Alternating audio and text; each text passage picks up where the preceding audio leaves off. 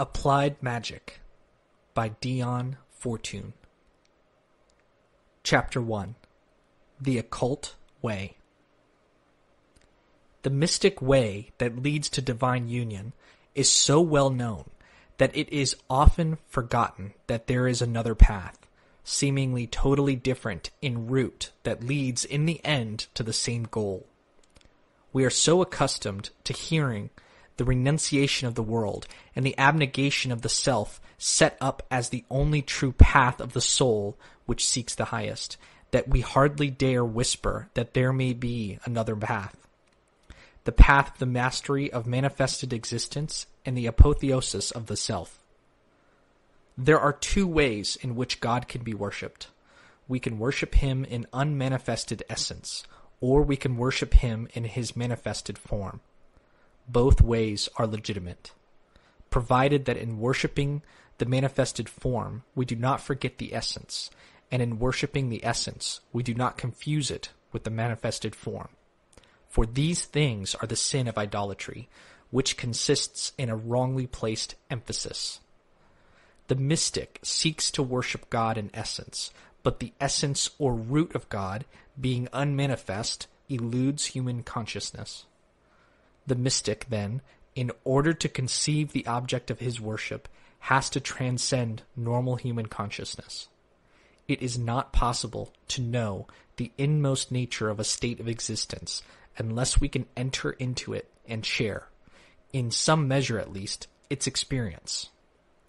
The mystic, then, has for his task the freeing of his consciousness from its habitual bondage to form. It is to this end that the ascetic discipline is directed, killing out the lower in order that the higher may be set free to unite with God and therefore know him. The way of the mystic is the way of renunciation till he breaks all the limitations of his lower nature and enters into freedom. Nothing then remains that can withhold him from God. And his soul flies upwards to enter the light and return not again. But the other path is not a way of renunciation, but a way of fulfillment. It is not breaking away from the path of human destiny, but a concentration and sublimation of that destiny. Each soul which takes that path lives through its own experience every phase and aspect of manifested existence and equilibrates it, spiritualizes it, and absorbs its essence. The aim of those who follow this path is to obtain complete mastery over every aspect of created life but when we say mastery, we do not mean the mastery of a slave owner over his slave. Rather, do we mean the mastery of the virtuoso over his instrument, a mastery which rests upon his power to adapt himself to its nature and enter into its spirit, and so draw forth its full capacity of interpretation. The adept who has gained mastery over the sphere of Luna interprets the message of the moon to the world and shows forth her powers in equilibrated balance. The kingdom ruled by the master of the temple is no absolute monarchy. He does not obtain that mastery in order to make thrones, dominions, and powers serve himself, but in order to bring them God's message of salvation and call them to their high heritage. He is a servant of evolution it is his task to bring order out of chaos, harmony out of discord, and reduce unbalanced forces to equilibrium. The Vedanta teaching of the Eastern tradition clearly distinguishes between the devotion of the unmanifest God, the spiritual essence of creation, and the manifesting aspects, or gods. Identify the self with the partial aspects, which are the yoginis and the various powers, siddhis, are attained. Identify the self with the Mahayogini herself, and the man is liberated, for he is no longer man, but her. With what a man should identify himself depends upon what he wants. But whatever it is, he gets the power if he but will and works for it. World as power, power as reality, by Woodroffe. What ought a man to want? This is the next question we have to ask ourselves. The answer to this depends entirely upon the stage of evolution we have arrived at. The soul has to complete its human experience before it is ready for divine union. It must pass the nadir of the descent into matter before it can come on to the path of return. We are not ready for the mystic way until we are approaching the time of our freedom from the wheel of birth and death. To try and escape from that wheel prematurely is to evade our training. Like the racing yacht, which fails to round the outermost marking buoy, we are disqualified. We have not fulfilled the conditions of liberation, which command that we shall shirk nothing and leave behind us only that which we have mastered, equilibrated, and outgrown.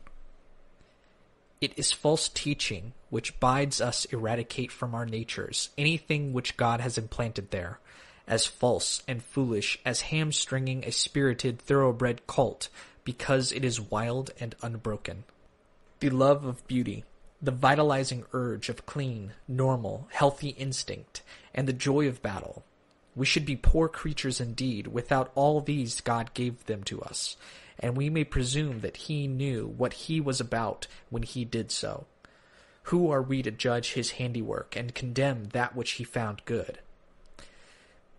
What God's law forbids is the abuse of these things not the use for the purposes for which they are intended.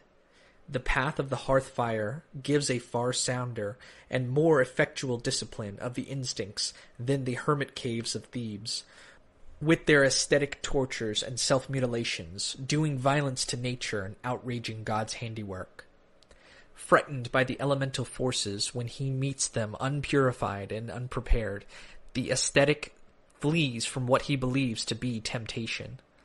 It is a far sounder policy to equilibrate the warring forces in our own nature until we can handle our unruly team of instincts and make them draw the chariot of the soul with the power of their untiring speed. The day will come for each of us when we shall be freed from the wheel of birth and death and enter the light to return not again. If we try to put aside the elements and their problems before that day dawns, we are shifting our helm for the homeward course before we have rounded the marking buoy. We are like the man who buried his talent in the ground because he was afraid of it. Our Lord will not thank us for our misplaced devotion to an unripe ideal, but call us unprofitable servants. The key to the whole problem, like so many others, lies in the doctrine of reincarnation if we believe that all human achievement has to be accomplished in one life, and that in the end it we shall be judged, we are liable to be stampeded into an idealism which we have not yet attained by a process of natural growth. Freedom from that wheel, the abandonment of matter, divine union, these will come for us all in due course of evolutionary time, for it is the aim of evolution to bring us to them but that time may not be yet, and we are very foolish if we allow another, however advanced, to judge us for where we stand upon the ladder of evolution, and decide what is to be our next step. Let us have the courage of our convictions and follow our own deeper promptings. If our urge to worship God in His glorious manifestation, let us do it wholeheartedly. Therein lies the way of attainment for us. This does not mean the unleashing of the impulses. The dance of nature is an ordered and rhythmical movement. We must not break free from our place in the living pattern, or we will spoil it. We must work with nature for nature's ends, if she is to be our mother. Here is discipline enough for any soul. If, on the other hand, our prompting our awards a withdrawal onto the mystical path, let us ask ourselves honestly whether we are following that path because of the call of God in our hearts is so strong, or because we have found life so difficult that we want to escape forever from its problems. Chapter 2 Some Practical Applications of Occultism When I first came to the study of occult science, it was extremely hidden and secretive. The various open societies that existed were either purely exoteric and elementary, or else they were really quite bogus. so it was difficult to know where to look for any real teaching. Consequently, unless one was psychic, unless one were psychic, one was completely debarred from any knowledge, but this is no longer so in the same degree, and the problem remains for many people. Do they want the occult teaching or not? We are accustomed to think that in order to have any practical knowledge of occultism, one must go apart from the world, and it is not practical for the vast majority of people to follow that path at all. This mean this meant that for a great many people who could have had help from this teaching were debarred from pursuing its study, which I think is a pity. When I was training, it was a strenuous affair altogether. The more I see of it, the more I feel that the work of the adept is one thing, and the general giving out of the teaching is another. The feats which are done by the trained gymnast are entirely beyond the scope of the ordinary, of the ordinary man. But nevertheless, the same exercises on which the gymnast is trained, only not carried to the same extreme pitch, keep the ordinary man strong and fit when practiced regularly. So I think it is with occultism. If you want to be an adept and do the strong feats of magic, you are equivalent to the gymnast, and this means a very strenuous training. But I think the next application of this work will be the bringing of the teachings, so that they are available for people not able to leave all, whose karma holds them to daily life. It is interesting to note that at the time when the recrudescence of occult of occultism began in the West. About 1875, three movements had their inception: occultism, the spiritualist movement, and Christian Science, with New Thoughts as its offspring. These are three distinct lines dealing with occult forces. The occultist bases his work on tradition, tradition and generally uses ceremonial.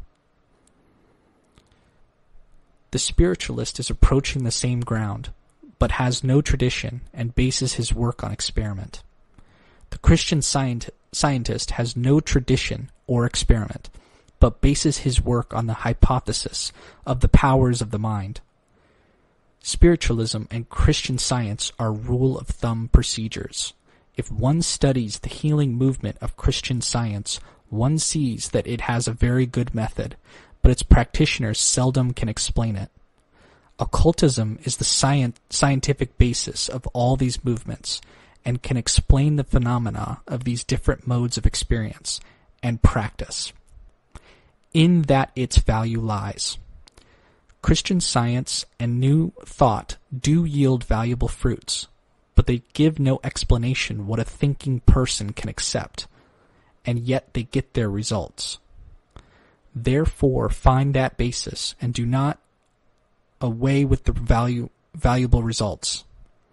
I maintain that in the esoteric doctrines we get an explanation of so much in life that everybody would be richer for having them given.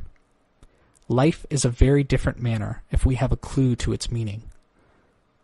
Without this, we are like leaves blown in the wind, and we do not know where we are or where we are going.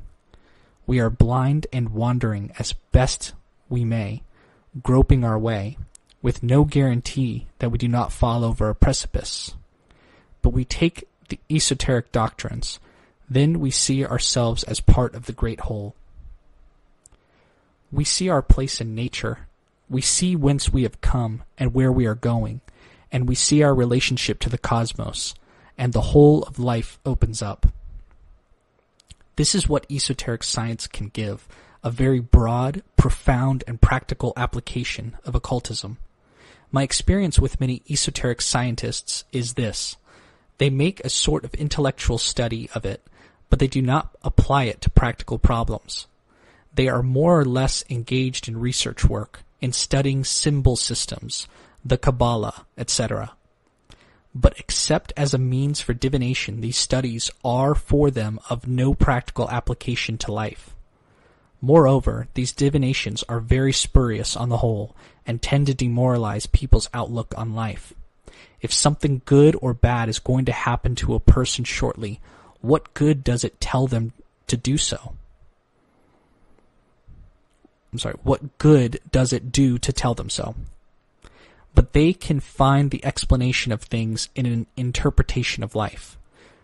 When we study the esoteric teachings of evolution, we see a tremendous vista opening up before us.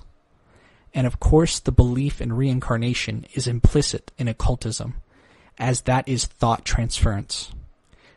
There we have, I think, one of the most illuminating teachings that can possibly be given to the problems of life. What can any being do in one life to earn either heaven or hell forever? Surely the teachings of reincarnation is a more reasonable one. The going out and returning again, and going out once more into incarnation for further experience. That is to my mind a very wonderful concept of existence that behind us stretches a long chain of incarnations. We do not remember them because the memory chain is broken, but they are there.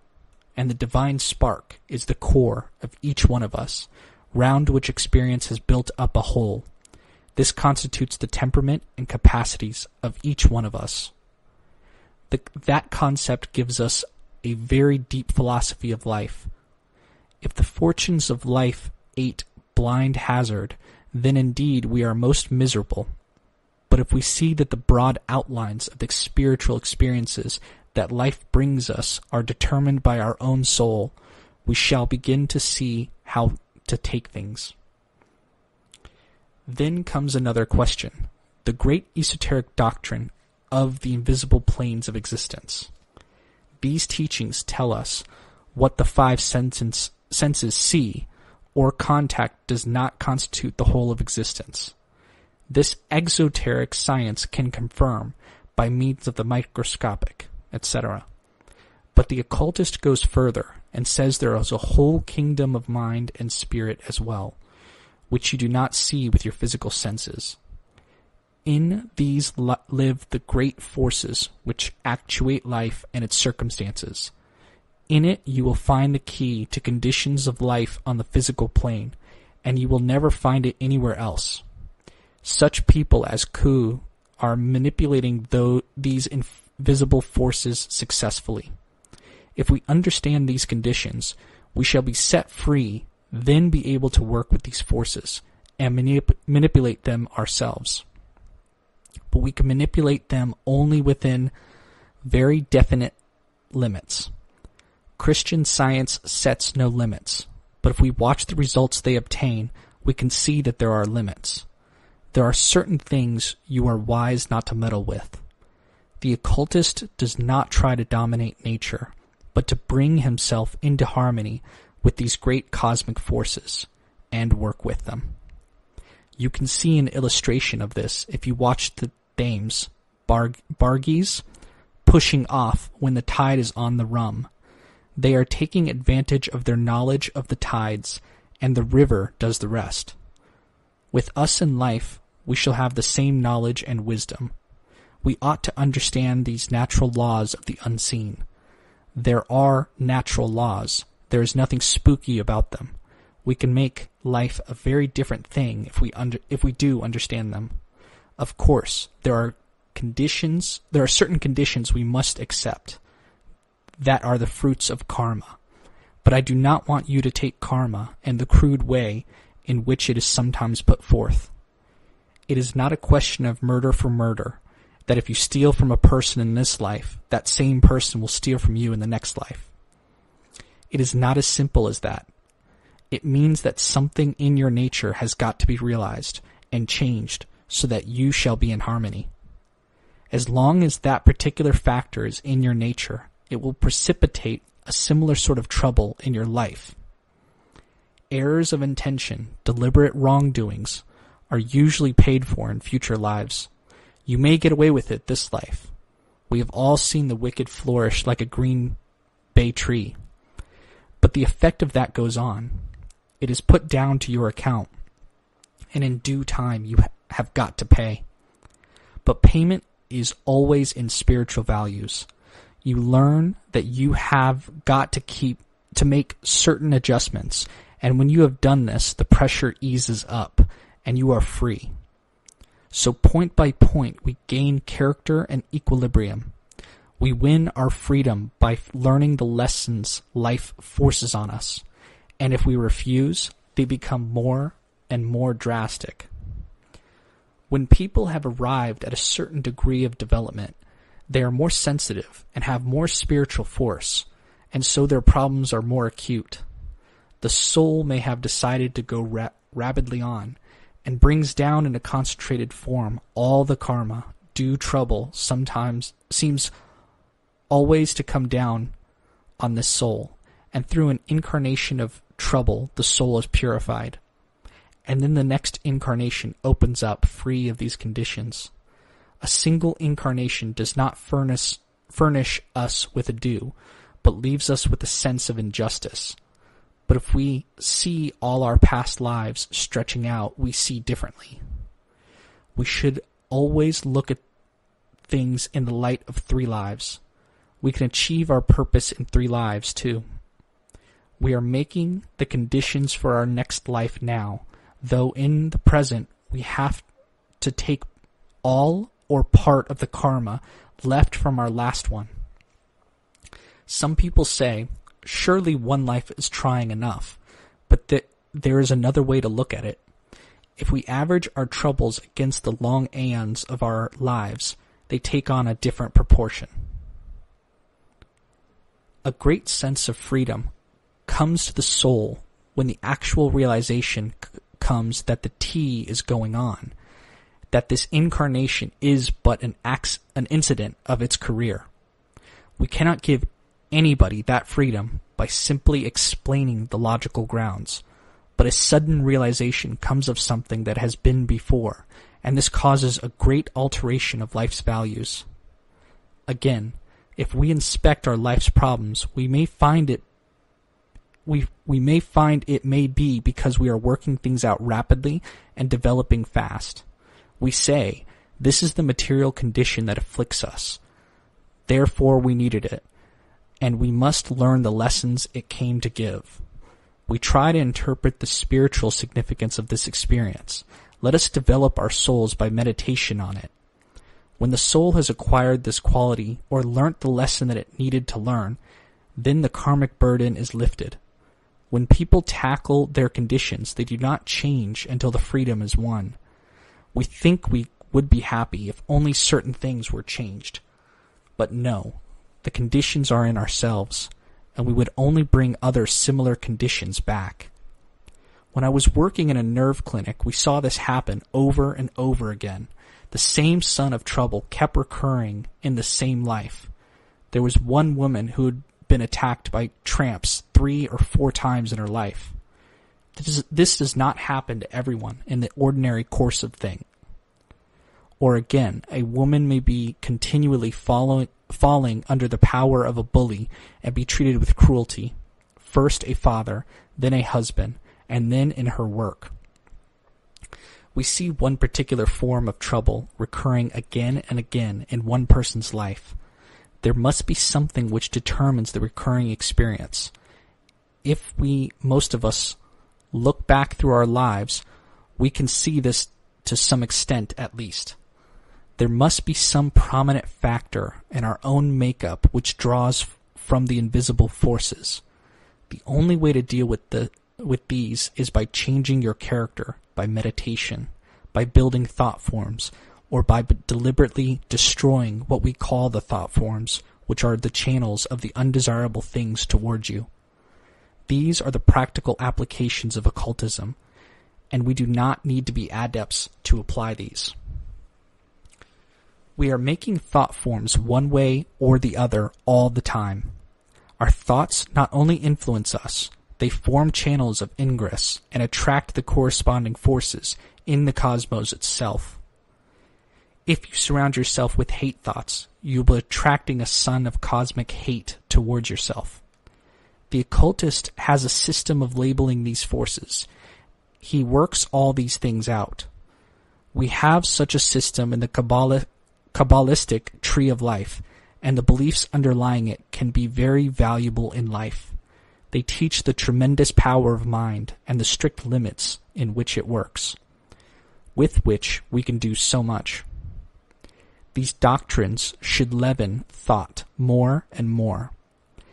The Theosophical Society has done a big work in this way, but its appeal has been chiefly to the unorthodox and the rebel. This is a great loss, because these teachings should be and can be presented in such a way that they do not estrange the trained mind, which in pure science is indispensable. Modern physics is coming completely round to the occult teachings.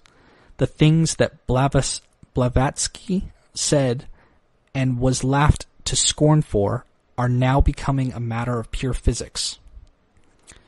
There are great applications to these things, which must be made. They should be applied to sociology, for the administration of the prison and the asylum, where the thought forms set up reinfect people unless we neutralize them. We can consider its practical applications to medicine, of which it has the only real keys. If you deal with man as body does, it is very unsatisfactory. Equally, if we take the orthodox view and deal with man as a spirit only, we are not doing him justice. Auto intoxication and sin are different. Man is a fourfold being, and you must deal with him as such. You must discern on which level the trouble originates. The life forces of the spiritual level are the real keys to the whole problem, and these life forces are translated through the intellect and the understanding, and brought down the planes. These are some of the esoteric teachings by which anyone can profit. I think the great need of occult secrecy is mainly past, but some is still necessary, partly because a group mind is necessary for some forms of practical occultism, and this has to be conserved, and not dissipated as it is done if a thing is common property and knowledge, and also to safeguard individuals against popular prejudice, Madame David-Néel, in her books about Tibet, has told us there is no secrecy about the teaching of the lamas and the inner wisdom there. The things are kept secret. The things that are kept secret are the practical methods of training their students. She herself, in her books, has given out many teachings which are important keys to the understanding of many occult doctrines. There are no mysteries about the teachings but only about the practical methods with which people could do harm. So we see the practical work of occultism can be done only by trained minds and requires a high degree of training. But the principles can be most valuable, and the more these are given out, the better.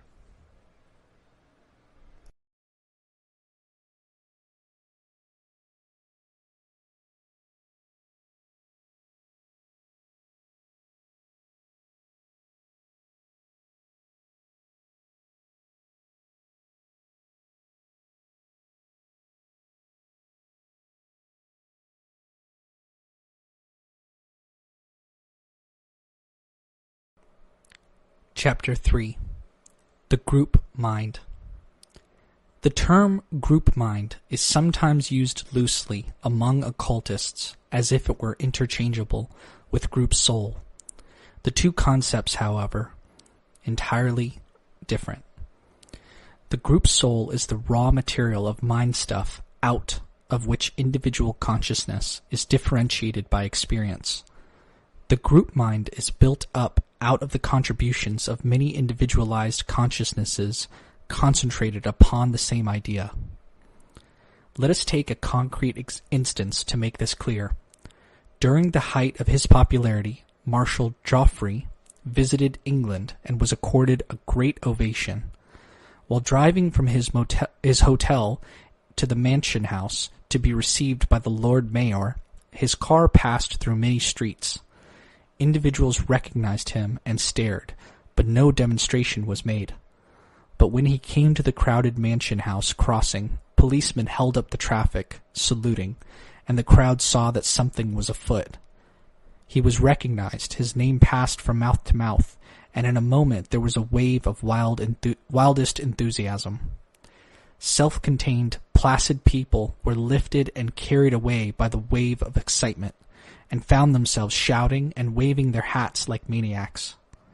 Note the difference between the behavior of the crowd when it functioned as a crowd from the behavior of isolated individuals, however numerous, who were merely sta- who merely stared with interest but displayed no emotion. This incident brings to mind another Mansion House incident, very illustrative of crowd psychology and the group mind. Many years ago, Abdul Hamid, the detested Sultan of Turkey, visited England. He too was received by the Lord Mayor and drove to the Mansion House exactly the same scenes were repeated but with a different emotional content. He drove in safety through safe safely through the crowded streets, individuals staring open-mouthed at the notorious visitor, but making no demonstration. But when the traffic was held up for him at the Mansion House, crossing the crowd recognized him. From those quiet, sober, middle-aged city men, there went up a howl of execration like the cry of a pack of wolves.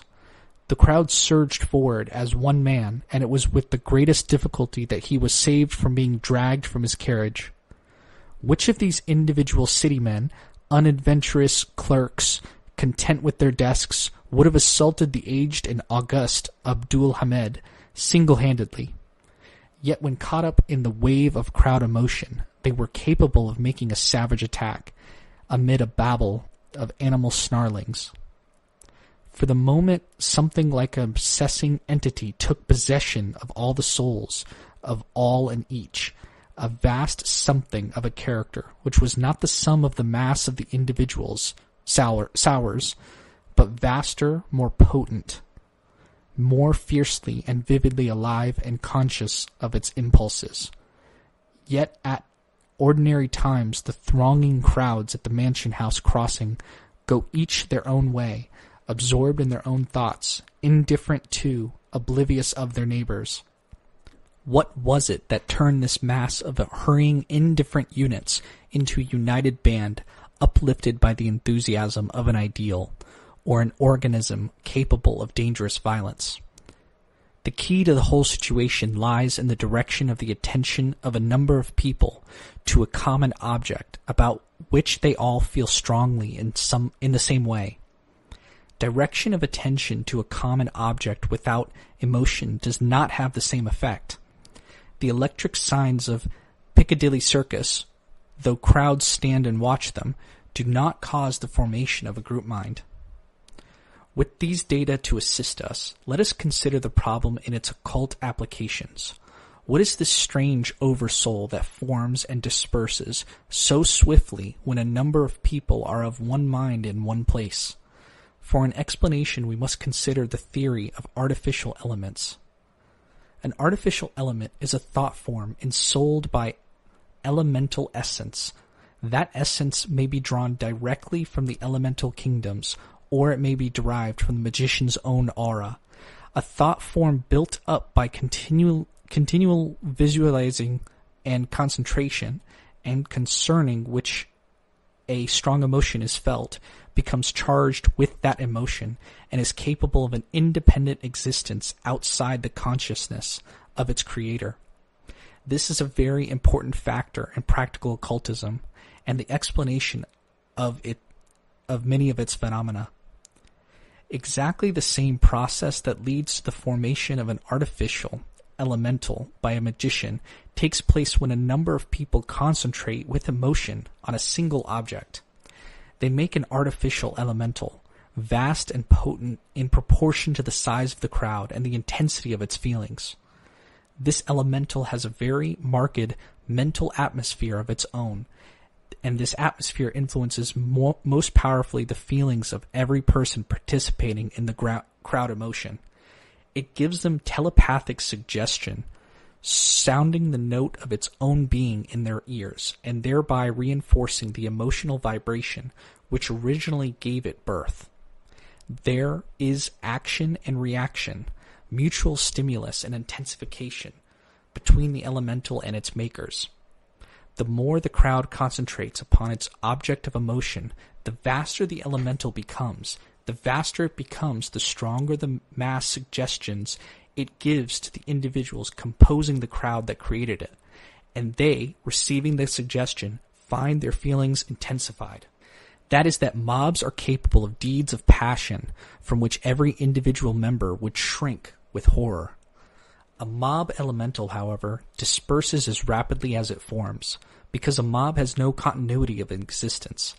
The moment the stimulus of a common emotion is removed, the mob ceases to be a unit and reverts to heterogeneity. That is why undisciplined armies, however enthusiastic, are unreliable fighting machines. Their enthusiasm evaporates if it is not continually stimulated. They split up their component parts of many individuals with diversified interests, each activated by the instinct of self preservation. To build up a group mind of any endurance, some method of ensuring continuity of attention and feeling is essential. Whenever such continuity of attention and feeling has been brought about, a group mind, or group elemental, is formed with which the passage of time develops an individuality of its own and ceases to be dependent for its existence upon the attention and emotion of the crowd that gave it birth. Once this occurs, the crowd no longer possesses the power to withdraw its attention or to disperse.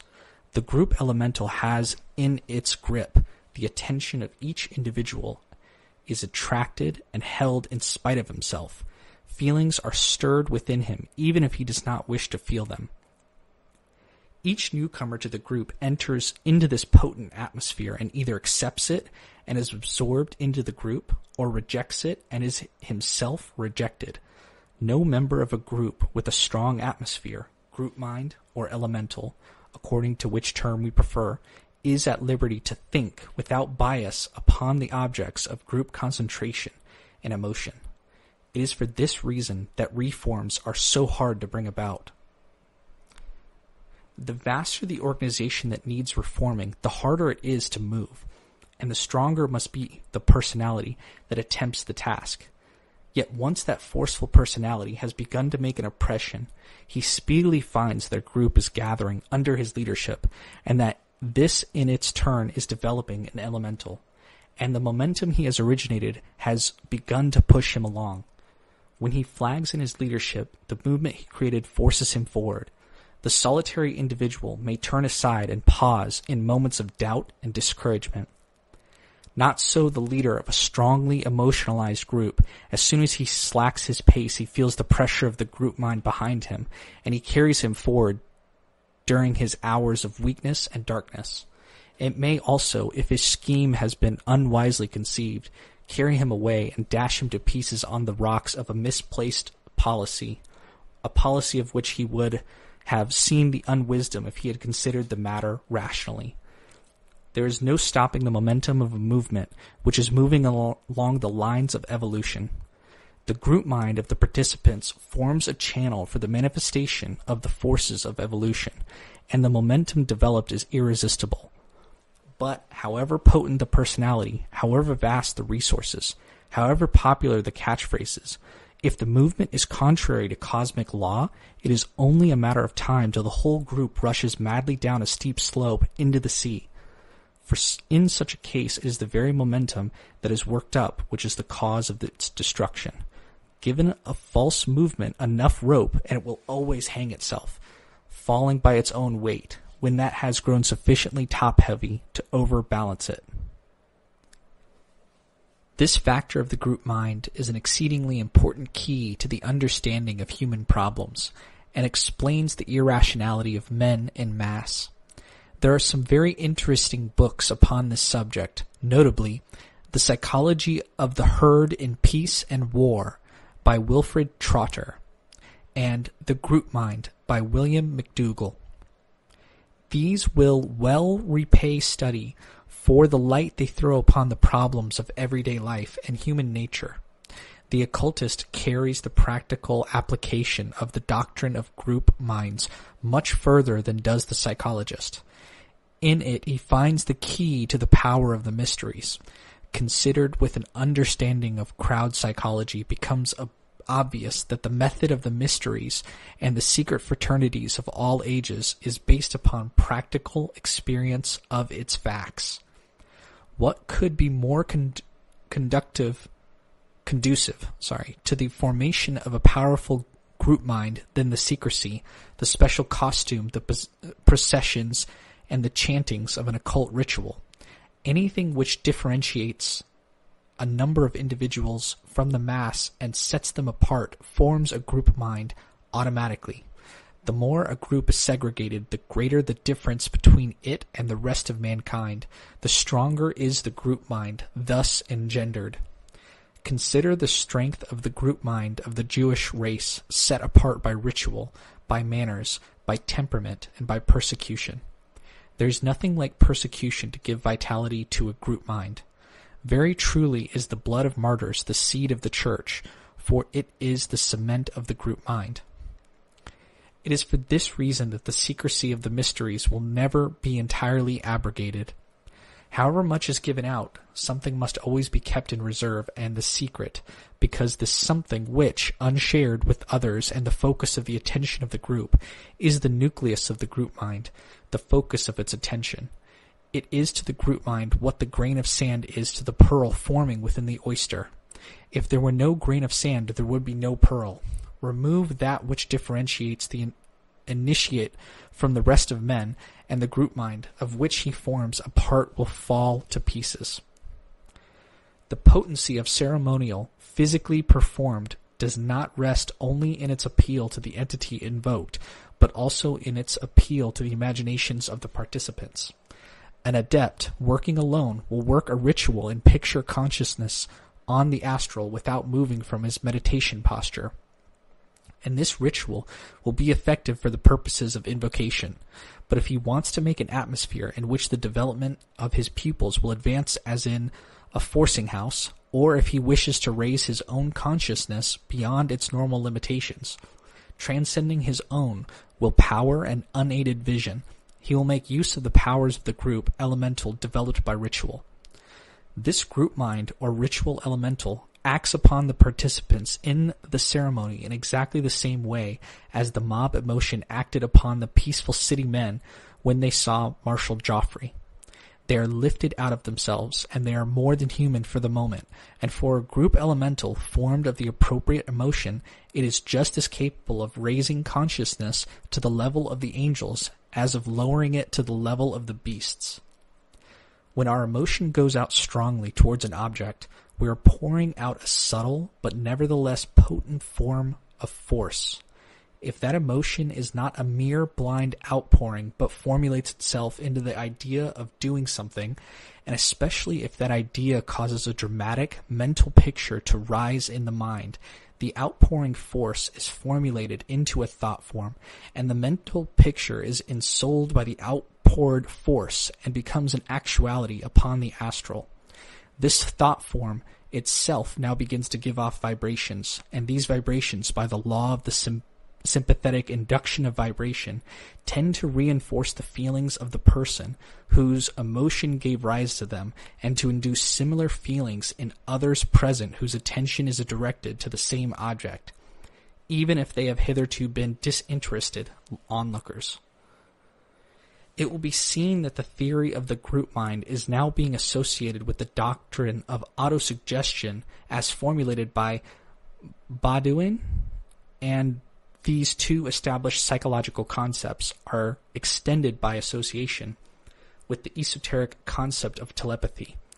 Take these three factors together, and we have the key not only to the phenomena of mob psychology, but also to the little realized power of ritual, especially ritual as it is performed in an occult lodge. Let us consider what happens when such a ritual is performed.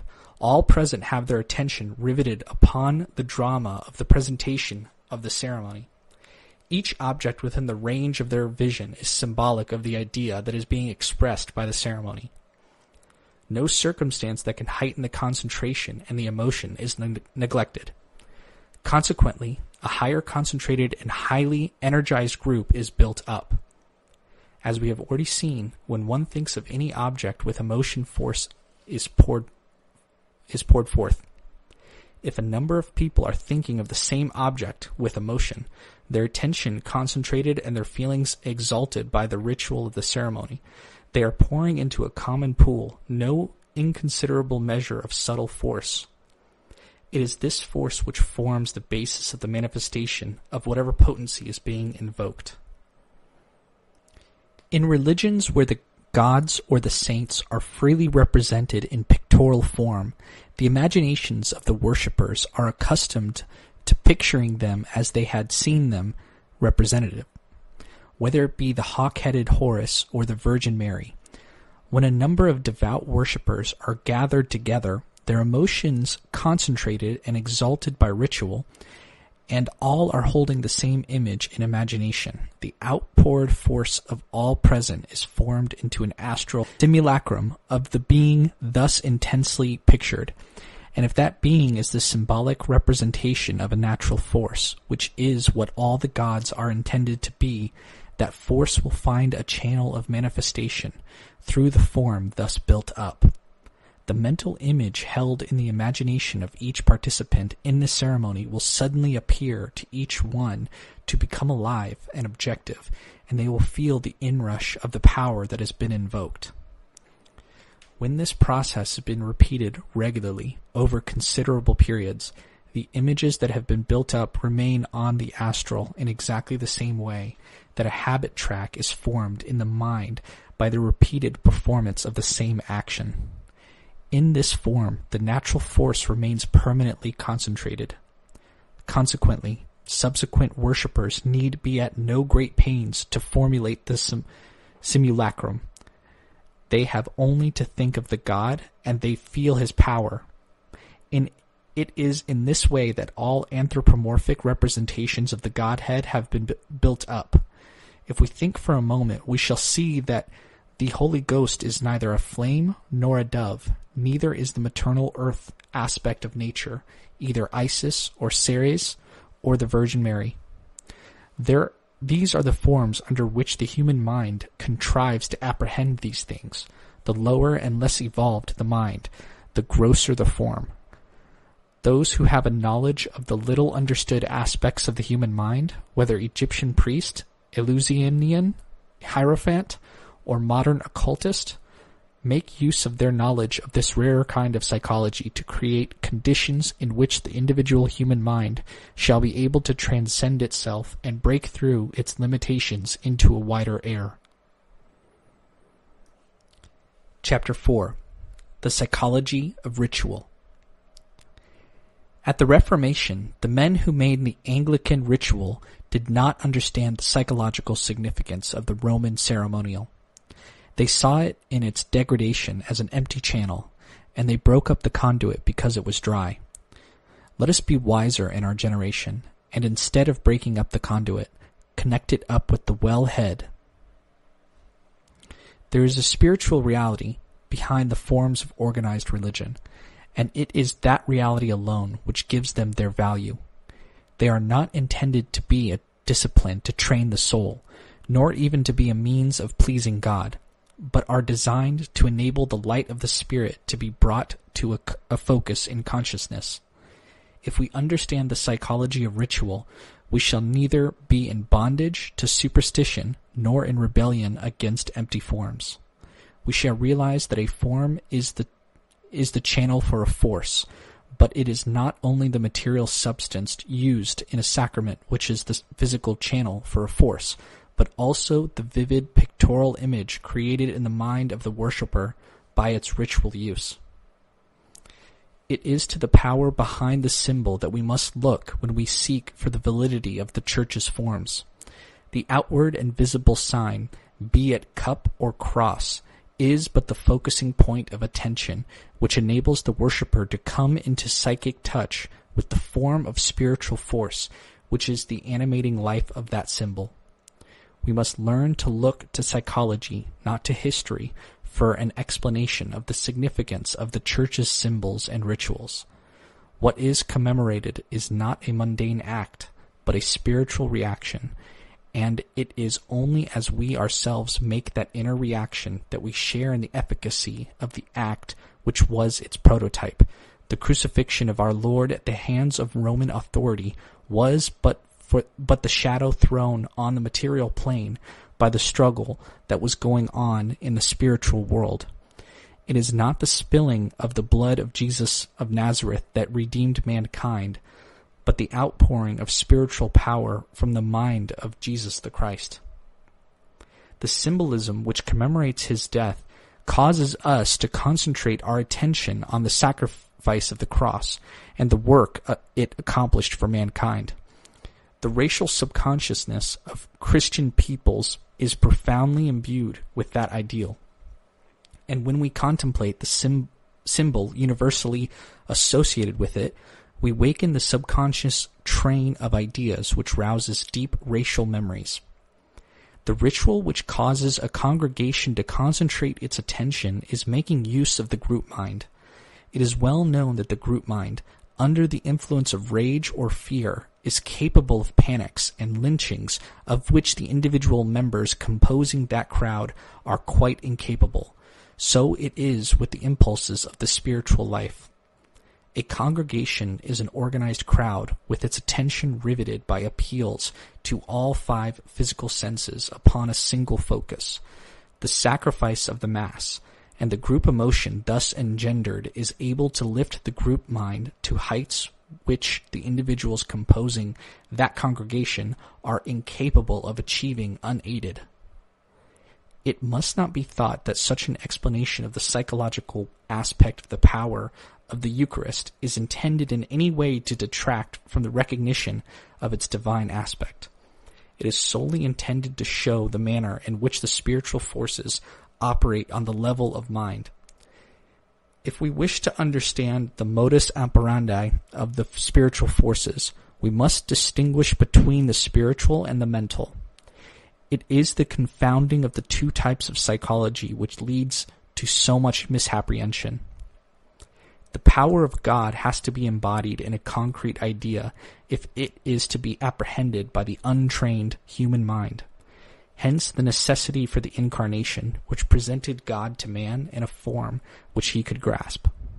So the sacraments of the Church are incarnations or embodyings in form of primary spiritual truths, too abstract to be apprehended by the untutored mind. By means of their pictorial symbolism, the mind is enabled sorry, embabbled to contemplate that which, unaided, it could never conceive. This contemplation enables it to link itself on with the spiritual potency which performs the work shadowed forth by the priest on the physical plane. Thus linked in thought, the spiritual power pours into the soul and, and accomplishes its divine work. There are three aspects to a sacrament the formless power of God translated from the abstract to the concrete by our Lord. Secondly, the symbolic ritual which reminds us of that particular function of our Lord's work. And thirdly, the image formed in our imagination. When this last forms in consciousness, the circuit is complete, and our Lord has put us in touch with God. Chapter 5 The Circuit of force. It is not easy to convey Eastern thought to Western readers because the dictionary equivalent of the terms employed is very far from being their significance in mystical thought. It is well known to those who have penetrated beyond the outer court in these matters that there is a special use of language, a double entendre, as it were, which is made use of wherever questions of practical procedure are under discussion, lest the once born should discover the shortcuts to the secret places of the soul. It is both right and necessary that this precaution should be used, and it will be observed in these pages, for these shortcuts are effectual psychological devices, and they can be made use of by the undedicated as well as the dedicated, and if they are employed by persons with unpurified and undisciplined minds, can prove un- unfortunate for others as well as themselves. I would be the last to deny to an adult the right to burn his own fingers if he so desires, but think it best to withhold from him the means of raising con- conflagrations in other folk.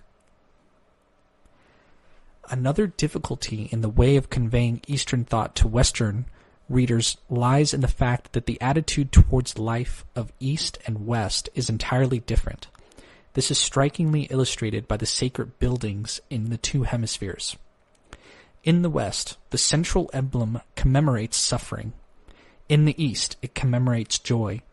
The men and women conditioned to these emblems naturally evaluate the experiences of life differently. As Kipling truly said, the wildest dreams of Kew are the facts of Kathmandu, and the crimes of Clapham Chast in Martaban. The best approach to Eastern thought is through a classical education. The Greek and the Hindu would have no difficulty in understanding each other. Each has the same concept of nature and the same regard for asceticism as a means to an end and not as an end in itself. Eastern thought, however, has penetrated far more deeply into natural religion than the Greeks had the capacity to do so, and the mysteries of Dionysus and Ceres are but pale shadows of their Eastern prototypes. It may be not without value in this connection to examine what it is known concerning the origin of the Greek mysteries. It is believed, and for the grounds for this belief the reader may turn to the pages of Prolegomena to the Study of Greek Religion by Jane Harrison that when Greek national religion began to lose its hold on an increasingly enlightened people, an attempt was made, by no means unsuccessfully, to provide a rendering of it acceptable to thinking men by borrowing the method of the Egyptian mysteries and expressing it in terms of the older, earlier Greek nature cults that preceded the highly poeticized tradition of the bright Olympians. These old nature cults still lingered in and out of the way parts of Greece in the islands and in the mountains, and the mystery myths show clearly that their originators knew this fact, for in them the gods the god comes down from the mountains, or the goddess takes refuge on the island. It must be clearly recognized that these mystery myths are not by any means primitive material, but very sophisticated ma- material indeed. Being in the works of scholars and mysteries of a highly civilized era seeking in the ancient traditional roots of Greek religion for untapped springs of inspiration. It was exactly as if a modern Englishman sought inspiration from Celtic or Norse folklore no doubt the initiates of the mysteries were regarded as pagans in their own day. There is another fact which, though known to specialists among this line of study, is unrealized by the majority of writers on mysticism, and consequently by the majority of their readers.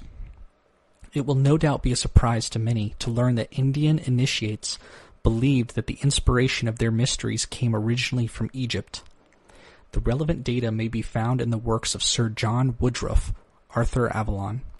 See in particular the extract from Panch- Panchkori Bandyopadhyaya of uh, Volume 2 of that author's Principles of Tantra. It follows then that those who have been initiated in the Western esoteric tradition and have taken those grades that draw their inspiration from Greece and Egypt in addition to the better known alchemical grades, will have no difficulty in understanding much in Eastern thought that is obscure or even obscene to the ordinary student. The practical applications of such teachings, valuable as they could be as a corrective to our insularity, are, however, far from easy to attain. It is frequently said that yoga as taught in the East is impractical in the West because the Western conditions of life are utterly unsuited to it, and the Western attitude utterly unsympathetic. I can only repeat this standard advice yet again. The student should on no account attempt the practical work of advanced yoga unless he has the necessary conditions of mind, body, and estate, for all these three play, play their part. Practical yoga should not be done in any makeshift manner, but with proper care and attention to all the material conditions that are necessary for its achievement. If these are not available, it is inadvisable to make the attempt without substitutes. Among these necessities are the necessary number of properly trained persons in a properly equipped and prepared place that is secure from profanation. Prof- profanation. Again, I emphasize the, that makeshifts are worse than useless. If you do yoga at all, do it under proper conditions or leave it alone. But despite these provisos and warnings, I think it worthwhile to write on the subject of yoga because I feel that my training in the ancient mysteries of the West has given me insight into that the average Christian does not possess. There have been a great many books written on the subject, their writers all frankly recognizing that yoga in its original form is unsuited to the West, and one and all trying to present an, ad- an adaptation of it that should be suitable. But one and all, as far as my experience goes, have thrown away the baby with the bathwater and presented a version of that ancient science which is like a version of Hamlet edited by a rationalist who removed all the reference to the supernatural. The result does not make sense. The fact, however, remains that yoga as it stands does not suit the West, and that if the mountain cannot go to Mahomet, Mahomet will have to go to the mountain if he wants to enjoy the delights of a high altitude. Our Western culture has bestowed many benefits in the way of physical sanitation, but the same cannot always be said of it in regard to mental sanitation, and a modification of its attitude is due and overdue, as the psychoanalyst, uh, psychoanalysts have been pointing out, have long been pointing out. In earlier writings, I have tried to show the practical implications of the doctrine of manifestation by means of the pairs of opposites, which is one of the most fundamental and far reaching tenets of the esoteric tradition. Much of what I've had to say is so profoundly esoteric and so immediately practical that I have been obliged to adhere to the ancient method of myth and metaphor. These things are not for the profane, who would either misunderstand them or abuse them. Those who have eyes to see can read between the lines. In this present context, I will try to sum up the principles involved and bring the whole concept to a single focus Yet even so, such is its inherent nature, as in fact the nature of all manifestation, that my argument must needs move in a circuit, returning whence it started for its final explanation and application. Manifestation takes place when the one divides into two that act and react on each other. Manifestation ends when multiplicity is resolved or absorbed back into unity. The transition from plane to a plane of manifestation takes place in the same manner. In order that any thing or factor shall be brought down from a higher to a lower plane, it is necessary to analyze it into the contradictory forces that are held in equilibrium in its nature. To do this, one imagines the opposite extreme opposite extremes of which it is capable and expresses them separately while retaining in consciousness their essential unity when in equilibrium. Equally, if it is desired to raise any factor from a lower to a higher plane, one conceives its opposite and reconciles the pair in imagination and realization. Any pair of factors divided for the sake of manifestation act and react upon each other alternatively struggling to unite, and in the act of uniting, exchanging magnetism, and then their magnetism having been exchanged, repelling each other and striving to draw apart, thus re-establishing their separate individuality. Thus, this established and fresh charge of magnetism having been generated, once again they yearn towards each other in order to exchange magnetism, the more potent giving off and the less potent receiving the charge. It must never be forgotten in this respect that relative potency is not a fixed thing depending on the mechanism or form, but a variable thing depending upon voltage or vitality. Moreover, the charge passes backwards and forwards as an alternating current, never with a permanent one-way flow. These are the fundamentals of the concept, and they have their application to every aspect of existence.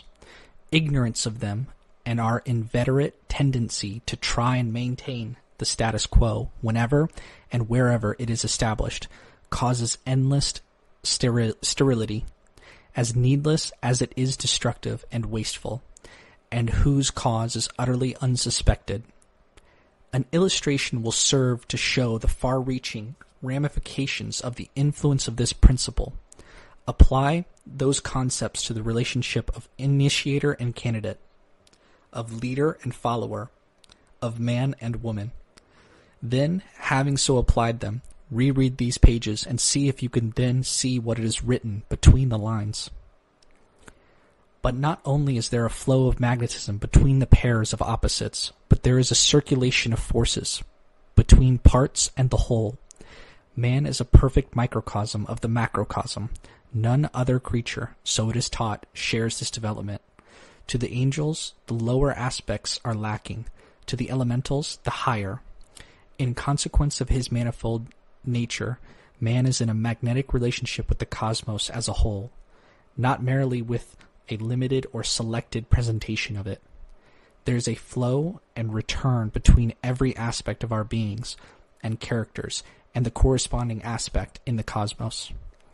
Just as the chemical elements in our dense body are derived from and returned to the general fund of the matter, so by the processes of metabolism, the psychic factors in our subter bodies are neither static nor exclusive, but are maintained by perpetual flow and return like a hot water circuit which flows from boiler to storage tank and back again by virtue of its own physical properties.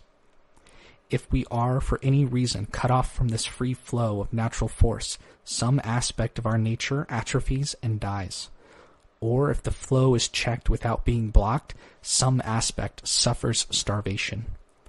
There is a characteristic deadness when this occurs, readily recognizable in all the relations of life when once its nature is realized. if the initiator is not in contact with spiritual forces, he cannot pass them on to the candidate, and so fails to initiate. If the candidate brings no real depth of feeling to his initiation, he gives out no magnetism, and as magnetism can only be poured into a person who is giving it out, a little understood but far reaching truth, that candidate receives no downpouring of power, and the initiation is ineffective. If a leader has not great principles to guide him, but is a mere opportunist, his inspiration to his followers will consist in no more than a hope for a share of the spoils.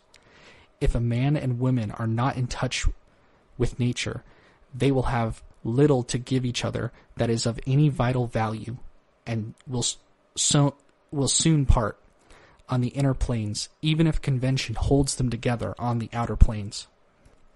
The operation of magnetic magnetic interchange in all its aspects can be cultivated and developed.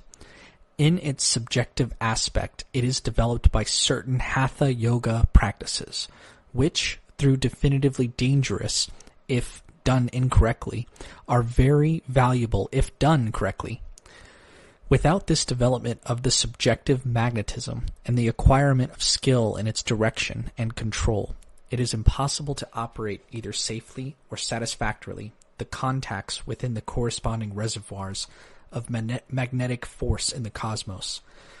But once, with some degree of development and skill has been attained, it is a waste of time to persevere with exclusively subjective methods.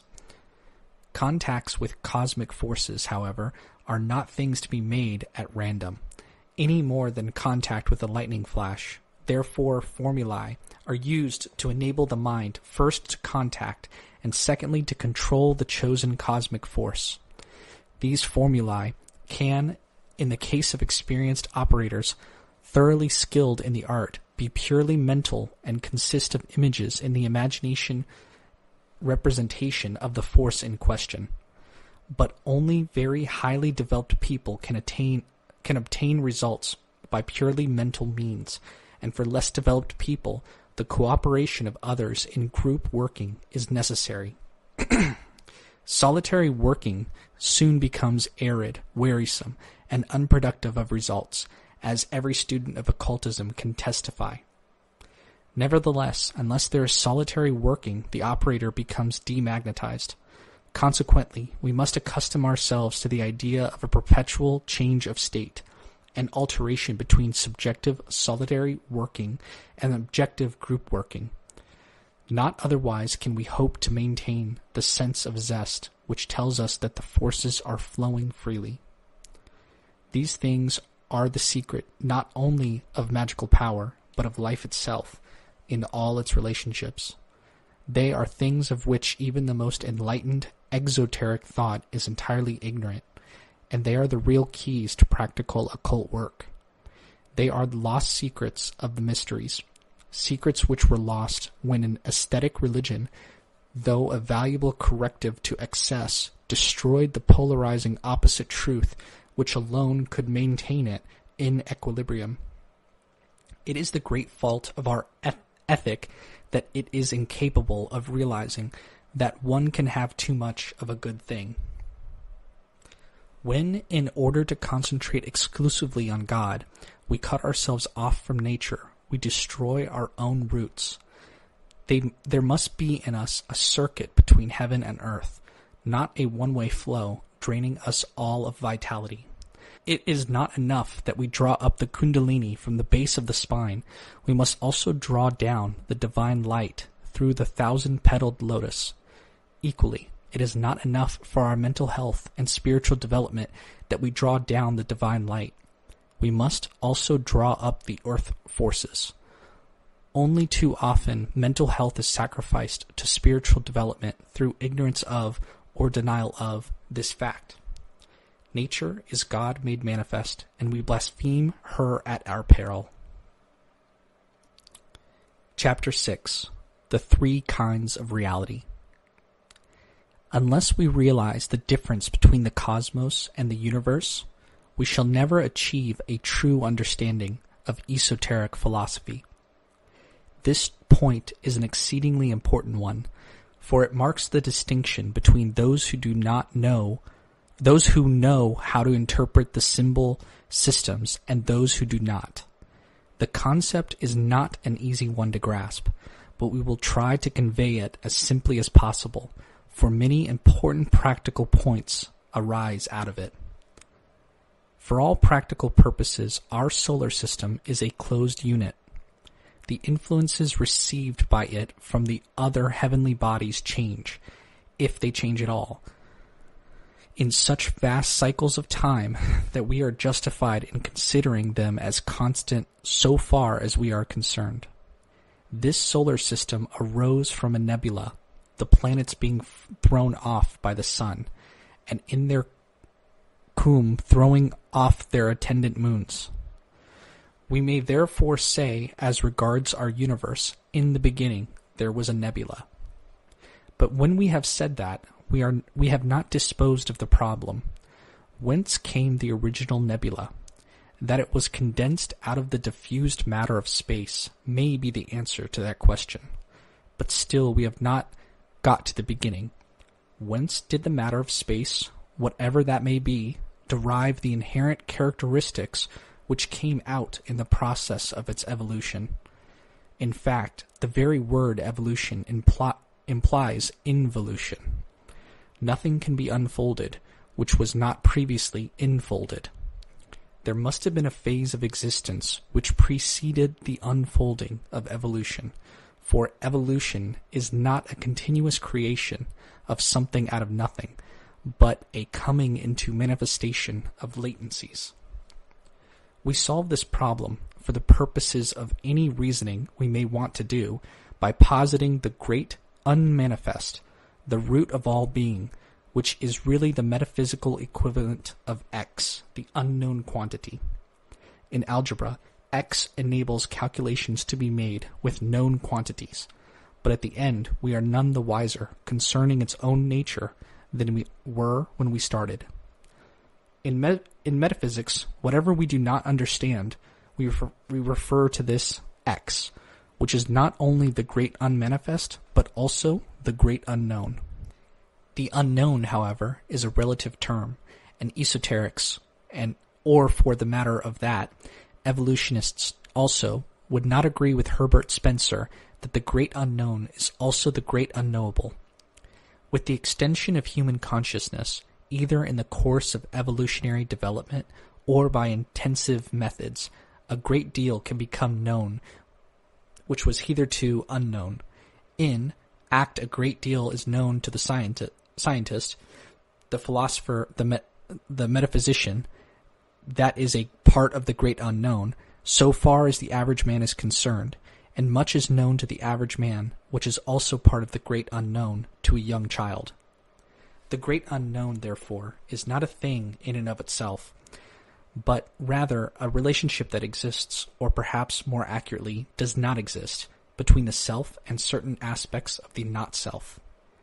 The great unmanifest cannot be the great non existent. Non existent just isn't, and that is all there is to be said about it. But the great unmanifest very much is, and to call it the root of all being is a very good description. It is only unmanifest so far as we are concerned because we have not got, at our present state of evolution at any rate, any faculties or sense by means of which we are able to contact it. If an extension of consciousness takes place, however, by means of which we become conscious of an act of an aspect of the root of all being which had hitherto been unperceived by us, then us then for us it is no longer unmanifest, but has become manifest. Might we say, then, that manifestation takes place by means of realization? The actualities, which are the underlying noumenal essences of all that exists, never become manifest in that they become objects of sensory experience. But are apprehensions limited to sensory experience? The psychologist says yes. The esoterics say no. No sensory experiences enabled Darwin to apprehend the law of evolution.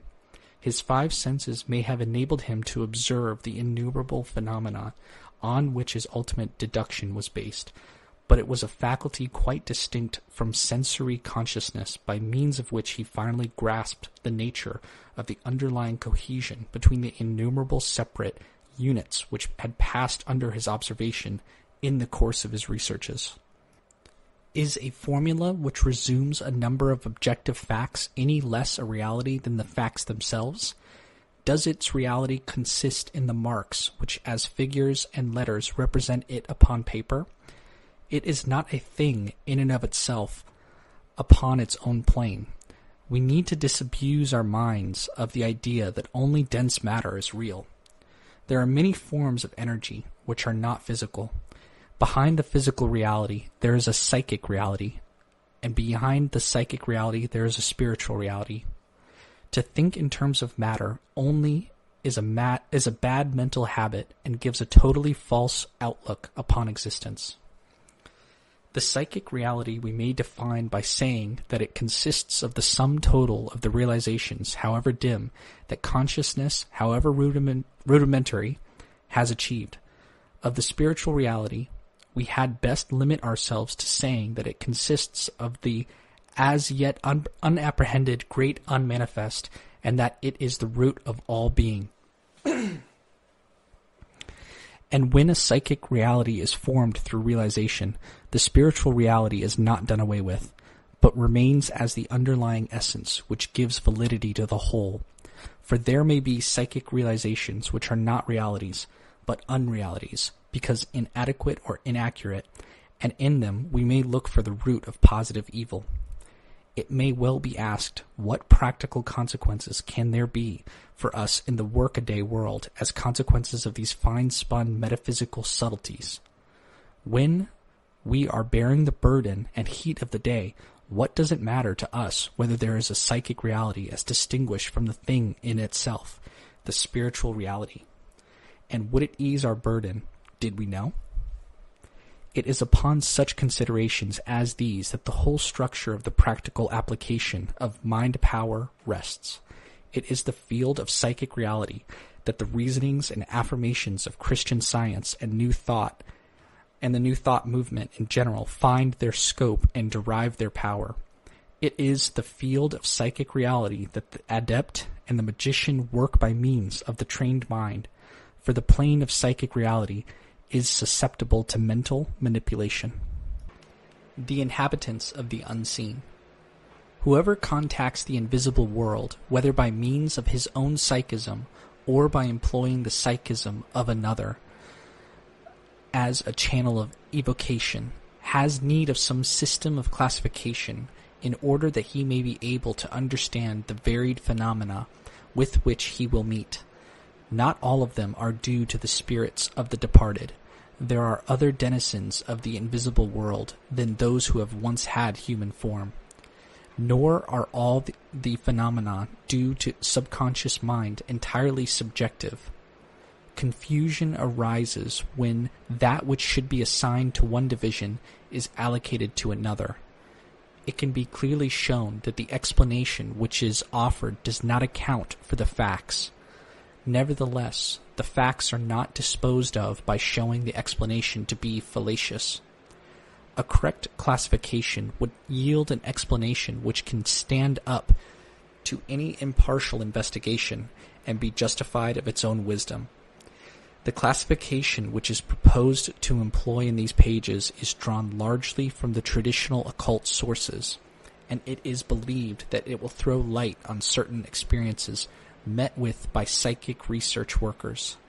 It is offered in, in a spirit of cooperation as independent testimony to a common experience. 1. The souls of the departed. Of all the inhabitants of the invisible worlds, the one the ones with which it is easiest for us to get in touch with are the souls of human beings who have shed their outer garment of flesh, either temporarily or permanently. Anybody who is familiar with spiritualistic or esoteric thought soon becomes habituated to the idea that a man is not changed by death. The personality remains, it is only the body that is gone. The esotericist in his concept of the nature of departed souls, distinguishes between those who are going through the internatal phase, that is to say, who are living in a non physical world between incarnations, and those who will not reincarnate again. There is great difference in capacity and outlook between these two types of souls, and many of the issues at present outstanding between spiritualism and occultism are undoubtedly due to a failure to recognize this fact. The occultist does not maintain that existence is an external sequence of birth and death, but at but that at a certain phase of evolution the soul enters upon a series of material lives, and through the development made during these lives, it finally outgrows the mundane phase of evolution, becoming more and more spiritualized towards the end of this period, until finally it wins its freedom from matter and reincarnates no more, continuing its existence as a disembodied spirit with a human mind. Mentality, the occultist maintains, can only be obtained through incarnation in human form. Those beings who have not undergone this experience have not got mentality as we understand it, with certain exceptions with which we will consider later.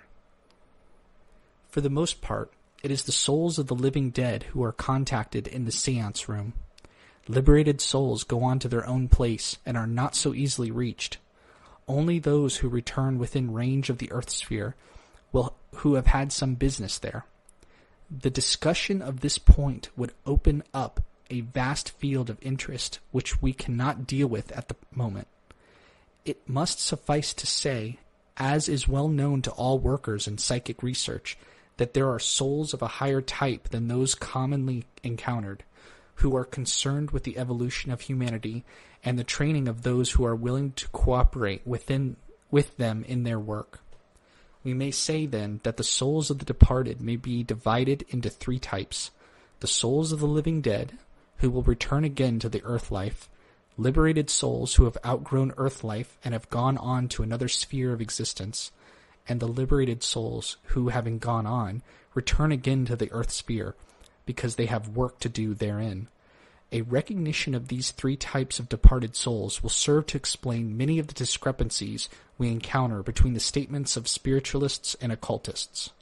The occultist aims chiefly at getting into touch with the liberated souls for the purposes of specific work in which both he and they are concerned. For the most part, he leaves the souls of the living dead severely alone. Personally, I am of the opinion that he is mistaken in doing so. It is quite true they can be of little assistance to him in his chosen work, but the normal companionship of the living with the, the dead robes robs death of most of its terrors, and is steadily building a bridge between those who remain and those who have passed over. The occultist should certainly not invite the cooperation of the living dead as he would that um, of the liberated souls, for they have their own work to do, nor can he place as much reliance on their knowledge and insight as on that of those who are freed from the wheel of birth and death neither has any right to try to use them as he would as he would elemental spirits in the course of his experiments. Admitting these qualifications, however, there seems no reason why the occultist should not share in the interchange of amenities which is continually taking place across the borderline. After all, death is one of the processes of life, and the dead are very much alive and quite normal.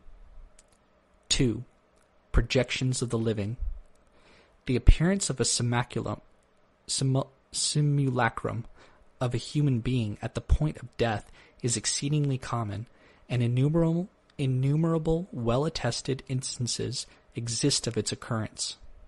It is not so well known, however, that it is possible for the simulacrum or astro-etheric form to be projected voluntarily by the trained occultist.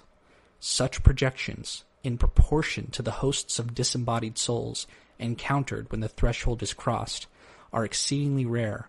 Nevertheless, they occur, and may be wet, met with, therefore, they must be included in any classification which aims at being comprehensive. Usually, such a projected soul appears to be entirely preoccupied with its own affairs, and a state and in a state of, of absorption which causes it to appear its to appear to ignore its surroundings. As a matter of fact, it most frequently happens that the disembodied spirit has its work cut out to maintain consciousness at all on the higher planes, and it, its self-absorption is that of the beginner on a bicycle. Occasionally, communication may be established between such a projected etheric body and a group of experimenters and very interesting results are obtained.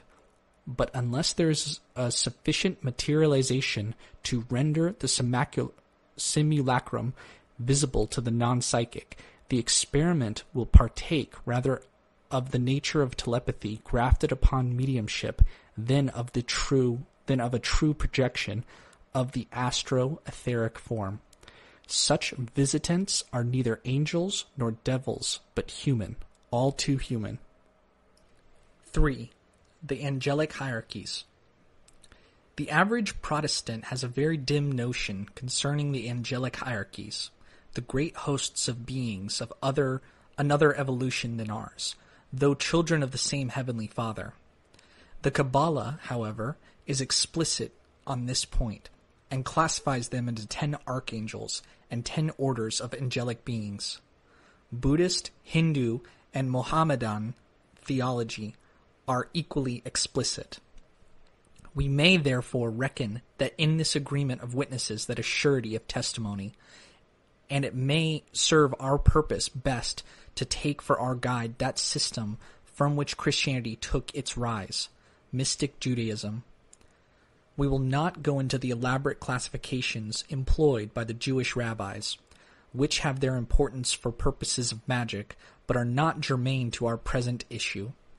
It is enough that we realize that there are divinely created beings of varying degrees of greatness, and from the mighty archangel whom St. John the Divine saw standing in the sun, down to the nameless heavenly messengers who have from time to time visited mankind. Beyond the spheres to which are assigned the disembodied spirits of humanity dwell these heavenly beings, and in some high ranges of spiritual light, the psychic or medium sometimes ch- touches them. In the Vale Owen scripts, there is much concerning them that is of great interest. It is said by the rabbis that these beings are perfect, each after their own kind, but they do not evolve, and it is noticeable that they are non intellectual. One might almost call them divine robots, each strictly conditioned by its own mature nature perfectly to fulfill the office for which it was created. Free from all struggle and inner conflict, but changeless, and therefore unevolving. No angel, it is held, ever goes outside his own sphere of activity. The angel who has healing in his wings cannot bestow vision, nor the bestower of visions serve as the strong guard against the powers of darkness. Esotericists make a fundamental distinction between angels and the souls of men. They say that the divine sp- sparks, which are the nuclei of the souls of men, proceed from noumenal cosmos, from the same plane whereon the solar logos has his being. They are therefore of the same innermost nature as the Godhead. Angels, on the other hand, are created by the solar logos as the first of his created beings. They neither fall into generation nor rise by regeneration, but remain in changeless but unevolving perfection till the end of the epoch. The functions of the angels are diverse and cannot be entered upon here in detail. They are, each according to his office and rank, God's messengers in things of the Spirit, but they have no direct contact with dense matter. That office is performed by another being of, another order of beings altogether, the elementals, who differ in origin and inmost nature from both angels and men. 4. Elementals. Much confusion of thought exists concerning the orders of being, beings known as elementals. They are sometimes confused with the spirits of men. Undoubtedly, many happenings attributed to spirits are to be assigned to the activities of those other orders of beings orders of beings. Again, they are not to be confused with the evil demons, or to give them the Kabbalistic name, the Qliphoth. Qliphoth. Elementals are the thought forms generated by coordinated systems of reactions that have become stereotyped by constant and unchanging repetition. Some explanation is necessary to make this concept clear, and we shall understand it best if we survey the means by which elementals come into being. Each epoch of evolution is constituted, constituted by the outgoing and return of a live wave of living souls. They are referred to in esoteric terminology as the Lords of Flame, of Form, and of Mind. The present evolution will become the Lords of Humanity. Each life wave develops its characteristic contribution to evolution. When the divine sparks, which constituted the nuclei of the evolving souls of each evolution, are withdrawn back up the planes and reabsorbed into the kingdom of God, their work remains behind them in which they have builded, whether it be the chemical elements evolved by the Lord of Flame or the reactions of consciousness evolved by the Lords of Mind. Humanity, it is held, is evolving the power of coordinated consciousness, and Lords of Humanity therefore hold the same relationship to the Lords of Mind that the Lords of Flame hold to the Lords of Form. These beings, however, of the three earlier life waves have passed out of range of the life of our earth, each group to its appropriate plane, and the lords of humanity are still absorbed in the task of building, and are not yet, save those few who have become masters, escaped from the bondage of the material in which they work. Consequently, it is rarely that any psychic save the higher grades of adept ever contacts any of these beings. They have left behind them, however, as has already been noted, the forms which they built up in the course of their evolution. These forms, as psychics teach, actually consist of coordinated systems of magnetic stresses. Whenever any movement takes place, an electri- electric current is set up, and if the series of coordinated movements is repeated many times, these currents tend to make adjustments among themselves and become coordinated on their own account, quite, quite independently of the physical forms whose activities gave rise to them. It is out of these coordinators that the elementals are evolved. We cannot go more deeply into this most interesting and intricate subject in the present pages. It is a matter for a separate study. Enough has been said, however, to indicate that although the ultimate product of the evolution of the angelic, the human, and the elemental kingdom is to produce consciousness and intelligence, and the origin of these three types of beings is entirely different, and so also is their destiny. The divine sparks are the emanations of the great unmanifest, Ain Soph Aur, in the terminology of the Kabbalists. The angels are the creations of the solar logos, and the elementals are the creations of the created. That is to say, they are developed out of the activities of the material universe. Of the elementals thus evolved, there are many types.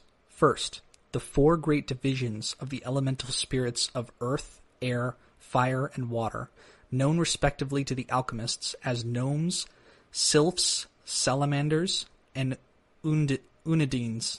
Un- undines. These really represent four types of activity arising out of four types of relationship. In solids, the element of earth, the molecules adhere together. In liquids, the element of water, the molecules are free moving. In gases, the elements of air, they repel each other and therefore diffuse to their uttermost limits. And in the fire, the essential property of its activity is to change plane or transmute.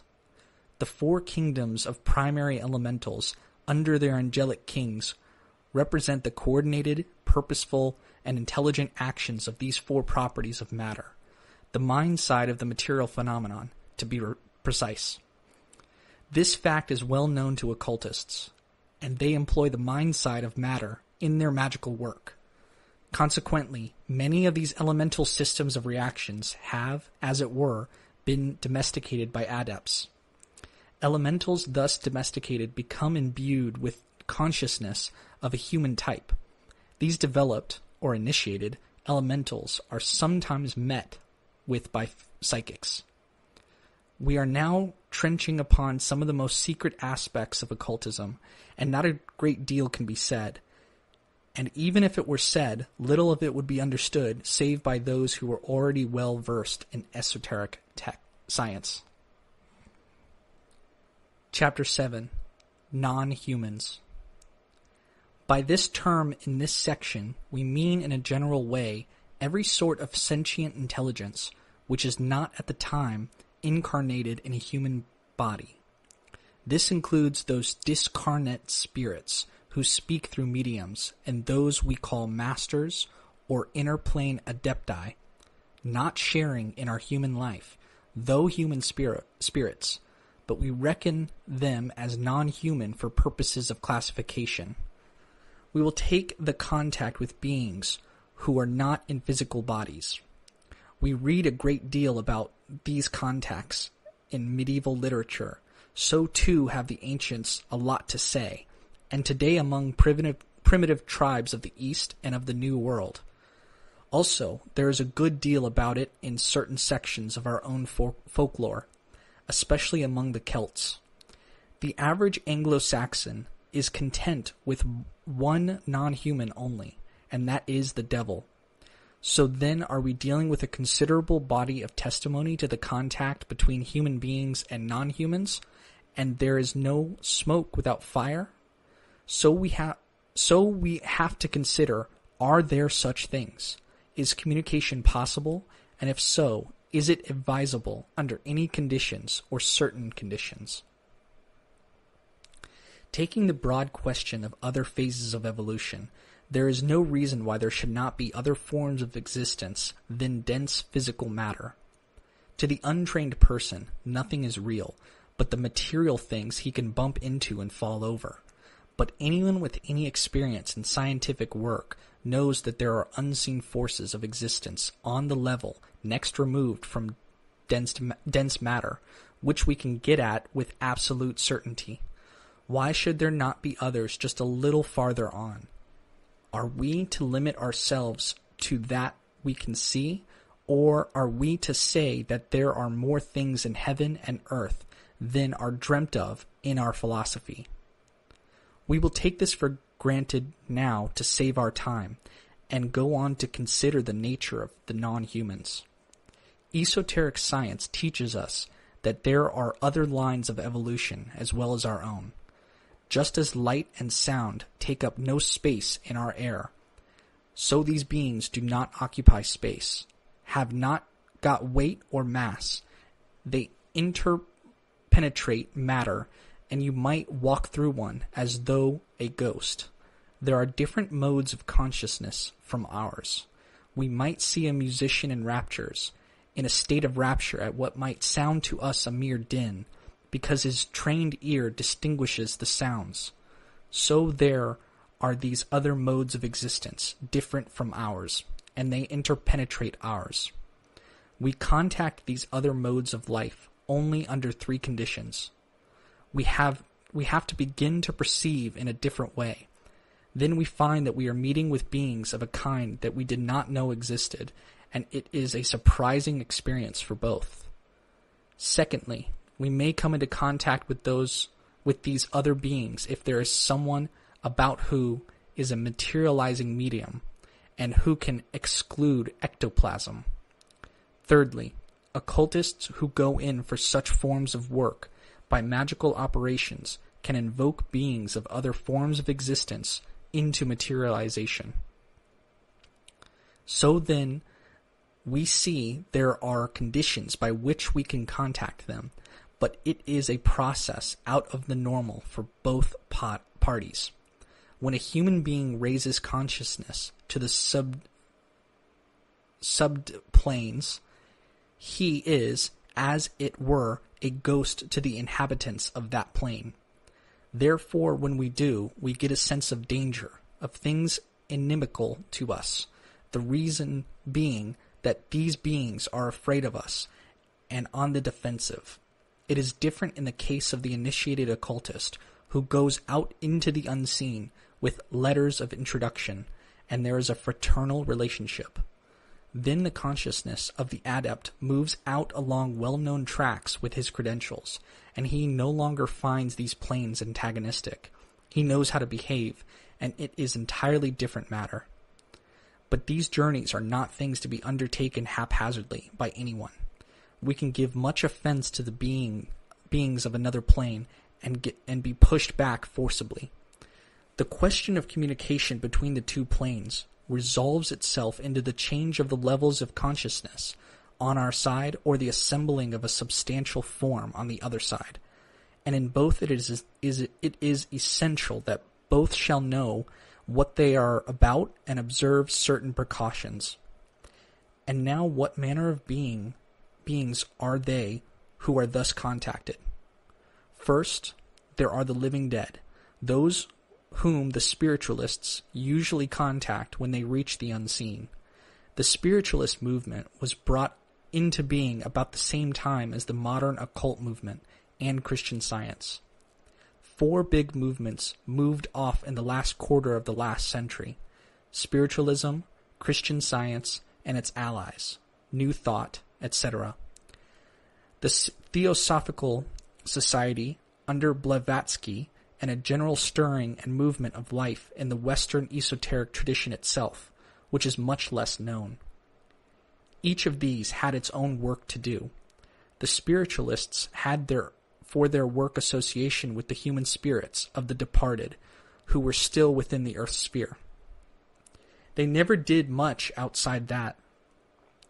Just as the occultist working on his contacts up and down a given ray comes into touch with beings of his ray, so the spiritualists work, and so their experience is limited. These beings are human personalities. Most of you know that the human personality endures for a while after the death of the body, going through a purgatorial experience, from there to a lower heaven to rest in a pleasant dream, then to the second death, the death of the personality of this incarnation, including the lower mind, which is disintegrated. From this the higher self is set free and passes some time in the higher heaven before reincarnating the type that the spiritualist needs uh, meets with our beings in the lower heaven. I do not think that there is any signs uh, sign of beings who are functioning in the individuality. It is the function of the spiritualist movement to work with beings on these levels because it, its work was to break down the barrier between the living and the dead. The occultist, on the other hand, is forbidden by his conditions to have any dealings with the living dead. He opens up his contact with those of the humankind who have passed beyond the reincarnating phase of evolution, and also with some other different forms of existence, which are very interesting. So then, the occultist finds that when he is able to function in, in his higher consciousness, he is coming across beings of quite different kinds from himself. These are classified. We may take them as being the elemental beings. They are quite different in kind from humanity. They have no divine spark. They will be disintegrated at the end of this evolution and cease to exist until they can develop within themselves a spiritual nature. These beings come into existence thus. Whenever you get a series of constantly coordinating actions and reactions, you get what we call tracks in space, which remain after the activities which gave rise to them have ceased. We can compare them to the swirling of the water in a stirred up basin. After the stirring has ceased, the swirls in the water continue for some time. These throughout throughout nature are the basis of any beings, and on this basis develop the possibilities of response to environment and memory. Thus, we gradually get the difficult concept of the building up of consciousness out of natural phenomenon. The building spirits, who thus operated in the first place the great natural phenomena when they were being created, are angelic beings. They withdraw up the planes and leave the elementary, elementary elementary consciousness to carry on with the stereotyped mode of reaction. These remain and develop, and we call them die creations of the created. These lives called into existence not by God, but by God's creatures, who have no power to endure them, endow them with immortal life. When you get a system in nature which, which reacts as a unit, a mountain, a dell, a wood, you have the same system of coordinated stresses in the background, and thus come the, the little nature spirits, or devas, or gods of localities, which our ancestors worshipped. The same idea is at the back of different species of animals. If you have any knowledge of biology, you will know that there are very simple beings, uni- unicellular, and the generalized consciousness of those may not have a single life under its control, but many there are certain periods in its existence where there is when there is only a green patch on some damp surface, and this breaks up into innumerable little things. Those live for a time in free swimming form. Then they all gather together and form a large hom- homogeneous, homogeneous mass called plasmodium. What becomes of the consciousness as a unit in its free moving form? Or take bees. The hive is the unit there and not the bee. The unit might be called the bee angel. We get these different different curious units of consciousness evolved. Next, what is the logical outcome? Higher, more developed modes of nature na- nature forces. There is a very curious occult doctrine that these beings, becoming more and more developed and coming more to resemble the types of consciousness with which we are familiar, become conscious because they are lost souls, unless they can develop a spiritual nature. They seek as initiators those who have got a spiritual nature. The initiated man is the initiator of the elemental being. Humans take them as pupils and help them to develop their sparks of individual consciousness. In return for this service, the elemental beings perform services for the magician we read of these as familiar spirits. The writers on these matters were usually the priests, and being charged by the Inquisition to inquire into it, were usually a little prejudiced. But there is a certain relationship between people who understand the inner planes and beings of another order. And there is also an involuntary relationship very often between these people who are naturally psychic without training and quite spontaneous, spontaneously come into touch with other beings. The effect of this is seldom wholesome. It has the effect of unbalancing them. It is a too intensely stimulating contact. Elementals are of a pure type, composed of one element only, whichever that may be, whereas, whereas a human being is a mixture of all. So they are too potent a stimulus to that one element in our own being, which is very apt to throw a human being off his balance, lure him to follow it, and abandon his human ways. He is taken by the fairies, or what we should call a pathology. You can see the thought control withdrawing from the physical vehicle. They hear the call of the fairies, and only an empty shell remains. Insane.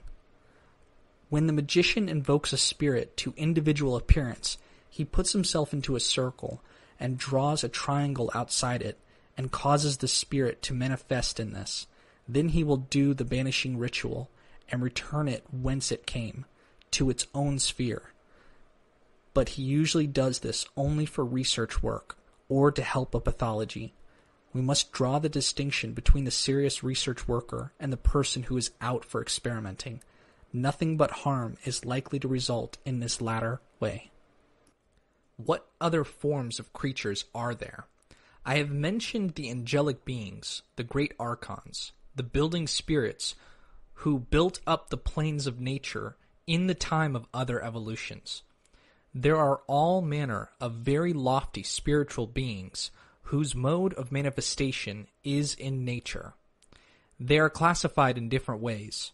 We talk about the heathen who worship many gods, but in every religion there is always the being behind the gods, the father of the gods, the oversoul, a very abstract con- conception of a being.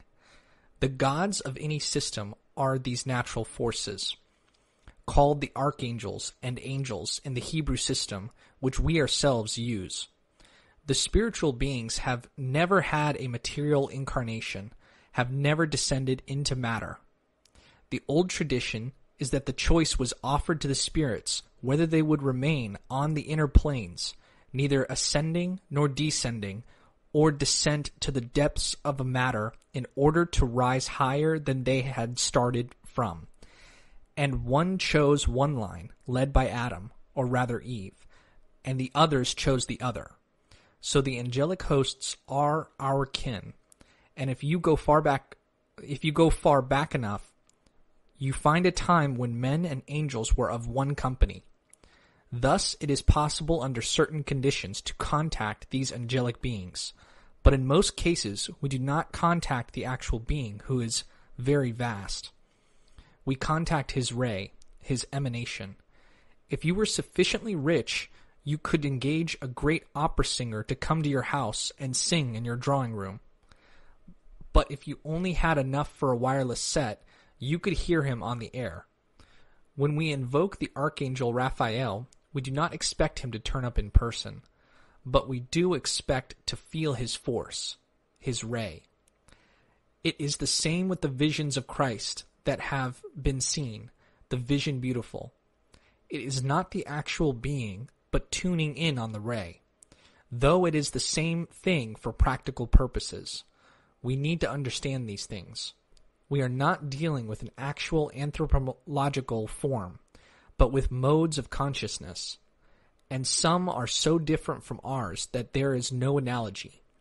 We must not think of them all as fairy figures.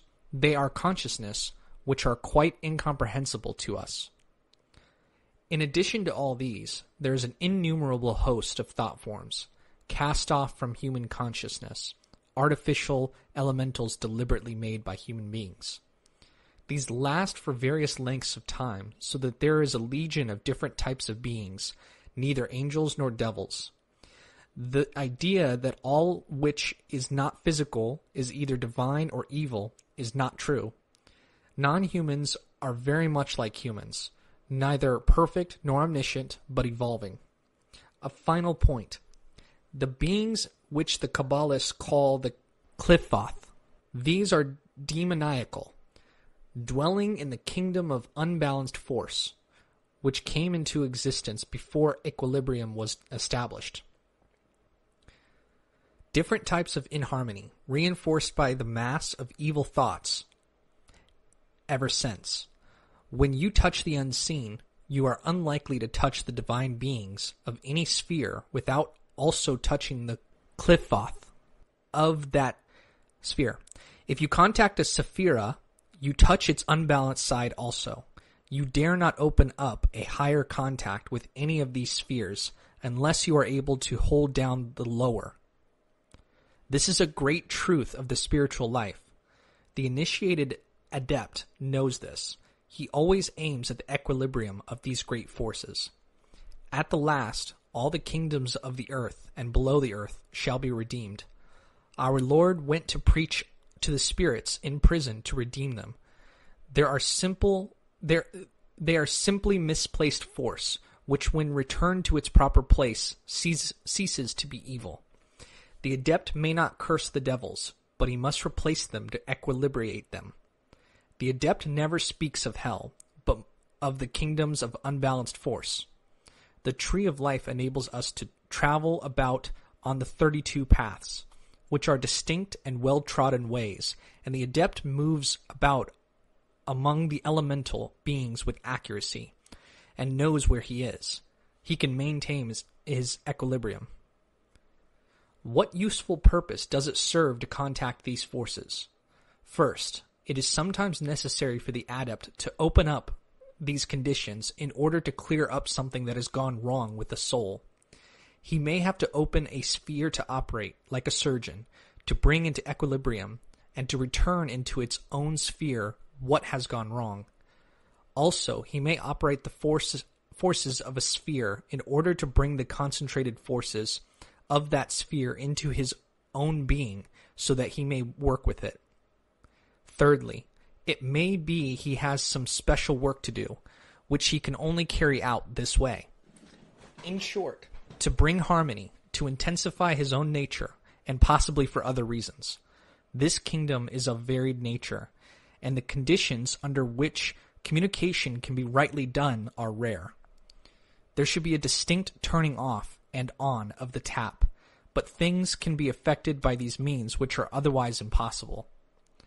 Haphazard communication is more or less of a crime, and the consequences can be disastrous. Then why not keep this knowledge secret? Because there is so much of it that is better, probably, to see what is going on. If you bump into things in the dark, it is better to have a light to see what is happening and to bring control. These forces exist. They can be dealt with. It is well to know this, as there is already so much knowledge about. Chapter 8 Black Magic Black magic is not a thing that any normal person would study or, per- or pursue for its own sake, but it is hardly possible and hardly advisable to study the technical methods of occultism without giving consideration to the pathologies to which they are liable.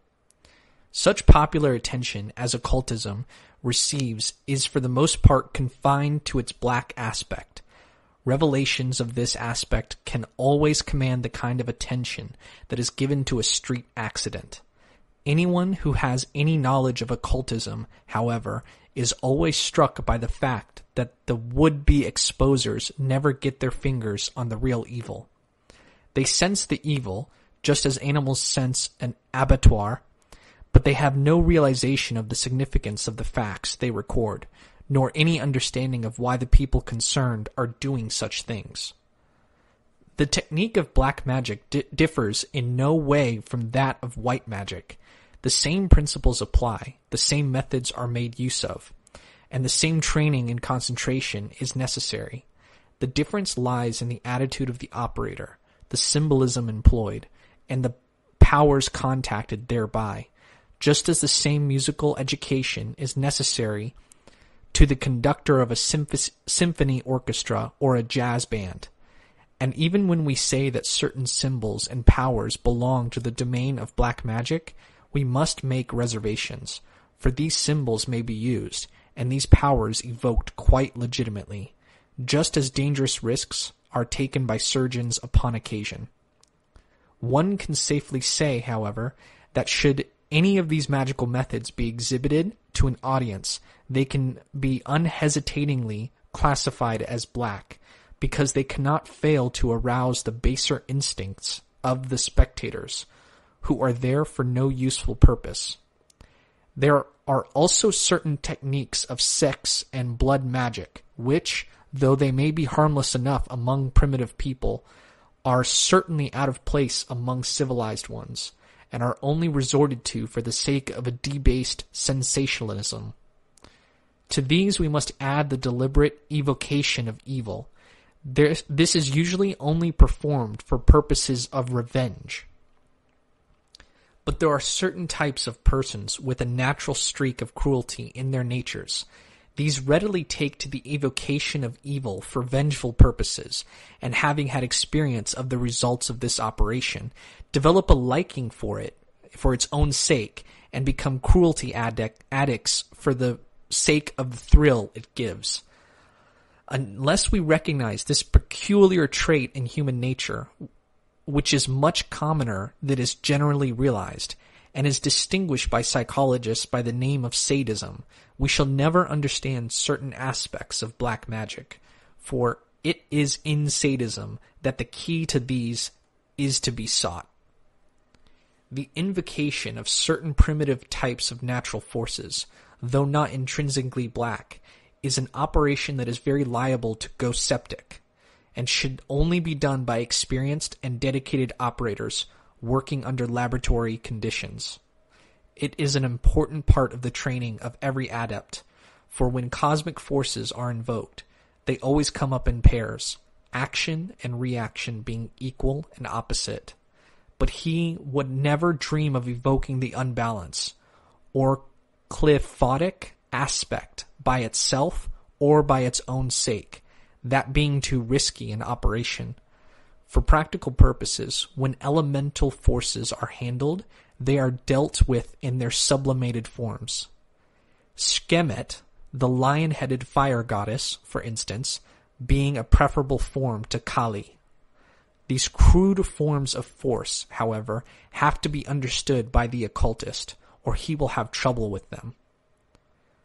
Anybody who makes a serious study of occultism has got to understand these things, and people are not to be branded as black because they study them. In fact, they would be very superficial students if they did not.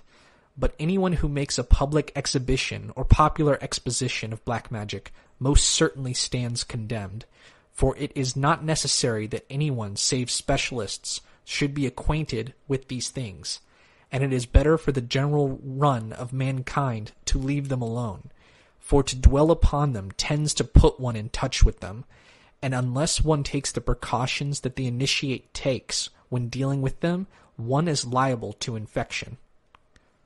One cannot divide magic into white and black by a clear-cut dividing line. There is what may be described as gray magic, which people embark upon out of ignorance or love of sensation. One must therefore recognize the gray variety, of which there is a great deal, more in the world than either the white or the black. But we must also say this of it, that while white is white, it is only a question of degree for grade, for gray to shade into black.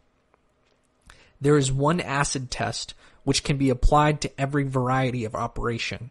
In white magic, the operation is always designed and carried out with due regard to cosmic law. Any operation which takes no account of cosmic law but goes its own way, regardless of what the spiritual principles of the matter may be, can be classified as gray. And any operation which deliberately defies cosmic law can be classified as black. Let us make this clear by examples.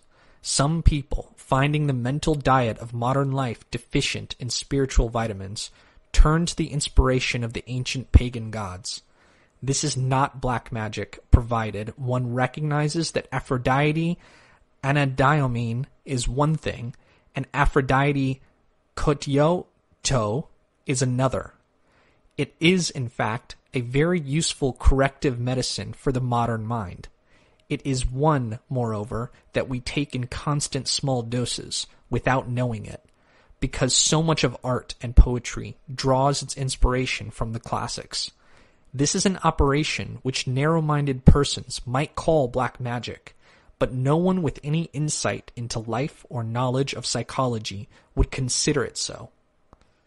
On the other hand, indiscriminate dabbling in seances, fortune-telling, psychism, and such like is classified as gray under our definition, because it takes no account of anything save personal desires and never asks itself what may be the spiritual quality of what it is doing.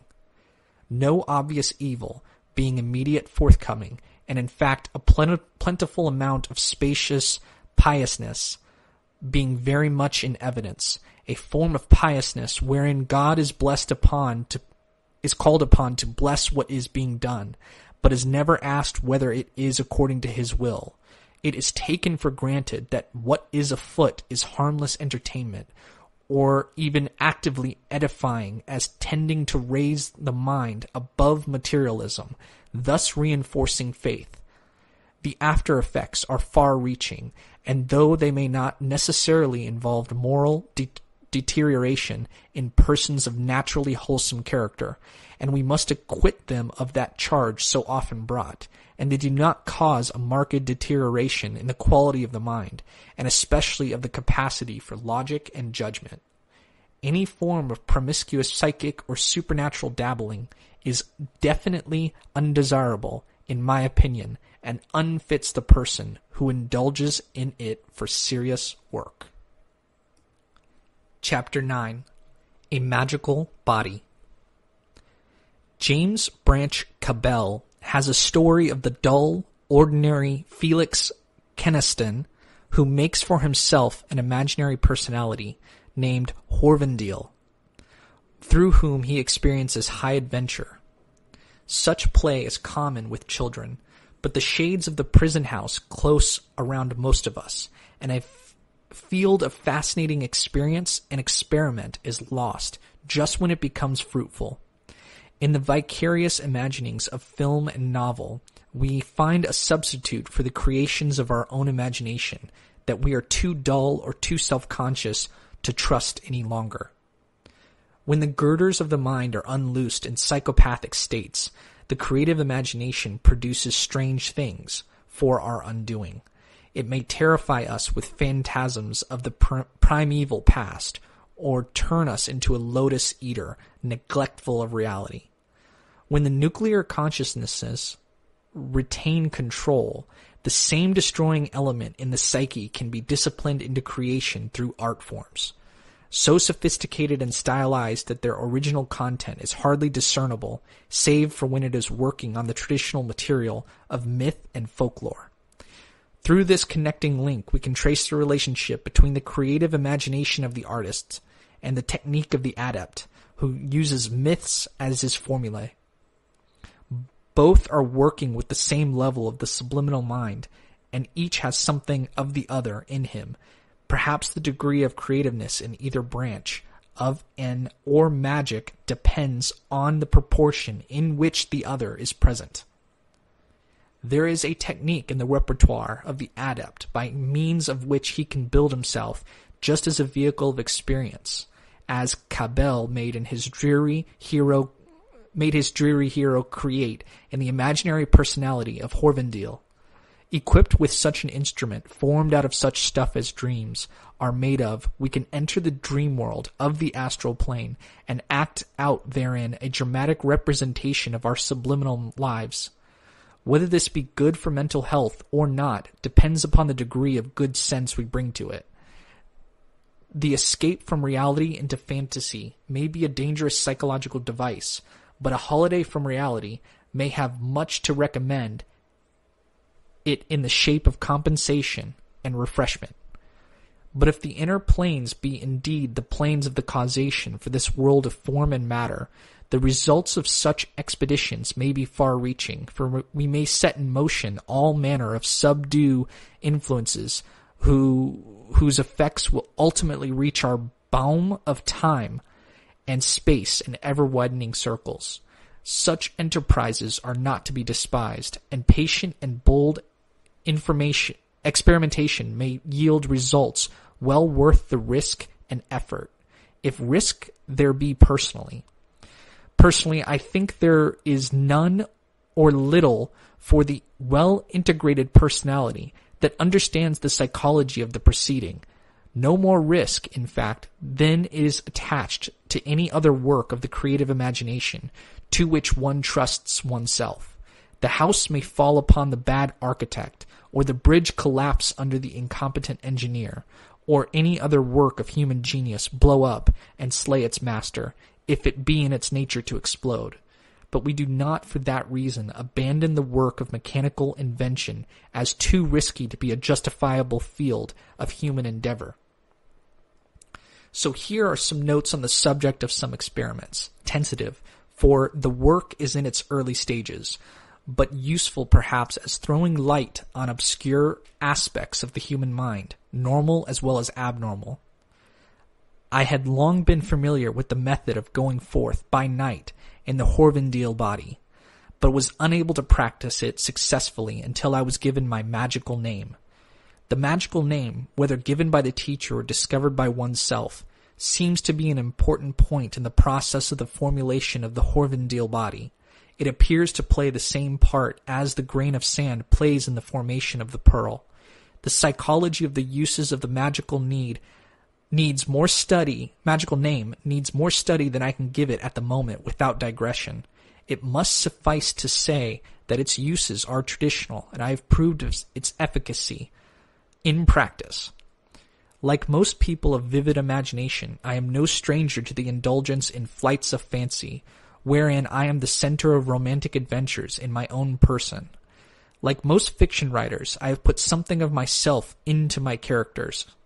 But the creation of a magical personality is a different matter, for if it is to be of any value, it must be in every way greater than oneself, and how can the pan be more than the whole that gives rise to it?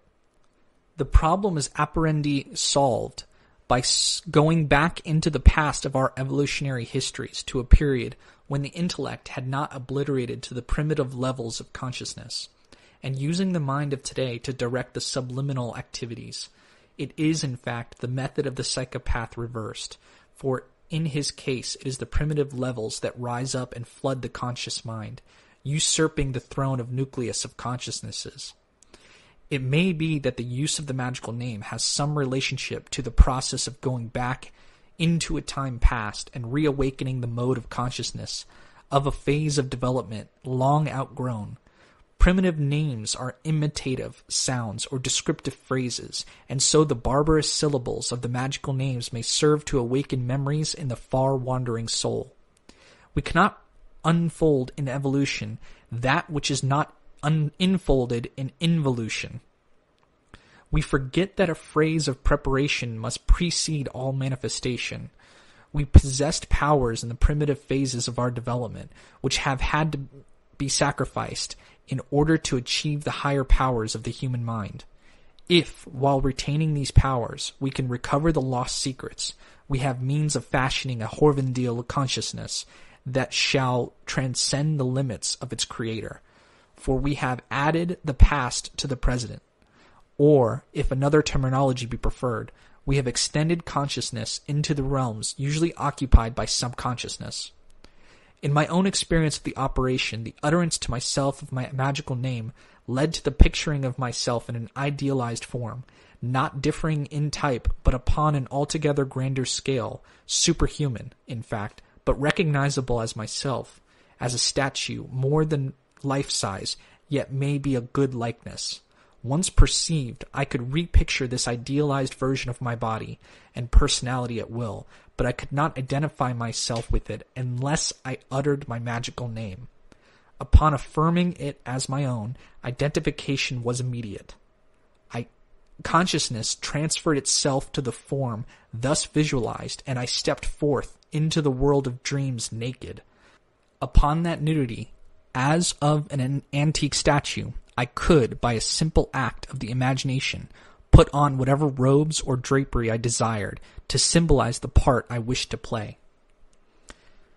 The subconscious level of the mind was built up while humanity was up- upon the astral plane, while coming down to the invol- involutionary arc into immersion in matter, and the subconscious mind still retains its astral methods of mentation, which are in terms of emotional values and pictorial images.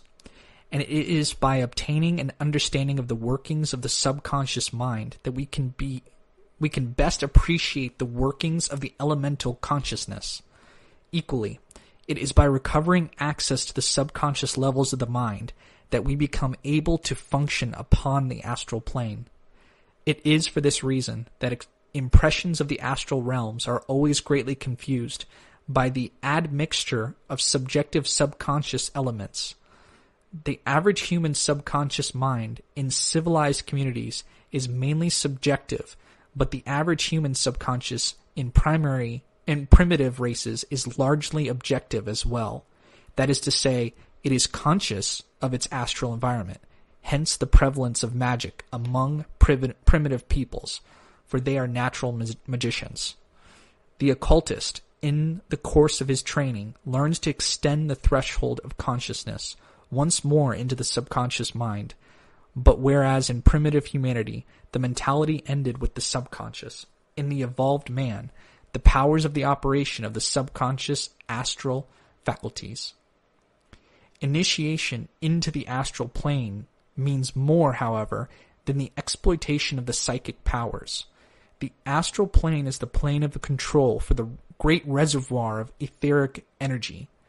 And when we obtain the right of entry upon the astral plane, we also obtain access to and control of the etheric subplanes of the physical plane.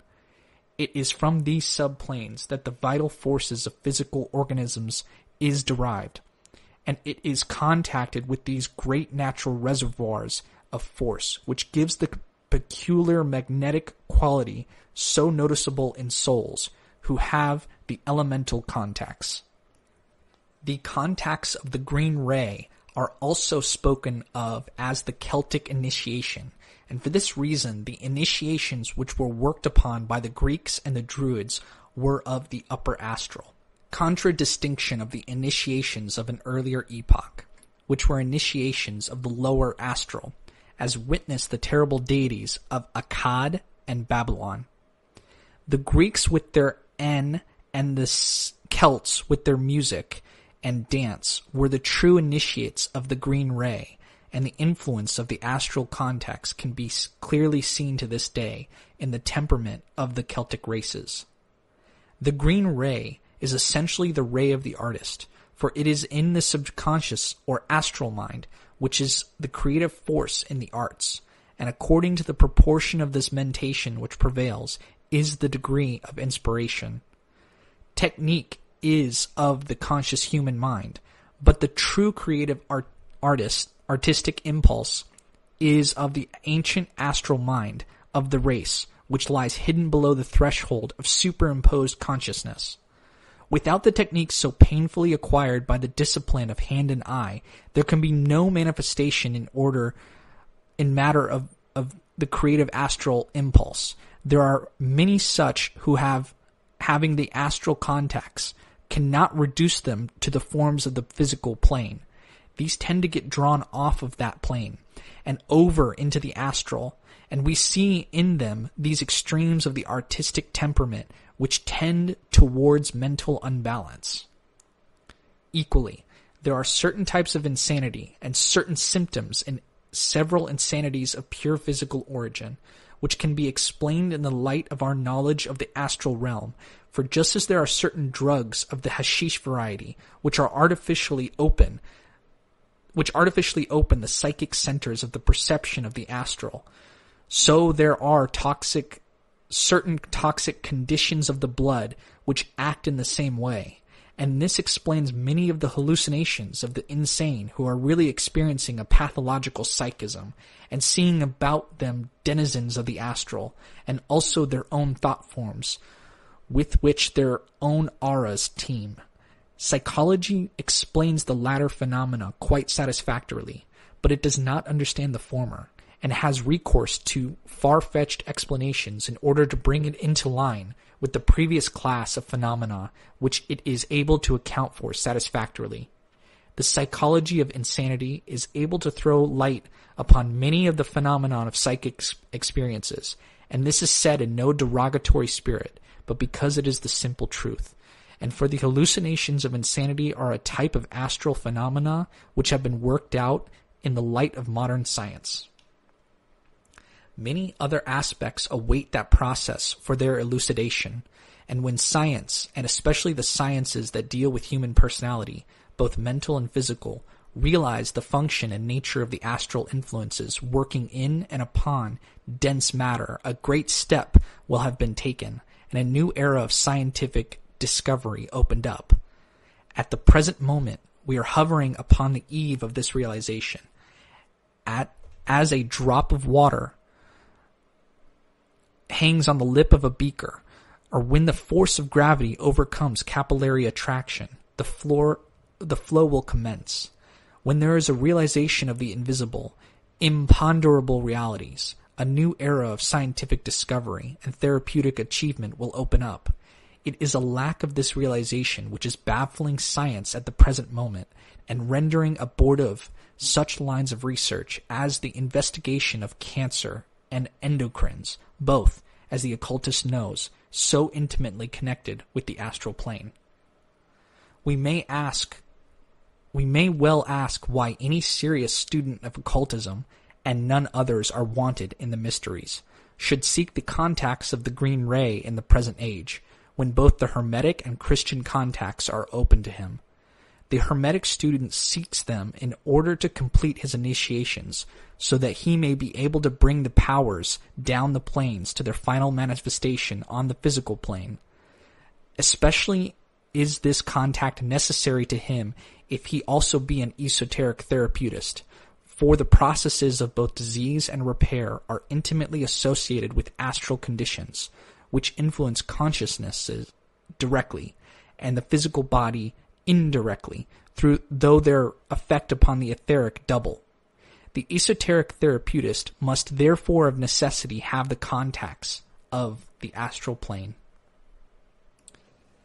Chapter 10 The Occult Field Today The publication of two very important books on magic, The Tree of Life by Israel Reg- Regardie and Magic by the Master Therion Aleister, Aleister Crowley, makes it advisable for the fraternity of the inner light to divine its position on in these matters.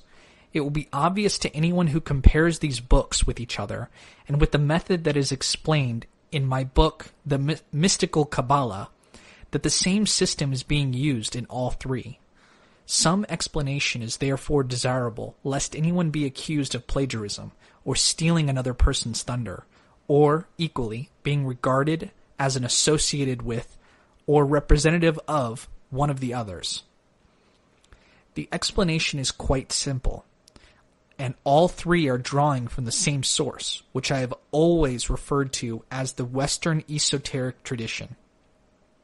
This tradition was reorganized and made available for English students by the late S. L. MacGregor Mathers, into whose hands came a number of cipher MSS, and who had the occult knowledge necessary for, tho- for their use.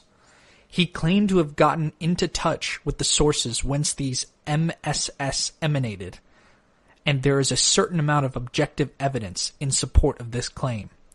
But the whole subject is wrapped in mystery by the extreme secrecy he observed, and by the drastic initiation oaths demanded of all to whom he taught what he had learnt, and even in these he was extremely uncommunicative on many vital points. But be that as it may, and whether he came by his system as he said he did, or well, whether he made it up out of his own head, in actual practice it worked as high as highly efficient and satisfactory system of practical occultism and a way of initiation. The proof of the pudding is in the eating, at, in occult affairs. High sounding titles and limitless claims, such as certain American organizations have accustomed us to in these matters, carry no weight at all with those who have any knowledge of the subject and its history or any practical experience of its working. It is one of the points in favor of the genuous, genuineness of MacGregor Mathers' claims that he wrapped himself in the most impenetrable secrecy and could not be tempted out from his shell even in self-defense. The evidence concerning the sources for which MacGregor Mathers obtained his MSS for is, so far as I have been able to sift it, inconclusive and conflicting, and a good deal has been said about those MSS which cannot be substantiated. But that those MSS exist, I can vouch for as a fact, because I know reliable people who have actually seen them. But as they were in cipher, my informants were not much the wiser, nor could they say how much MacGregor Mathers got out of them, and how much he added on in his original work. To get accurate information on the subject was not easy, especially as I came on the seat scene late in the day after MacGregor Mathers' death. And it was like it was rather like trying to obtain evidence concerning the nature of the cloth from which they made the robes of the king with no clothes on. Everybody pledged their immortal souls as to the truth of the legends that were current in the order that he founded, accepting them uncritically as they circulated by word of mouth and gained authority from much repetition. So far as I could see from what I could learn of the matter and what I saw of the people concerned, MacGregor Mathers had a wide range of rare but not very accurate or profound knowledge in which professional scholars were able to pick holes. But in him were the roots of the matter, for he saw the mystical and philosophical significance behind what he had reaped in the queer fields of alchemy, the Kabbalah, and Egyptology. To him came by the curious concatenation of invisible forces that are called chance, the famous cipher MSS, and in them he found the formulae from which formed the basis of his rituals. These gave him the keys to the queer mass of crazy, metaphysical ironmongery, which he had already discovered to be a lock. He inserted the psychic keys in the metaphysical lock, and lo, it turned, and the door of the supernormal consciousness was flung open. How much of the ceremonies were given verbatim in the cipher MSS, and how much of it was contrived by Mathers out of his knowledge, with the aid of the keys with which the MSS supplied him, I do not know, but I am quite satisfied, from my experience of them, that the system he worked contained factors quite out of the ordinary, which were not the fruits of pure scholarship, however recondite. If MacGregor Mathers was the sole orig- original author of that system, then he was one of the world's greatest men. But from what I saw of his order, I do not think he was that. The effect of the ceremonies and methods taught by MacGregor Mathers was to produce the most remarkable psychic experiences and extensions of consciousness in those who had any psychic capacity at all. The methods and aim of these processes were intelligently taught in the higher grades in certain sections of this order, and it was possible for those so instructed to produce the results at will, and the effect of repeated experiments was cumulative. They obtained, in fact, by psychic methods the same results other people achieved by the use of such drugs as hashish and mescal, and without the disastrous after effects that result from loosening the girders of the mind by physical means. In the light of the experience thus gained, the ancient mysteries became comprehensible, and the possibilities of psychic work thus unfolded were simply limitless. Individual students varied enormously in their capacity to employ the means placed at their disposal. Some were merely futile. Some were dry as dust scholars, frightened out of their lives of obtaining any practical results from the formulae. And some became genuine adepts with the signs following. Among the latter was Aleister Crowley, who has written upon occultism under his own name and various pseudonyms, among other, the Master Therion, Frater P, Perdurabo, Perdurabo, and a varied assortment. Some ten years before I came in touch with Mather's organization, and there were wars and rumors of wars. The truth of the matter is hard to come by, and when both sides claim to be angels opposed by devils, it is probably a case of six of one and half a dozen of the other. Anyway, as a result of the quarrel, Crowley published the bulk of MacGregor Mather's secrets in his magazine, The Equinox, and Mathers cursed Crowley with bell, book, and candle. The order suffered severely during the First World War, and Mathers himself died in Paris from influenza during the epidemic. When I came in touch with his organization, it was manned mainly by widows and gray-bearded ancients, and did not appear to be a very promising field of occult endeavor. But I had had considerable experience of practical occultism before I made its acquaintance, and I immediately recognized power of an, a degree and kind that I had never met before, and had not the slightest doubt but I was on the trail of the genuine tradition, despite its inadequate exposition. For some reasons best known to themselves, the elucidations and interpretations had been withdrawn into the innermost inner by the secret chiefs, who simply sat upon them like broody hens on china eggs. The organization had broken up into a different number of disjecta membra, and everybody regarded everybody else with sus- suspicion as not being of the true orthodoxy. I, for my part, took no part in the human pettiness of the mundane plane, but worked at in the system, and the system yielded fruits. Other people, I think, must have done the same. Among them, Mr. Regardie.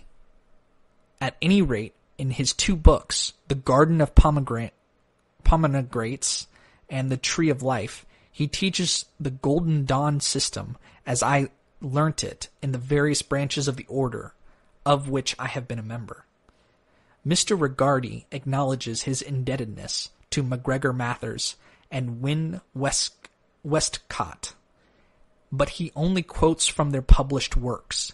He quotes so extensively from Crowley, especially from his four-volume work, Magic, in which it is reprinted the best of the Equinox articles and some additional material, and his viewpoint is so exactly expresses the best aspects of Crowley's teaching that I conclude that Crowley's order, the AA, not Mathers' GD, is his source. The AA, however, drew its magical system from the GD. Therefore, all practical purposes, for all practical purposes, Regardie is using the Mathers system, just as I am myself. Regardie's two books I unhesitatingly recommend. The Tree of Life, in particular, is a magnificent piece of work, and in my opinion the best book on magic that has ever been published. Crowley's Magic, of which Regardie makes much use and to which he acknowledges his indebtedness, is also very valuable to the student, but only the advanced student could use it with much profit. It is very uneven in its literary quality, contains mu- much grossness and ribaldry, like all Crowley's writings, and much of it is deliberately obscure and elusive. The formulae, too, on which he works would be considered a adverse and evil by occultists accustomed to the Kabbalistic tradition, for he uses eleven instead of ten as the basis of his batteries of knocks in the magical ceremonies, and eleven is the number of the Qliphoth, or evil Sephiroth, a battery of 11, therefore, is an invocation of the Qliphoth. No hint is given of this in the text, and it, it is an ugly trap for the unwary student. Crowley also gives the north as the holy point towards which the operator turns to invoke, instead of the east, whence light arises, as is the class- classical practice. Now the North is called the place of the greatest symbolic darkness, and it is only the holy point of one sect, the Yezidis, or devil worshippers. It is obvious, therefore, that the student who is rash enough to experiment with a battery of 11, knocks, and an invocation to the north is not going to contact what most people would consider to be desirable forces. Crowley has, however, a remarkable insight into the philosophy of occultism, and we, when he expounds this, he is most illuminating writer, and I, for one, would not wish to minimize my debt to his writings. His practical methods, however, are another matter, and are, in my opinion, too dangerous to meddle with in any shape or form. If I read the signs all right, MacGregor Mathers, Crowley, Regardie, and myself are all working on the same formula. The formula contained in the mysterious cipher MSS discovered by Mathers. Regardie draws from Mathers via Crowley. I imagine, however, that he is alive to the alterations in the formulae that Crowley introduced, for they do not appear in his books, and the formulae who he gives are the ones familiar to me in the Golden Dawn workings. These I have found to be sound and effectual. Crowley's version of them I consider to be averse and destructive, though I cannot speak from personal experience on the subject, as I have never had any dealings with his method. I have talked with a number of people who have, however, and there seems to be no two opinions on this point after a sufficient time has elapsed to allow end results to be seen. But while I entirely disassociate myself from Crowley's methods, I would not wish to minimize his contribution to occult literature, which is of the highest value. From his books, the advanced student who knows how to read between the lines and refine the gold from the dross can learn an immense amount, and if our interest is limited to an author's writings, we need not concern ourselves with his personal character or private life. One of the most difficult problems in occultism today concerns the question of authority. What constitutes a genuine initiation? In what, in what does a genuine occult order consist? Who and where are the masters? We need to answer all of these questions unequivocally and to, define standards of judgment before we can put one foot before the other on the path. I do not propose in these pages to discuss these questions in detail, for I have done so elsewhere, but I shall make a defi- definite attempt to define a standard of judgment in occult matters that shall enable an opinion to be formed in specific cases. Authority, which is wrapped in mystery, is a thing that is singularly liable to abuse, and it is difficult to see how, in the absence of persecution, it can have any justification. When occultism had to be pursued at the risk of life and liberty, it was a different matter. But why, in the name of common sense, should any occult organization borrow, burrow underground at the present day? Individuals may find it wise to conceal their interest for professional or social reasons, but it is difficult to see why any professed occult teacher should make a secret of his doings, save for the reason that human nature loves a mystery and a modicum of theatr- theatricality enhances his prestige. But the dedicated initiator, and none other is worthy, worthy of consideration, looks upon esoteric science as a philosophy and a religion, and has no use for such banalities, leaving them to the quack, who finds in mystery mongering an effectual form of publicity. We may take a sponge then and wipe clean off the slate any individual or organi- organization which cannot or will not put the cards on the table and reveal its antecedents. It is unfor- an unfortunate thing that popular taste has been fed on occult marvels, to such an extent that the wholesome fare of actual fact has become repugnant to it. Unless the spiritual ancestry of an order or an initiator is remote both in time and space, there is no prestige. The charlatan takes advantage of this and reaps the harvest of claims which it is impossible for us to examine, as it is for him to substantiate. Whatever it may be in the East, the lines of contact on the physical plane in the West have been so utterly broken and destroyed with historical time that they have to be pieced together like ancient pottery. Experience proves, however, that when a certain amount of piercing has been done and the pattern appears, it is possible for the psychic to pick up on the inner plane contacts and reforge the link. This is what is actually done in the modern mysteries.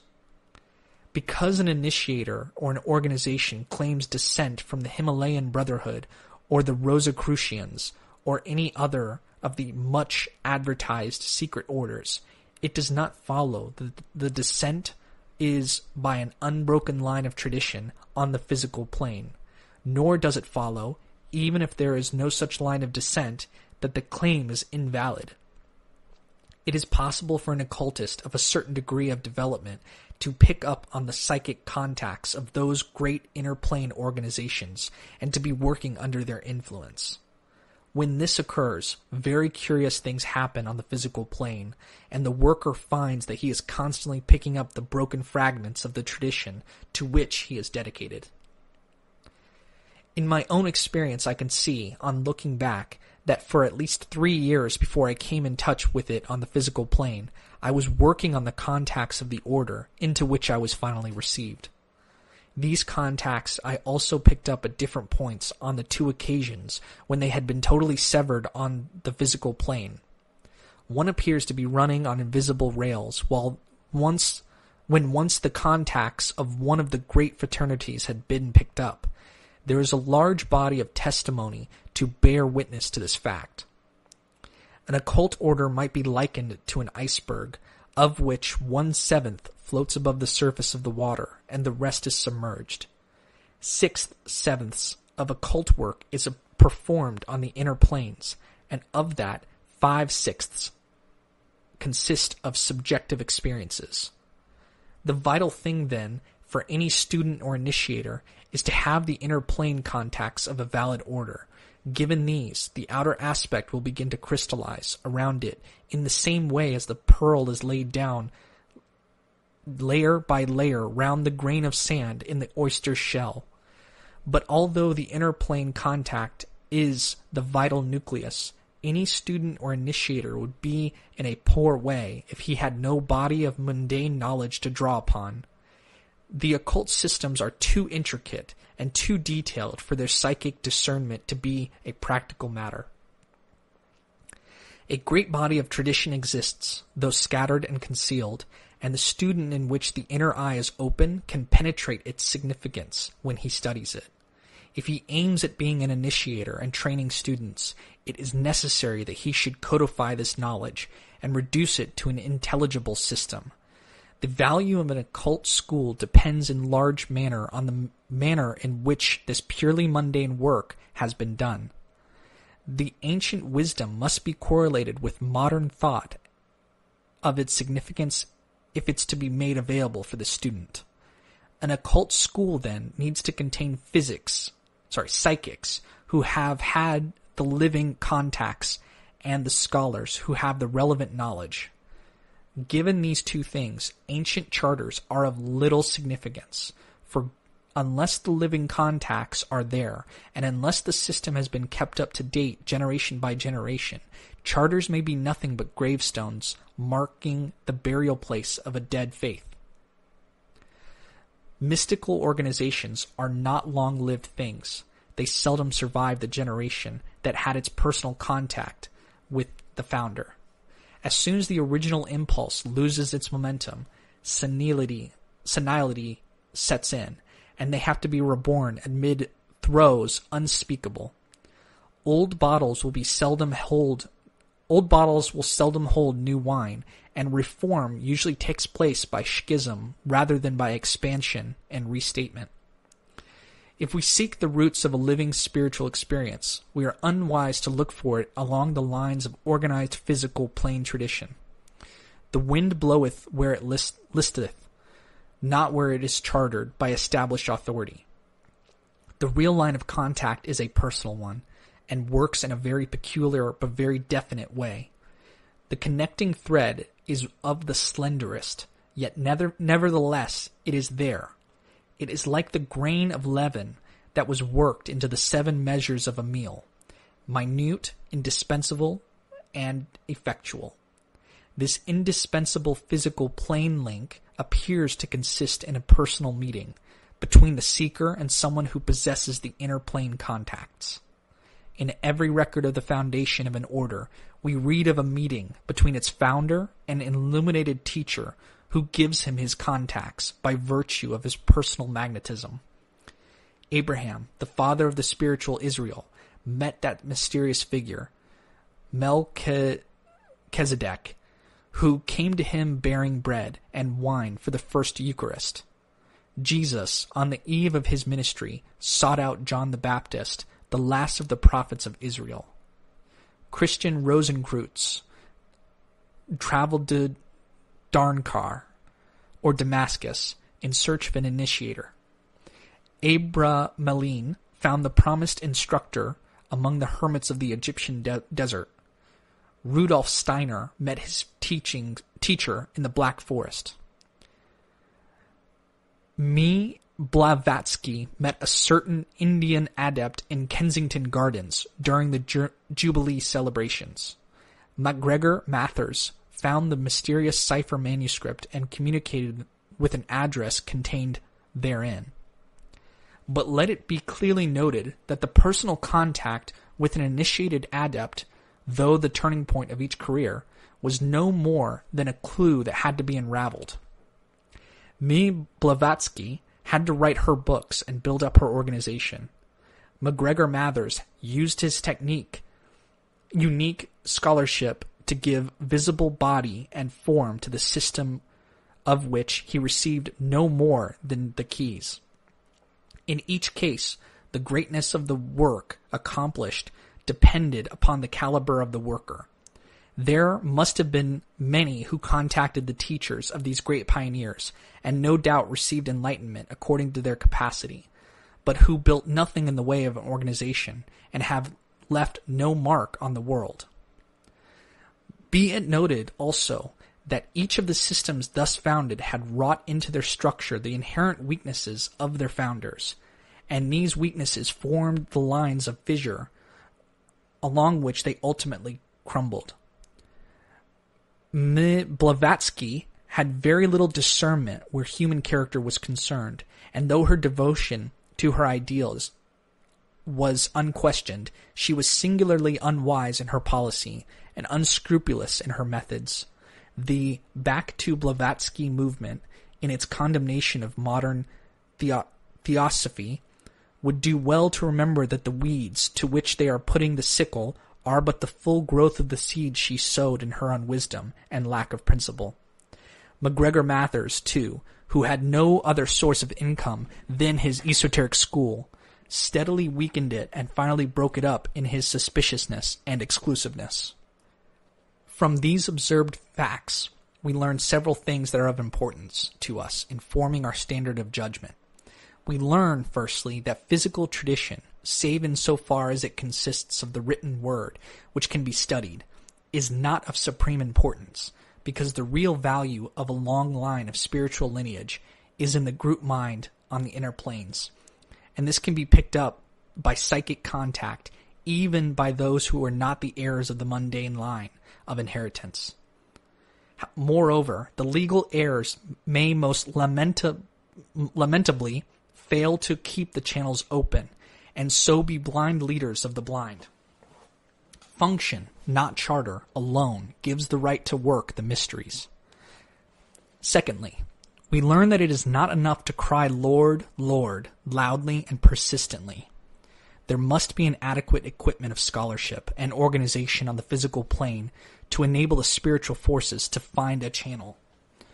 It has been truly said that the power of endurance of a faith depends entirely upon its literature. All the great faiths have their nucleus a book, a Bible, a Quran, or the Upanishads. Whatever spiritual teacher relies upon oral teaching leaves no permanent record behind him. There must be a book, and a mystical or holy book, which speaks not to reason and intelligence, but to intuition and faith. The specific statements of the neo theosophical literature of the Besant Leadbeater school which attempt to enlighten and convince the conscious mind, are not the center round which the movement found by Madame Blavatsky is rallying its shattered forces. It is the secret doctrine, which is the sacred book that will hold the movement together long after the lives of Alcyone have been mercifully forgotten. There must be a book written under the influence of a powerful spiritual inspiration, which forms the permanent nucleus of any movement that is is to survive its founder. Such a book exalts the consciousness of those who read it, read it, and puts them in psychic touch with the sources of whence the inspiration came. They are then able to work independently. People are never satisfied to be spoon fed accordingly, indefinitely. And unless a system is able to give them these living contacts, it will fail to hold any but the young souls, and of such a movement cannot be built. It will be interesting to see whether the mass of Rudolf Steiner's writings will afford such a book for his masses. I am inclined to doubt whether they are quite of the caliber MacGregor Mathers left behind him in the superb rituals of the Golden Dawn. And these, with their massive symbolism and, mag- and magical effectualness, form an inexhaustible mine of inspiration to the initiates of his tradition, which in consequence rekindles its fire wherever there are eyes to see. We have an inspirational nucleus in the cosmic doctrine. We are we also connect up with the Golden Dawn contacts. It has been our endeavor from the first to make our system self-acting and independent of personal teaching. At the present moment, it is some, somewhat like an arterial road in the course of construction. There are long stretches of broad highway, and there are bottlenecks and narrow bridges where construction work is going on. We believe, however, that we have the necessary nucleus of permanency in our system, and that it will survive the generation that saw its beginning, and permit of the expansion necessary to adapt it to the needs of future generations, because it depends on method rather than doctrine. Subversive elements in the occult movement. The occult movement has always been an object of suspicion to the powers that be, and not unreasonably so, for the secrecy in which it tries to shroud itself naturally attracts more attention than it avoids. Moreover, this very system of secrecy can conveniently be used as a cloak for other things than occultism, and it has been used so on many occasions in the past. The occultist, therefore, cannot reasonably resent the suspicion he has aroused, but should endeavor, by all means available to him, to clarify the situation, give proof of his bona fides, and to conduct his affairs, that they shall not afford a cover to evil doers. The influence at work in the world today range themselves under two banners, as they have always done. The choice of a banner is a matter of temperament. It has been truly said that everyone is a radical in his youth, and a diehard in his old age. We shall always find that the timid and those whom the God of this world has blessed are on the side of conservatism or the maintenance of the present state of affairs. We shall, we shall also find that the bolder spirits and those upon whom the prevailing social system presses hardly desire to bring about changes in the order of things, and sometimes radical changes. In both camps, we shall find moderate men and extremists, and this is also a matter of temperament. The two contrasting types of temperament have difficulty in understanding each other's viewpoint. And the more extreme examples la- usually lack the imagination to be able to conceive that there could be a reasonable viewpoint other than their own. Consequently, relations tend to become acrimonious, and each party endows the other with vices it does not possess, or is run by only a small and unrepresentative minority. Self-interest also exacerbates the situation, for any gains on the part of one party can only be at the expense of losses to the other. The two camps tend to become armed camps, with a perpetual guerrilla warfare going on between them that occasionally develops into a campaign on a vast scale.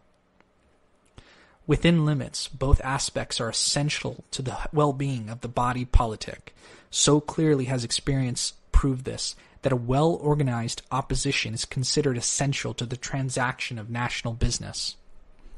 But although the normal polarity of viewpoint is a wholesome check on extremes of any kind, and a normal and inevitable development in this universe which mani- manifests it through pairs of opposites, there are to be found in both camps extreme viewpoints which pass all bounds of equilibrium, and, to use again the language of the Kabbalists, are cliffothlotic, because they tend towards chaos.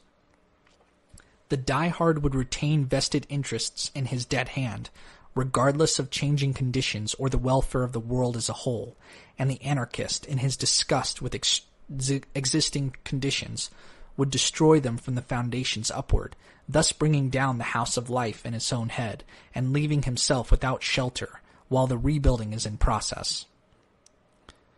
Reasonable men of both parties regard their own extremists with distrust, and are able to give both sympathy and respect to their opponents.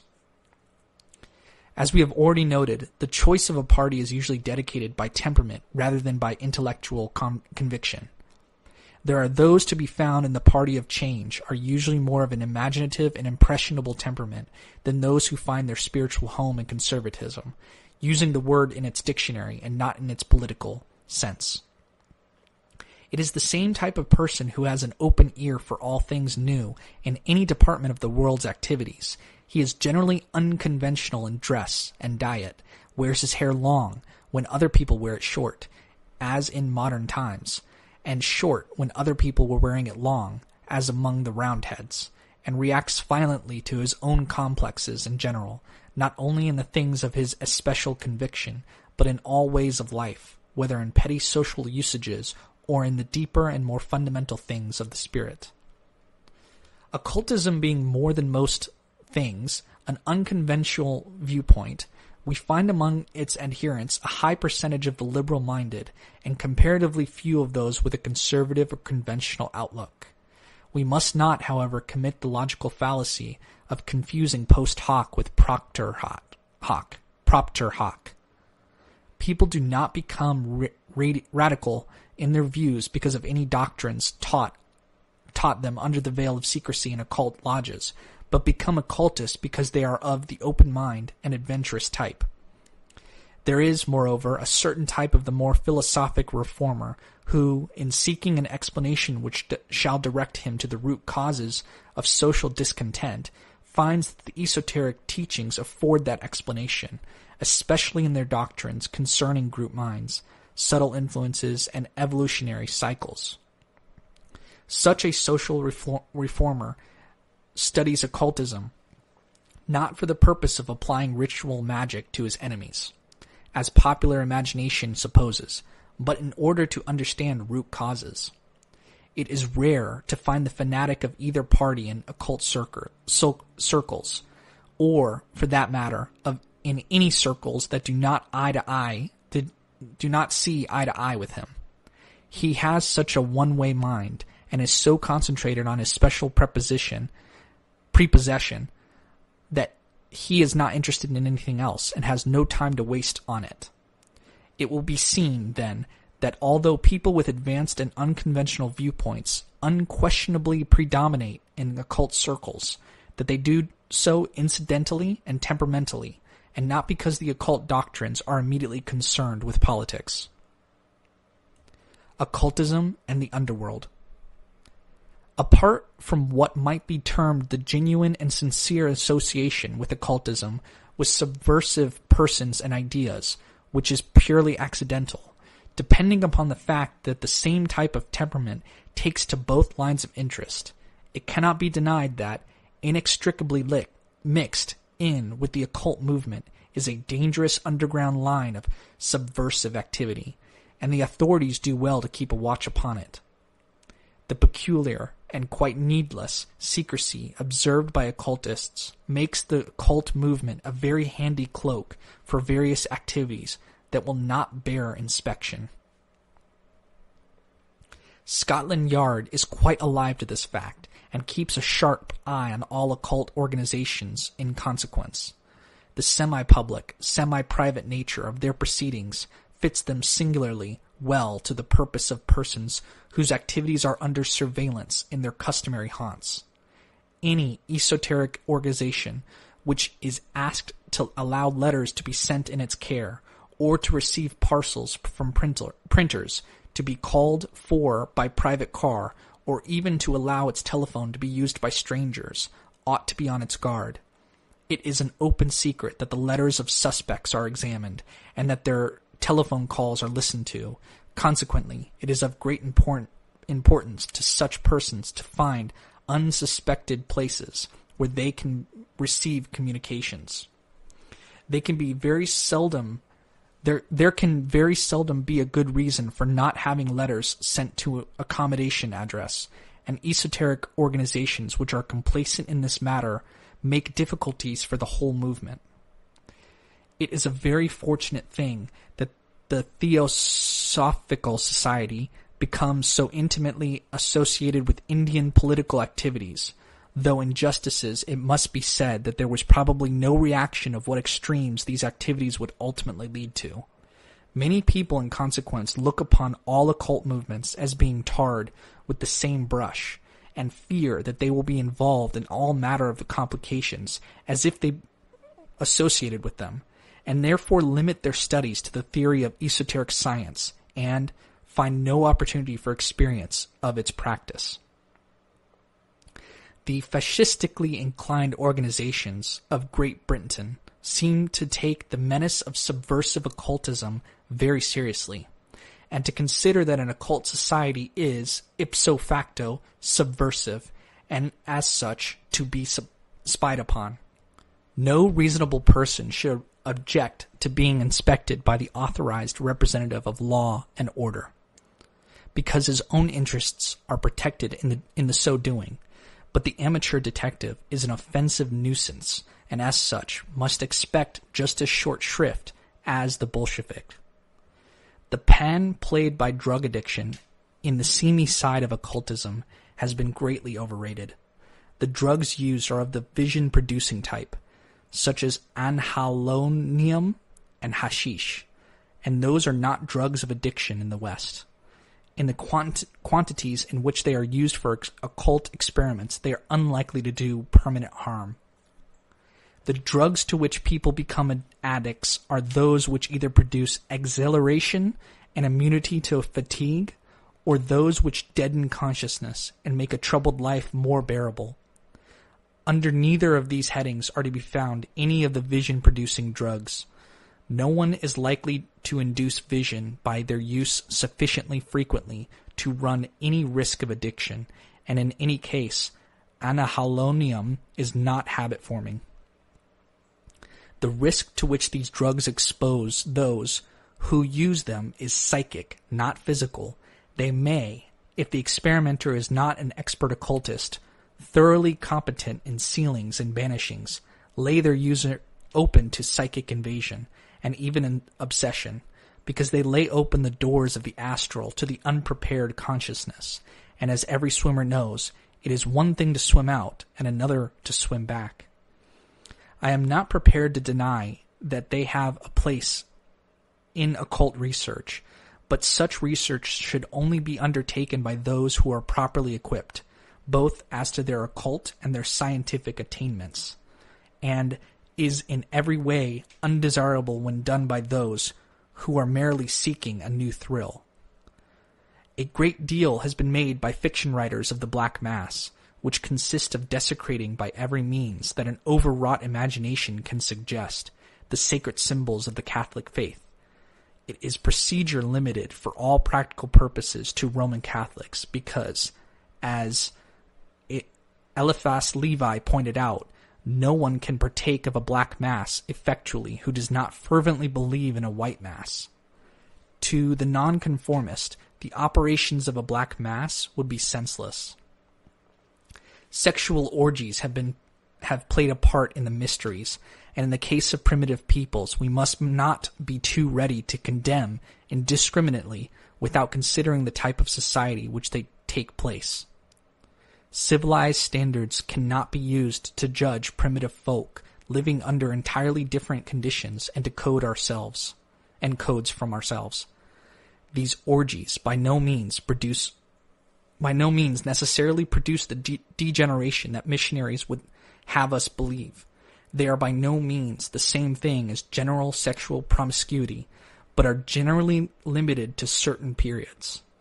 A people living under natural conditions in the most intimate touch with nature and competing with plant and animal for the possession of the soil has other social needs and consequently other moral standards than a highly organized, dense population whose problem is to feed itself from a limited area.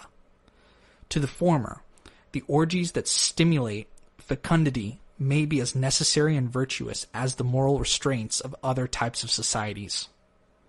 Nor must we make the mistake of thinking that because a race has either explicit or symbolic representations of the organs of reproduction among its sacred symbols, that it is necessary necessarily licentious, any more than the fact that a nun is admitted to a religious order with a marriage ceremony should lead us to suspect the same thing.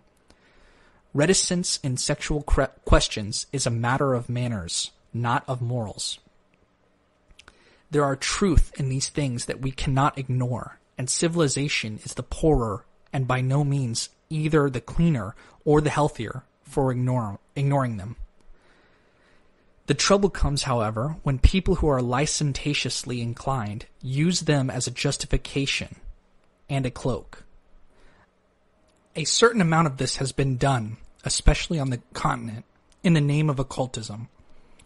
For the most part, however, the loose living in occult circles consists in a somewhat freely circulated assortment of soul mates and has no more occult significance than those similar conditions in artistic circles. No magical use is made of the relationships. The only occult touch that they have lies in the finding of justification for them in past lives, which no one except the persons concerned takes very seriously. Various occultists, at times, at different times, have attempted to put into practice the Freudian doctrines. No one with any insight into life can deny that there is a very large measure of truth in these doctrines and that theoretically much justification can be found for the doings of such initiators.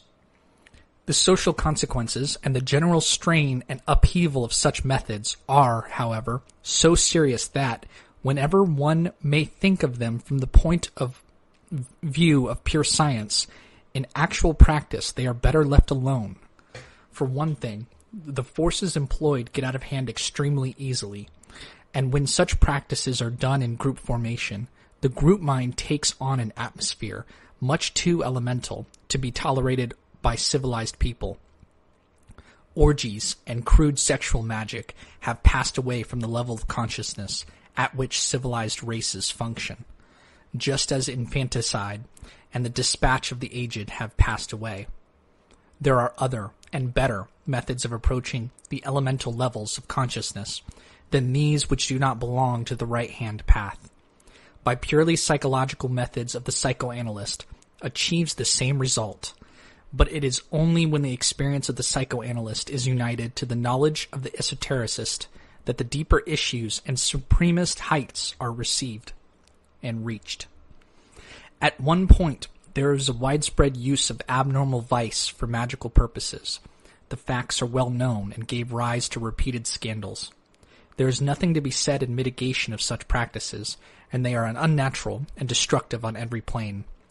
There is reason to believe, however, that this phase of black occultism had has had its day and is dying out. The principal exponent became hopelessly insane, and his example appears to have taught wisdom to such of his followers as had not learnt it from experience.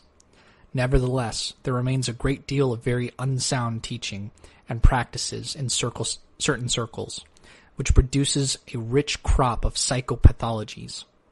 Group minds have become tainted, and sensitive individuals are liable to very unpleasant experiences, to much psychic disturbance, and even to actual illness through association with them.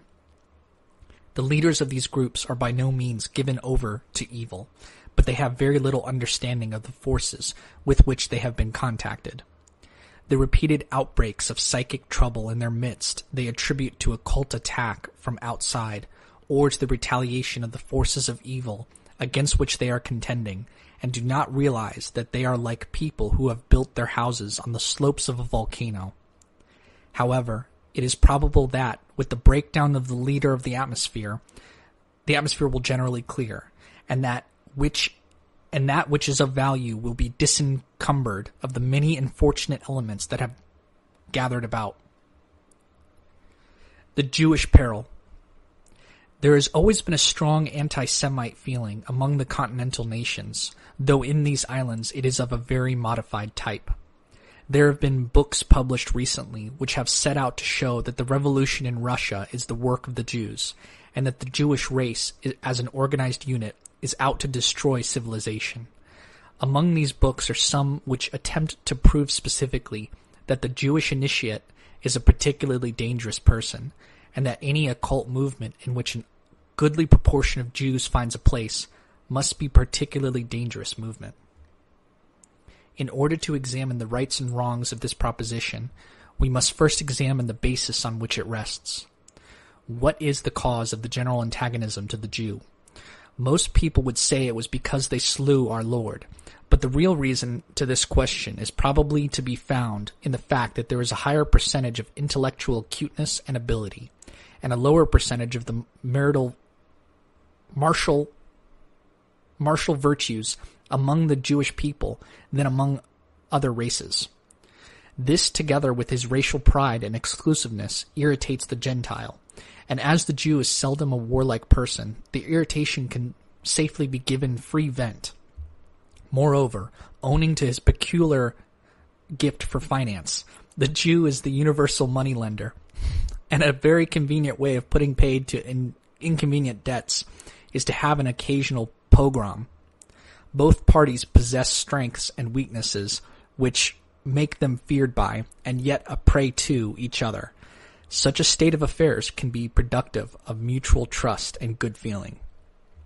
It is perfectly true that in Bolshevism, and for matter of that, in anarchical circles, anarchical circles in general, that there is a high percentage of Jews. The reason for this is not far to seek. The Jew is an exception, exception to the general rule that an idealist is never practical. When an idealistic movement wants an efficient organizer, it generally fails to find it among the Gentiles in its ranks. The Jews have been the backbone of the Bolshevist mu- movement for the simple reason that the Russian, left to himself, cannot organize and is hopeless, hopelessly impractical. Therefore, the Jewish element has come to the front. This is not peculiar to the Bolshevist movement. Peter the Great, upon reforming the Russian administration and founding the state upon modern lines, found it necessary to import German administrators for the simple reason that then, as now, the Russians could not organize or administer. The Jew comes to the front in revolutionary circles, as he does in literary and scientific cir- circles, owing to the high percentage of ability and driving power to be found in his race. Again, post hoc is not propter hoc. The Jew is attracted to the Western esoteric tradition because because it is based on the Kabbalah, the mystical wisdom of Israel, and because his intellect is of a type which takes kindly to esoteric philosophy. There appears to be a complete lack of the mystical element in Judaism today, save in relation to Jewish nationalism. For women, indeed, this is especially marked because for they have no place in the Jewish religion save as the carriers out of Levitical customs that apply to the home. This lack seems to be keenly felt by more thoughtful Jew who feels the need of the kind of mysticism that Christianity teaches but cannot accept the Christ.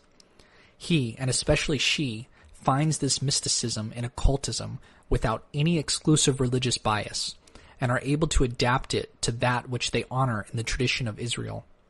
Consequently, there are many Jews in Western occultism, and as always, they come to the front because of their intellectual capacity and driving force. It cannot but be obvious to anyone who looks in the matter in the light of history and racial psychology that the Jewish race, as a race, has more to lose than any other by social upheaval and disorder, for they are the moneylenders of the world, and the first thing any nation does after a revolution is to wipe out back debts, both private and national. The Jewish race are, moreover, non-military, not that there there are not individual fighting men among the Jews, as the history of pugilism shows, but their peculiar religious tenets, as applied to social customs, make an army very difficult, if not impossible, to organize. Upon one occasion, Jerusalem was stormed by the Jews because the Jews would not work at its defenses on the Sabbath. There is no question, however, but that men of Jewish race have played an important part in determining the course of history by giving or withholding the sinews of war from bellicose monarchs and governments. This, however, has not been a matter of organized national policy, but of personal speculation and venture, at any rate since governments have ceased to force the Jew to lend money upon the security of his own back teeth. It is noteworthy that the record of the Jewish statesman is singularly clean. He serves the nation of his adoption with a single-minded integrity and conspicuous ability. The Jew has always been prominent in Western occultism. In fact, he was for centuries its only guardian, for the Church put down all speculation and experiment in spiritual things with a firm hand. The Kabbalah has been the chief outlet for the spiritually minded Jew, who has found phylacteries, barren things, and the Kabbalah has ceremonial magic and a highly technical psychism in its practical applications. In Israel, it is to be found the fountainhead of the Western tradition. The fact, in fact, Western occultists need to have a working knowledge of the elements of the Hebrew language in order to disentangle the barbarous jargon of the dog Hebrew, which is the heritage of unscholarly lodges. The fanatic, who has got it firmly fixed in its head that the Jewish race is bent upon the destruction of all social order, looks upon it as one of the clearest proofs of the guilt of occultism that a Jewish element and influence is to be found therein. May we remind them, however, that the same can be said of Christianity, for which its root, cultural roots it has in Judaism. From the historical point of view, Abraham, rather than Peter, holds the keys of heaven for the Western world esoteric tradition admits of no exclusiveness, and it is the very essence of its spirit that it blasphemes to God, that no God has that has been hallowed by man's devotion. It sees all religion as the expressions of man's spirit rather than the personal revelation of a jealous God to his chosen people. It suffers from neither superstition, awe, nor bigoted feet. When asked to take sides in any acrimonious dispute concerning ultimate rights and wrongs, it says, a plague on both your houses. The way of God is the way of the lightning flash, zigzagging between the pillars, and the place of equilibrium is in the central point of the cen- central pillar. Chapter 11 Esoteric Glossary Teaching on esoteric subjects contains so many vaguely defined terms that it is advisable that those studying in our group should know more precisely what we mean when we use certain of the key words. Indeed, in some of our earlier papers, the meaning is not always as clear as it might be, as some time elapsed, as usually happens, before the need for these definitions became evident. We do not legislate for other groups, but the definitions we give are in line with the principles behind our teaching, and have now been shown by experience to be sound. It does not follow, however, that esoteric publications in general use the terms in exactly these meanings, and, in fact, the same word with slight slightly varying significances may sometimes be found in the same publication, making it necessary for the serious reader to be wary lest he gains a false impression. If indeed the authors knew exactly the impression they wished to give, the words we have in mind are set out below, and in some instances, information on the subjects is added. The logos is used as meaning the solar logos, the god of our solar system. The god of the cosmos we describe as the first manifest. The Manus are primarily ethnological leaders on the inner planes of the great root races. They depicted themselves in themselves some great idea or principle which was behind the esoteric mission of their root race. There is more than one type of Manu. The Manu of a race is also the prototype, or the ideal man of a race, and in this connection the syllable man in certain languages can be of extreme antiquity and significance. The Manus are of the first three swarms, lords of flame, form, and mind, but not all of these lords are Manus. The Manus are indeed of our archangelic type with a multiple ego. This is nearest approximation in words to these great beings. Their personalized forms, however, appear in humanized guise. The masters are the perfected beings of the human evolution who guide mankind and perform certain other work rather than enter into their rest. They are of various types and grades. They do not become lords of humanity, see cosmic doctrine, until they have passed beyond all that is known as humanity, even as no grade is established until the next is entered upon. The divine spark may be thought of as the outer aspect of the cosmic atom, stamped with the lo- logo, logoidal impress. Until a high grade is attained, it may be considered for all practical purposes as being the cosmic atom, the immortal part of each one of us, rooted in the great unmanifest, of the same essence as the logoi, but vastly junior in development, etc. The individuality or higher self is the unit of an evolution, consisting of the bodies of the highest three planes, using a seven plane system, organized around the divine spark. The lower self, personality, or projection, is the unit of an incarnation consisting of the bodies of the four lower planes in a seven plane system. Its experiences are absorbed in essence after physical death by the higher self, but this alone does not determine the next projection, as the higher self has phases of development between incarnations, based largely on pre incarnatory or involutionary experiences, which also influence the next projection. The soul is one of the words most frequently used with differing meanings, and we use it as a signifying the inner aspects of the personality plus the outer aspects of the higher self. It is, in fact, the unit of evolution up to a certain point, beyond Chesed. The personality aspects of it are, or should be, absorbed in essence by the higher self at death, and the soul itself conditioned thereby for its next incarnation. This is capable of much wider exposition. It can be considered as the vehicle of evolving man as far as the abyss on the tree of life and its state at death, and after has much to do with the next personality projected by the higher self. Certain pathologies of an esoteric nature affecting future incarnations are possible from wrong actions and attitudes of mind by it during incarnation and after death. Root races can be used for the original race from which sprung the sub-races. It often refers to the seven great divisions of the Atlantean race, and these racial prototypes were further developed in the post-diluvian world into the main racial families as known exoterically.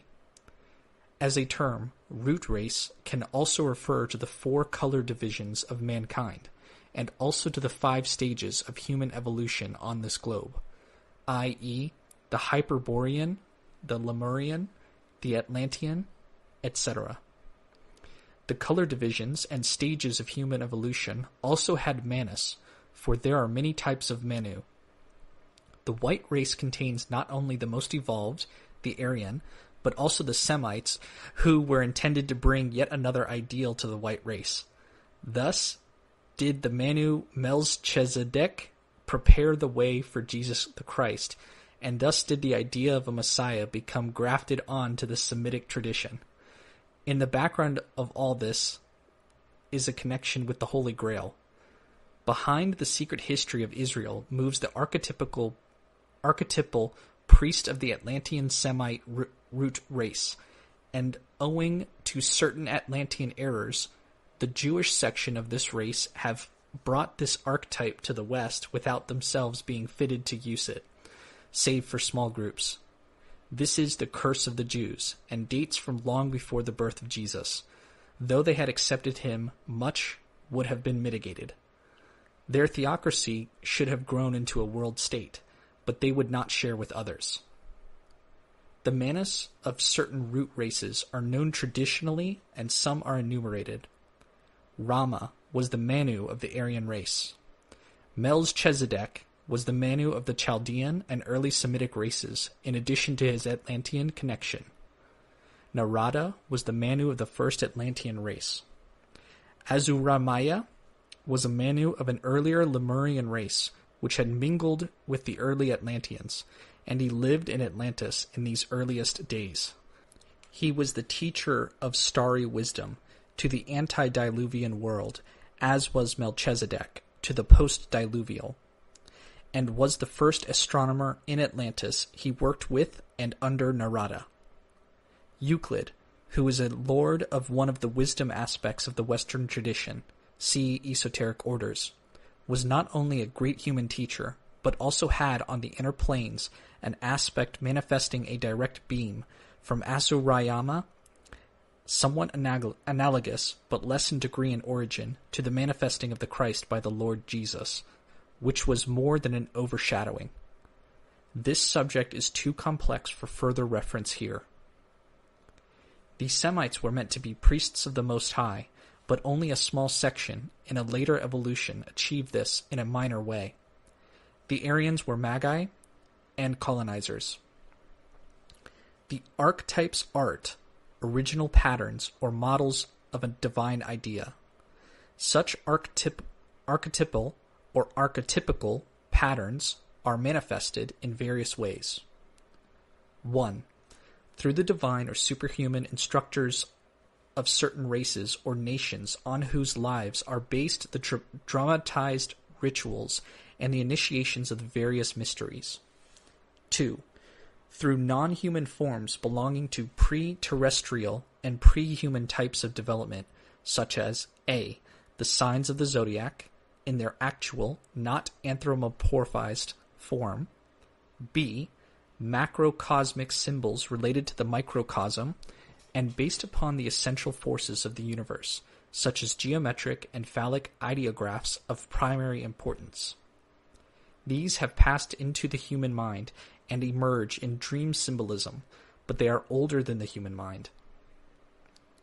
The traditional names of great archety- archetypal figures are often racial memories of one, i.e., of the instructors and belong to the different phases of evolution passed through by their groups. They originated with some shadowy teacher who had in ancient times guided some particular group.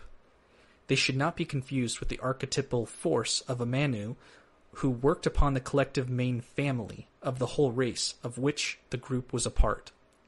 For example, Rama was the great leader of the Aryan race, but Orpheus, Osiris, Isis, Odin, Merlin, etc., were instructors of a certain Aryan groups, and ancestral memories of them passed into some of the gods and heroes of these groups.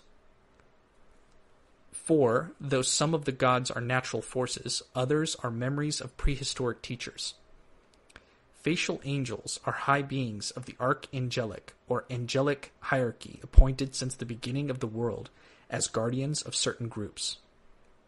They might be described as personalized principles of archetypal fire, who worked first with the Manus and then, on the withdrawal of the latter, continued in contact with the world as guardians of these principles and of the forces surrounding their earthling, or established in Malkuth. Such a being is referred to in the biblical phrase, the prince of the powers of Persia, a great racial angel of a former period. Racial angels guide races to the territory while they should they shall take root, and as long as a nation remains sufficiently strong, in many senses of that word, the angel is as its higher self, so to speak. When these nation when that nation decays to such an extent that real contact with the angel is not possible, the angel withdraws to a nation more capable of expressing the inner principle he represents. Such angels will incorporate in their realm lesser tribal beings of other nations, which become deeply integrated by conquest or otherwise with the original territory. The subject is very complex, but will repay study. Conquest on the physical plane does not always triumph over a nation. Anima and animus. These psychological terms are well defined in textbooks, and reference should be made to such books. Such reference is especially needed for psychological expressions, many of which are already used widely and inaccurately. All that need be, need be said here is that Jung should be read with great attention, since it is probable he knew more than he cared to express plainly. When integration with the higher self draws nearer, it is possible that the anima or animus may give place to ideal figures of the same sex as the personality, and such figures may even be foreshadowed at a much earlier stage in sensitive people in the higher emotional states. The shadow, the dweller on the threshold.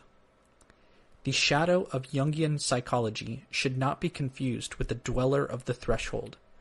The shadow represents the subconscious, material of the present incarnation of one life only, through naturally, though naturally it is affected by previous lives.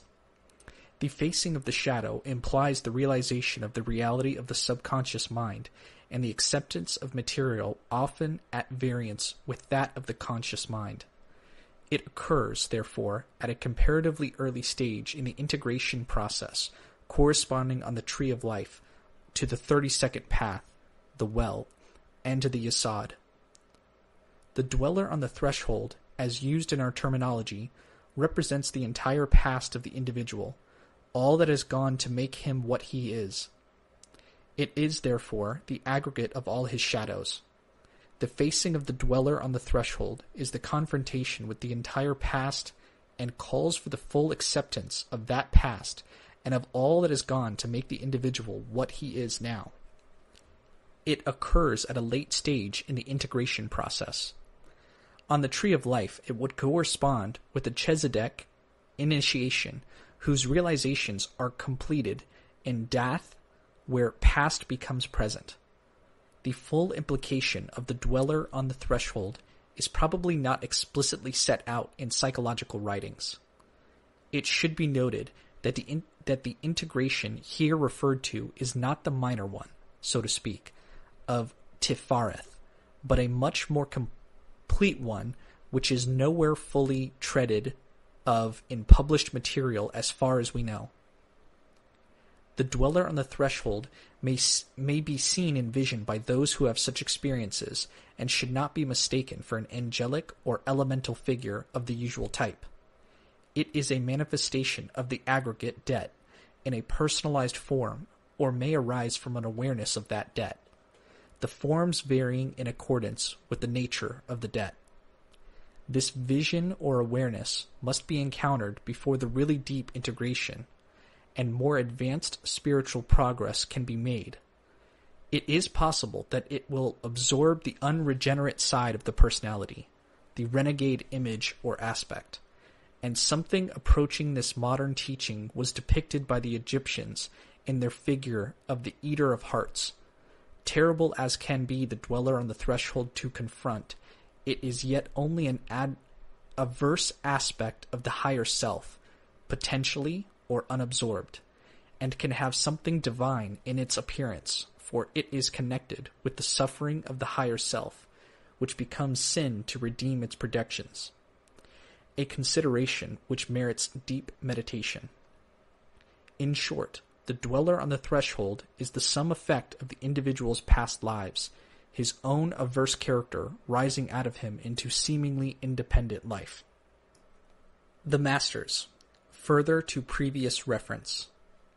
Just as at certain periods of the esoteric work and position of individuals in incarnation are assessed, so is the work of the hierarchy assessed in its relation to the greater whole.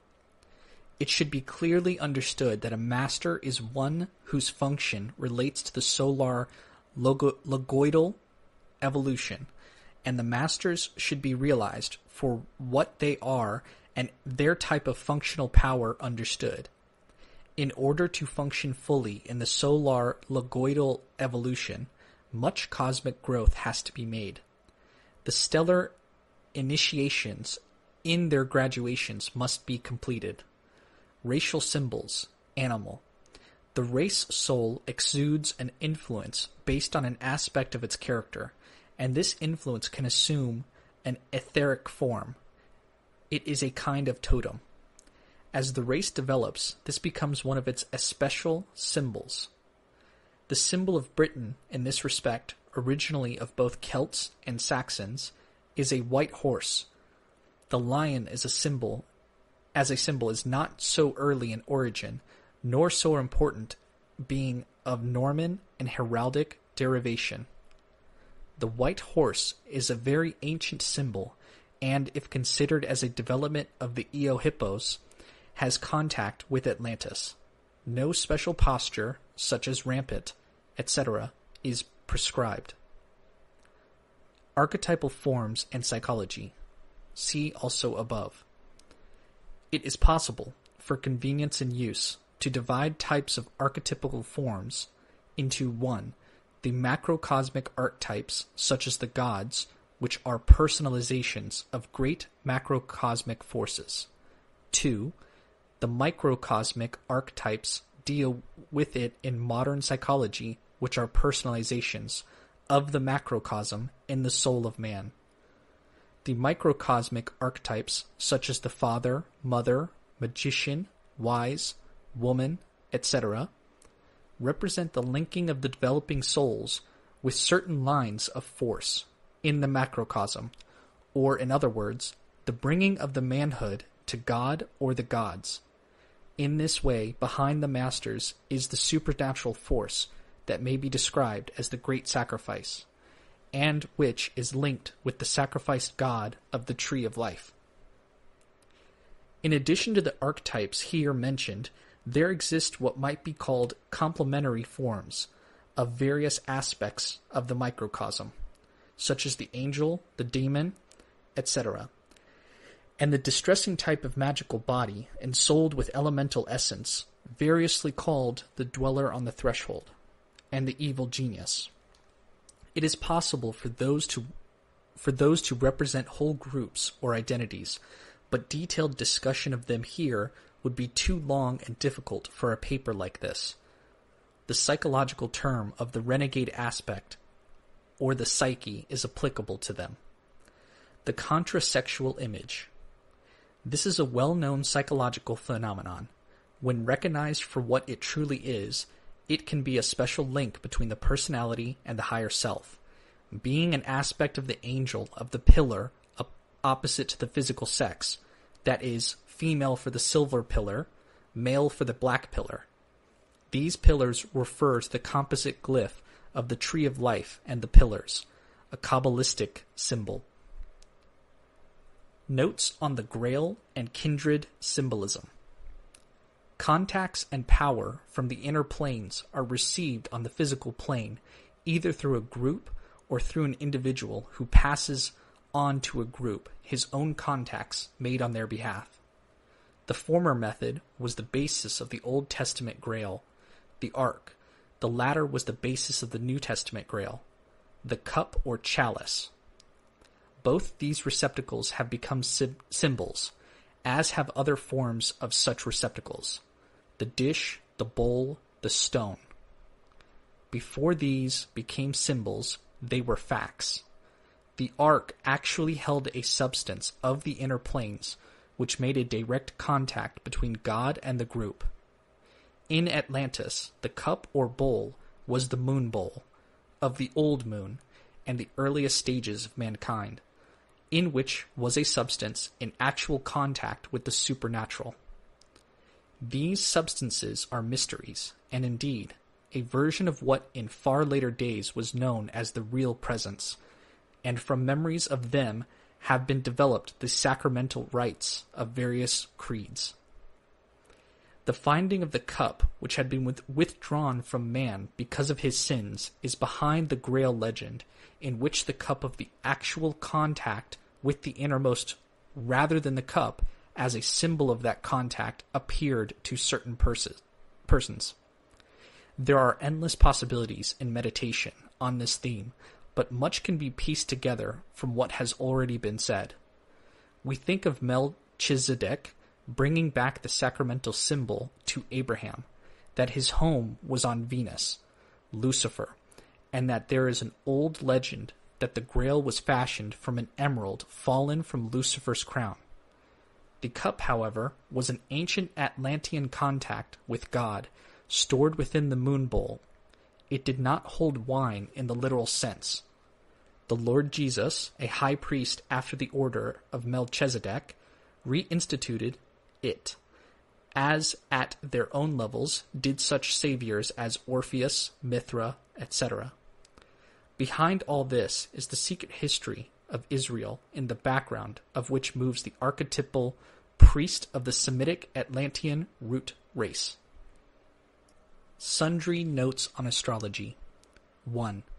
The zodiac comes under the influence of the twelve cosmic rays, and the true zodiacal zodiacal influence upon the human beings dates not from that operating at the moment of the birth date of his present incarnation, but from the cosmic groupings in action at the time when the divine spark, coming down the planes, see cosmic doctrine, was impressed with some special zodiacal force. This force, if truly discerned, would be apparent in the astrological positions of each incarnation. Also, it would be possible to make of the individual influences at work on the spirit a calculation somewhat analogous to that of the precession of the equinoxes at work on the sun. The subject is difficult and calls for expert and specialized knowledge. Each divine spark is respectively influenced by one of the twelve great concepts of truth, which are behind the twelve great rays. This is the real fundamental astrology which covers an evolution. The working of the lesser zodiac during one incarnation is trivial by comparison, though it is its understanding can be very helpful. 2. The zodiac is not so much an imaginary belt as zones or rays of influence touching Earth at certain seasons. It is best considered in sets of four constellations. The three modes of force cardinal, fixed, mutable, refer to the three rays of life. There are three sets of these balanced with the three rays of destruction. Each zodiacal mode is aligned with one of these rays of life. The rays of life and the zodiacal, zodiacal signs equated with them vary with each evolution. The four holy creatures of the present evolution did not rank as such before this evolution despite the influences they shed. In the next evolution, the four mutable signs will be holy. The signs of the zodiac are the mystical basis of the cosmos. 3. The sun's passage through the zodiac resembles the gathering of the limbs of Osiris, that is to say, the building into the individuality of the experiences gained from the various incarnations. These may be considered in one way as types of evolution on the path. Arthur's knights, the twelve apostles, and similar groupings may be thought of as allegorical figures in this way, as well as historical facts in some instances. If we regard the sun power in the horoscope as having the four aspects of the horizon, zenith, sunset, and nadir, as acting though not only the solar sign itself, and that on the ascendant, but also through whatever sign or planet is on the cusp of the 10th, 7th, and 4th houses respectively.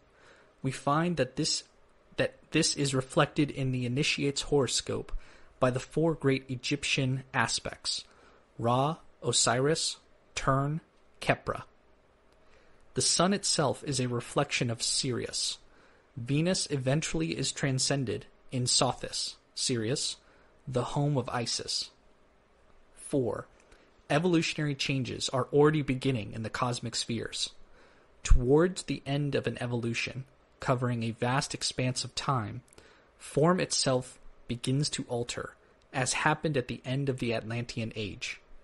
At such a great time, at such a time, great cosmic beings take over from those previously in charge, and the outer conditions of Earth and man begin to change, largely because of rays or influences from distant stellar forces coming into operation.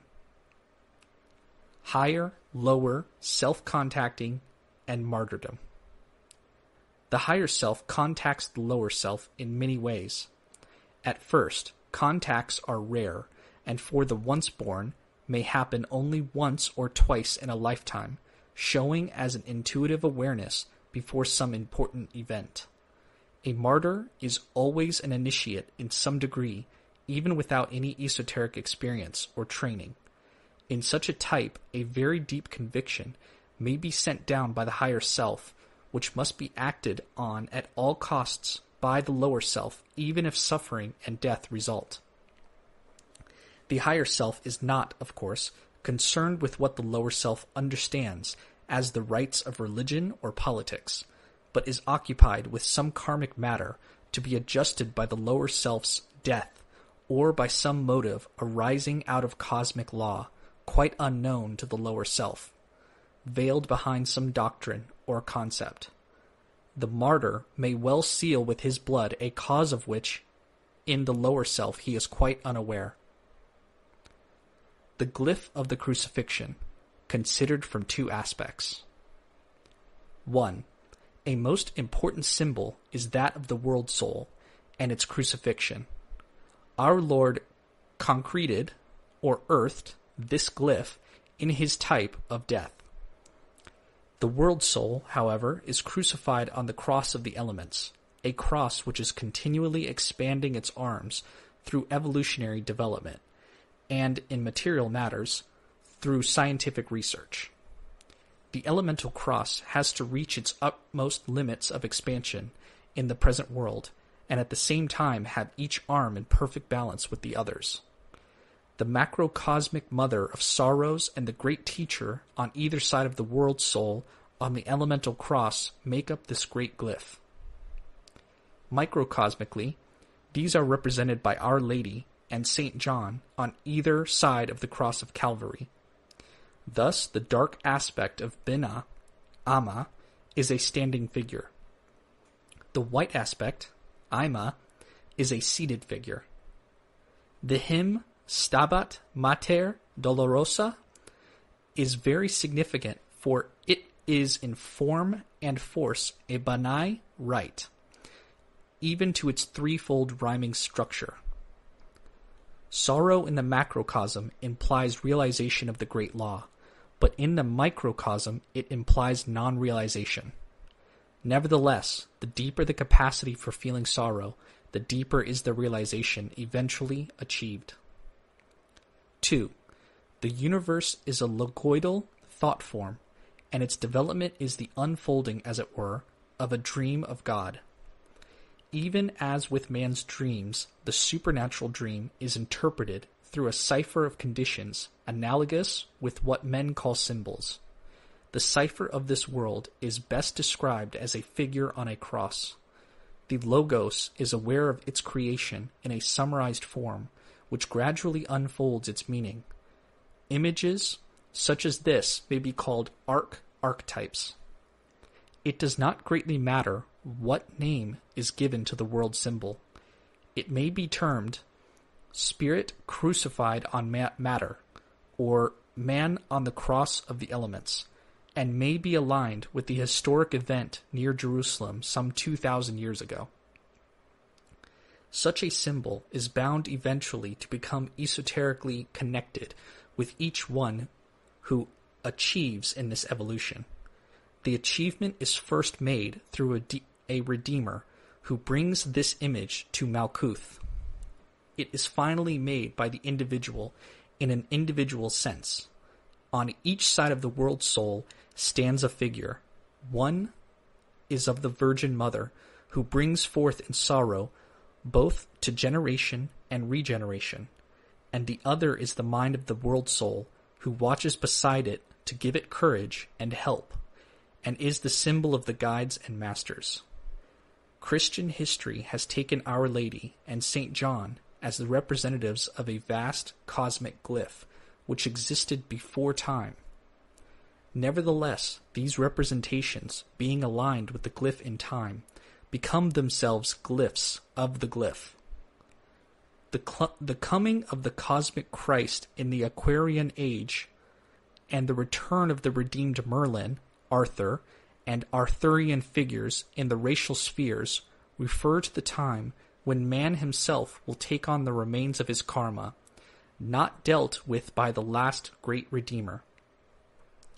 This individual karma, be it understood the least part of the karma, must be fully realized in order that it may be abreacted.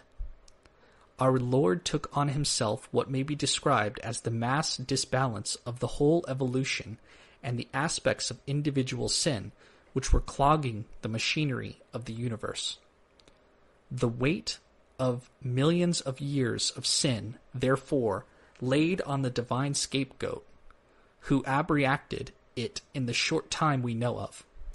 This achievement shows the vast importance of realization compared with the relatively slight value of time itself.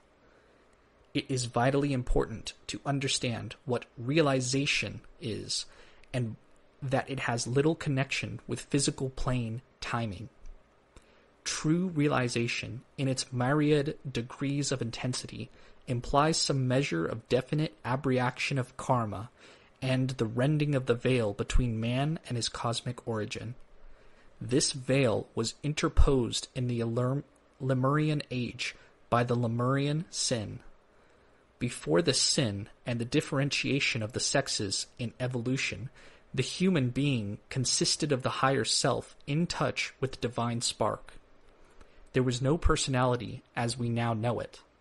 The first projections from the higher self, as we now understood them, were evolved around the ego, created as a result of the Lemurian shadow. Notes on madness, Lemurian sin, etc. The Aquarian attitude towards madness will be very different from the Piscean, which has been accompanied by so much shame and embarrassment. It has been considered a terrible thing to have a member of the family in an asylum, but in the Aquarian age, far more people will be treated openly in mental hospitals, and many will go there of their own free will. Healing in the Aquarian age will be more directed to mental conflicts and troubles rather than physical disease. This is connected with the beginning of the final dissolution of the separateness, separateness of the ego, and with the right understanding of the ring chaos. Madness implies a refusal to accept the reality of the ring chaos as a thrust block, and the denial of the need to accept and seek change. It is a very severe visitation of the forces of the Holy Third Sephirah Binah, for the forces of the Dark Mother, Amma, of the ring chaos are one. The dissolution of the ego is the third birth and involves an esoteric, deliberate, and fully controlled going out of one's mind into the cosmic whole. Any refusal to accept the dissolution of the ego will entail mental disorder, for, at that stage, if the ego is not obedient to evolutionary law it can become so inflated that it will burst its boundaries involuntarily and out of conscious control.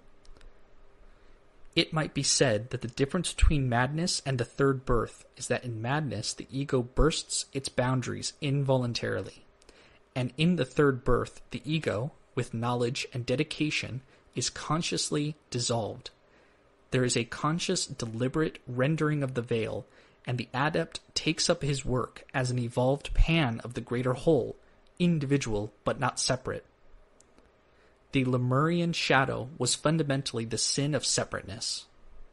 In the beginning, it was intended that evolution should proceed by the experience of differentiation as a result of the epigenetic factors in the atoms, using the term of the cosmic doctrine.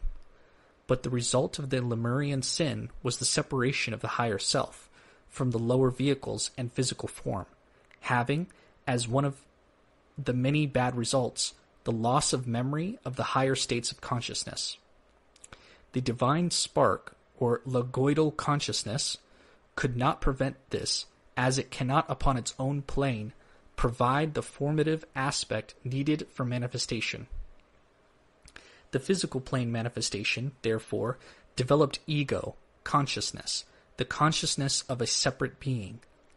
If there had been differentiation and not separation, the resulting consciousness would have been that of individualization. Much lies in the understanding and realization of the difference between what would have been the individualization consciousness and what is the ego consciousness, or separation consciousness. Man must eventually achieve individualization consciousness, in which the divine spark, higher self and lower self, will all be in harmonious function, and the consciousness of the body of Malkuth be recognized for what it really is a cell in the body of the Earth Mother. A basic problem of the human evolution as a result of the fall is the conflict in the individual between the elemental and spiritual aspects of the one life. In its severest forms, this conflict leads to a kind of schizophrenia in which the elemental life of the person becomes quite a separate existence from the spiritual. Note, this subject is a very deep and difficult one. The language used and the ideas conveyed are, as it were, approximations. That is to say, they are intended to lead to an understanding of the subject, rather than to give hard and fast definitions. These remarks apply also to the glyph of the crucifixion. Generally speaking, such teachings of the tradition are given to help the mind on its own onto its own conclusions and realizations.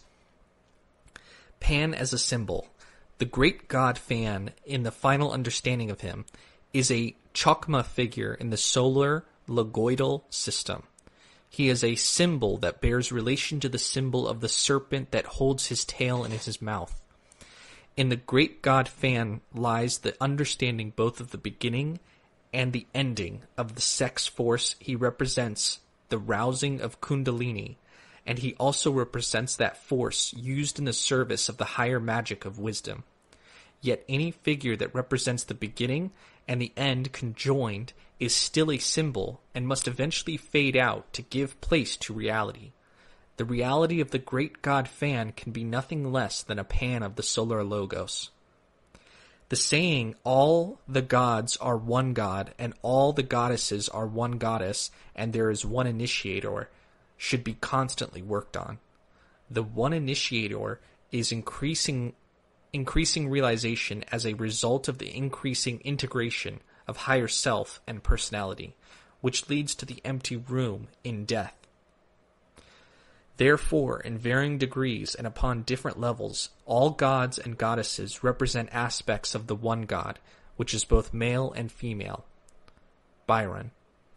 Non-human forces sometimes overshadow humans and bring in influences of other racial groups that than that of those humans. The various racial groups differ in their influences, hence the different types of elementals seen in various countries. Byron is an illustration of one influenced by forces of more than one racial group. In addition, he had a demonic form of daemon overshadowing his higher self, and this daemon had no opportunity in that incarnation of manifesting save mainly through the intellect. The revolutionary forces at work in Byron's day were able to use this dynamic daemon, daemon to some extent, but more than half remained unexpressed. Thus, there is a sense of something tearing itself to pieces all the time, and having to do it all could with the utmost urgency, since time was short. The poet died at the age of 36. Form. In Binah and Yesod, Binah represents the concept behind the form, and its archangel represents the intelligence behind form. The formless builder of form, working behind both the dark and bright aspects. Yesod represents the etheric mesh of form, healing, and the four elements. The Aquarian age is especially concerned with air healing through the use of the human mind and certain forces of air. Hence, Steiner's reference to the value of the mistletoe, which is the air symbol. In this age, in addition to the special air aspect, the healing values of all four elements should be reestablished, and the power of each should be realized.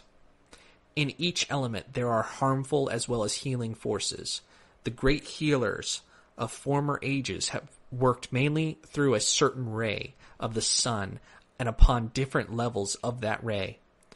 Our Lord used this solar ray by bringing it down through himself onto others.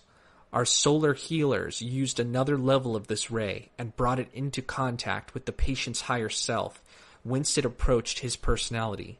They were not, of course, able to contact it in the major degree of force used by our Lord.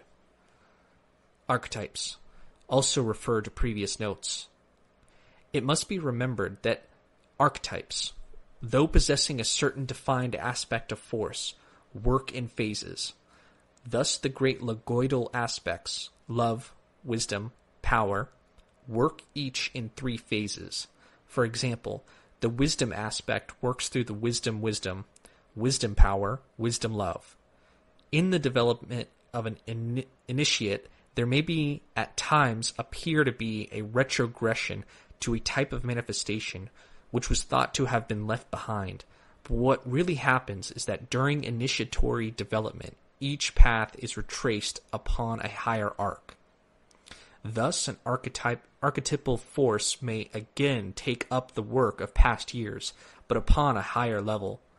The lower curve of a new spiral of evolution corresponds with the ascending curve of this previous spiral. The watchman, or watcher on the tower, is an archetypal figure sometimes used from the inner planes to help the soul to realize its true destiny. It represents the eternal, indestructible pan of each one, linking the higher self with the divine spark. It recognizes only reality, and therefore its actions seek to destroy all that hinders realization of a soul's destiny. The temporal part of each one is ultimately destroyed because it is unrecognizable by the watchman. He is a figure of eternity, immovable, unchanging, belonging to the past, present, and future, making them one. He is a Daath figure, related to the abstract mind and causative planes. Horus is sometimes called the Lord of the Aquarian Age. He is a winged, complete being containing within himself his lather, Osiris and his mother Isis. Isis and Osiris were one being in primeval days and later split into two.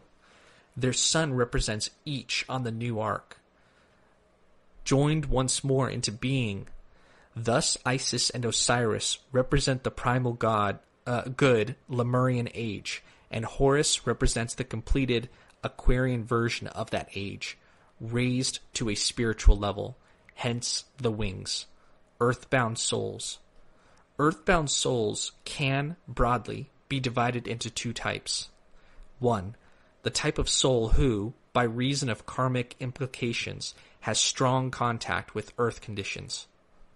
In the phase following physical death, such a type can easily be drawn back because the earth vibrations are stronger than the spiritual body of the soul until after the lapse of a certain amount of time in which the spiritual body can be built up for activity on the higher and more subtle planes.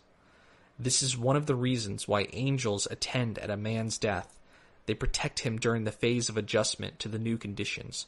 Their vibrations help him to move into a new mansion. If the soul is drawn back, it is usually due to weakness in the ethical nature or to a swamping by the earth forces due to special evolutionary karmic factors in which it is involved, often in relation to others who still remain on the physical plane. Such souls are always helped on, on the inner planes by more evolved human beings as well as by angels. 2. The strong type of soul who, to suit his own convenience, wills to remain as close as possible to Earth conditions, refusing to undergo the subjective experiences which will build up the spiritual body. This type of soul realizes that without a body, the forces will begin to disintegrate, to diffuse, and that this will mean destruction to his way of life. He therefore puts up a tremendous fight, causing what is known as haunting, and can, in order to maintain himself, use obsession of animals and creatures of lower development. It is necessary for the adept to deal with such cases for the will of a man is involved. If a case were so severe that the will had to be broken, the result would be disintegration of the human soul. The adepti uh, work to change the will if at all possible. The unpleasant, frightening, and sometimes dangerous symptoms of haunting are due to the fact that by virtue of his higher grade, this departed human can, for a certain period of time, until the higher cosmic forces have built up a wall of pressure to prevent this, manipulate and control the vibrations of the earth or of a lower type of being. An inner plane adept is handicapped in his work on this type of condition by not having a physical form to work with or through. Because the higher forces, which are brought down to build up the walls of pressure that will effectively seal the soul off from the earth contacts, need to be earthed through a physical form. Otherwise, the wall, however strong, lacks roots, and the earthbound soul of great strength will overthrow it. Also, a haunting is fed by fear. For these reasons, the adepti need to work, need in such work the strong adept on the physical plane of compassionate understanding. The adepti on the inner plane deal with the cosmic forces and the individuality of the man. The physical plane adepts cooperation is needed on the lower levels of the Earth's forces and the personality of the man involved. If properly understood, such work has a regenerative effect on all who are in any way involved. The Earth and Venus. The Earth was incarnated in the sphere of Venus at, an, at a very early phase. Consequently, there is contact between Venus and Earth. Netzach has a has the rose and the lamp, two great Rosicrucian symbols as its own. Also, it has the girdle or zone. Netzach has far more significance than as the sphere of romance. Here are found three symbols used by the Rosicrucians, and here is the sphere from which the great Manu brought the three gifts to man. The zone or girdle holds an inner significance of the earth Earth's contact with Venus. The legend of the girdle of Ishtar, the last possession that the goddess was called on to surrender in the underworld during her search for Tammuz, must have had deep spiritual meaning. The Earth contacted deep spiritual awareness during her Venus phase, and from Venus, spiritual teaching came to Earth in her present phase, through the Manu Melchizedek. Among the three Netzach symbols in the mystical Kabbalah, and those three gifts the Manu, there is an inner alignment of meaning, though not of form. The lamp is thus aligned with asbestos, for only when a man can withstand spiritual fire and water may he hold that lamp in his hand. This is the sphere that contains the lamp which holds and shows forth the flame. The flame is drawn from Chokmah and fanned by Geburah, but shown to the earth by Netzach. Netzach is, in one tradition, the source of the Grail, the emerald which fell from Lucifer's crown as he came to earth. Astrology 1. It is said that the first formative forces streamed upon the earth from the eye of the constellation of Taurus, associated with Aldebaran. 2. In the earliest Lemurian days, certain adepti came to Earth from the planet Jupiter, which contains a secret scheme connected with the Earth. Racial forces. In this age, all racial forces are undergoing changes. Racial angels themselves are being influenced from more remote spheres by other cosmic beings. When a man reincarnates, the race to which he is sent is by no means a matter of chance. For the different lessons necessary and the different karmic details to be worked out cannot always be found in the race to which there may be a natural gravitation from past lives. In this fact, we may find an understanding of the traitor, the aggressive pacifist, and such figures who have had, probably in the first incarnation, links with the race which at the time were legitimate, but now may be out of place. The unevolved man is often swayed to some extent by his formal racial angel.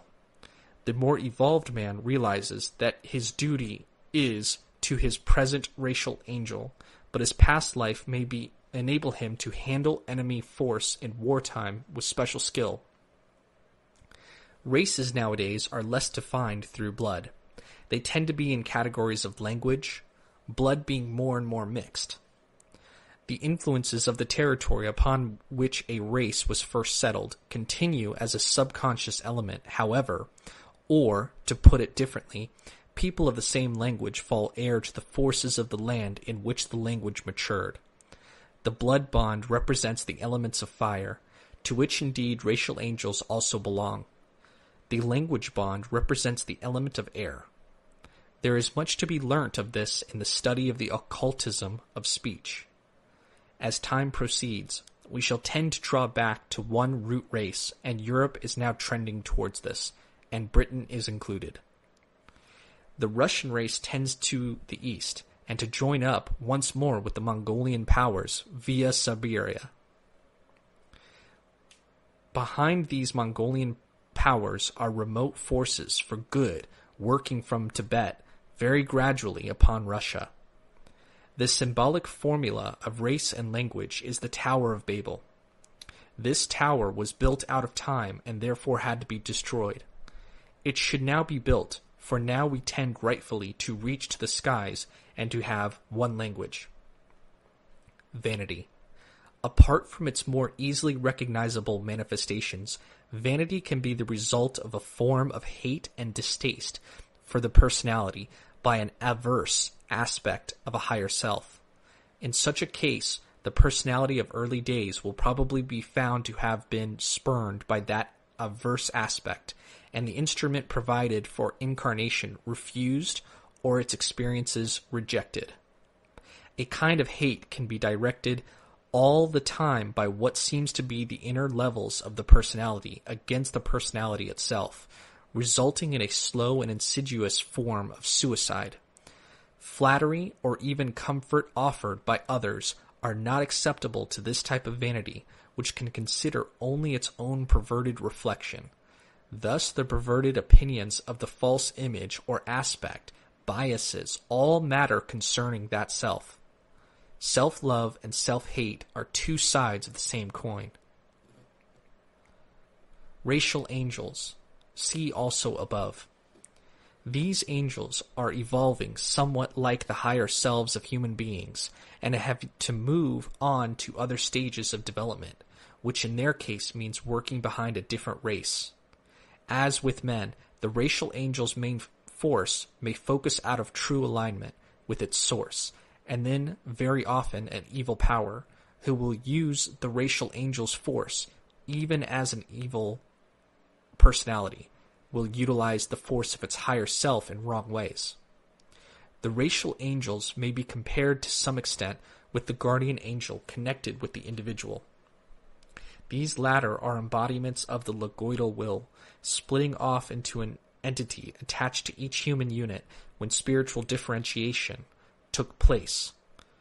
The racial angels are entities holding one of the especial aspects of the Manu, who first guided the main branch of the race. Thus, the Aryan leader Rama has left aspects of his power in the various Aryan races. The racial angels, when properly evolved, earn a seat at the sidereal round table. Every now and again, some political measure is introduced which marks this concept. Again and again, also it is found that the seat will not be taken until after a long time, even as a man cannot sit at the round table until he is king of himself. Angels of large and backward races are not at the same stage as angels of the relatively developed nations. There is a lack of cohesion in such racial vehicles, which are normally not welded properly with the group mind.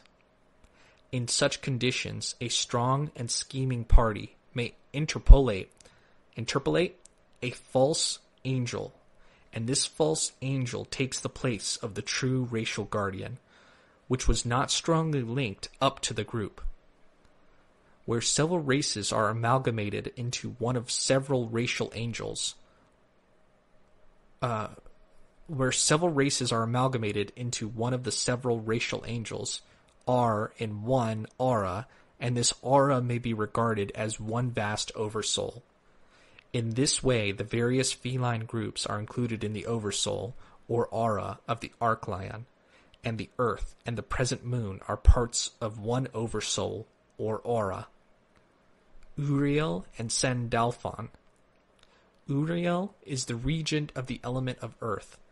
Sandalphon of the sphere of Earth, Malkuth, and they have an interlinked relationship, each being regent of a densest aspect of force. Sandalphon rules over the structure of the life forms within this planet, Thus he rules over the evolution of consciousness and of form upon the earth, and so is the ruler of the souls of fire, which is a symbolic name for the consciousness of the atoms. Uriel rules over the basic forces of the earth itself, particularly the seismic powers, and was connected with this planet before man inhabited it. He has guided Earth's evolution before its form solidified, when it was passing through its fiery and watery stages. He is said to have foretold the Atlantean cataclysms and to have been the teacher of Enoch. Uriel brought the great deluge, or at least administered it to the earth as a server of great powers. Through his agency, fire, water, and air are esoterically permitted to work upon the earth. At one time, Uriel was a regent on the old moon and some of his power relates, therefore, to the inner earth. The inner earth potencies relate to the old moon, the moon which preceded the present planet, and to the pre Atlantean days when the human consciousness was somewhat of the nature of the Atziluth of the Yesod. The inner earth is connected with a certain type of physical healing because it contains the first manifestation of the four elements, and the primary components of the human body. Raphael and Michael are each at times ascribed to the sun. Raphael represents the basic forces of the sun as he stands with the sun.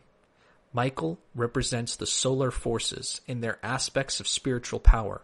Thus, he directs one aspect of the power behind the solar hero, whether god or demigod or human, and representing the supernatural super supernal fire is in charge of the guarding of the approaches to consciousness from the infernal fire. He is ruler over the holy Benai Elohim. An unholy section of these Benai Elohim helped in the black magic of Atlantis. Endurance. The esoteric concept of endurance as a virtue is not in any way a form of the slave mentality. It is the force of the rocks which cannot be moved, and full awareness of that force. Saturn and a note on animals.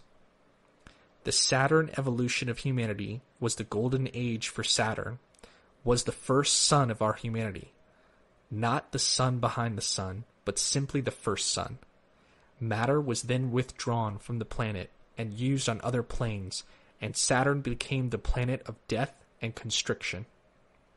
The higher arcs of the Dark Mother deal with the breaking down and building up of the debris of universe, i.e., chaos.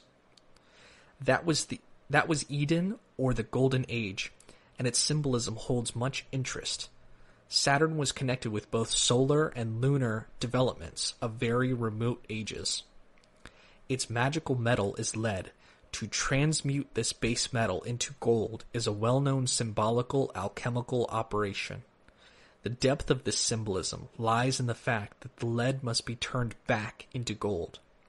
There is a mention in the cosmic doctrine of the star Alpha Centauri, and the star Y, Gamma, of that constellation was that first contacted by, by the logoidal mind when contemplating the beginning of human evolution in form.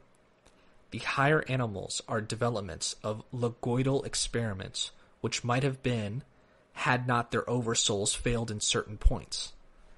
The four highest types, however, have much much part in the design of man, the four holy living creatures.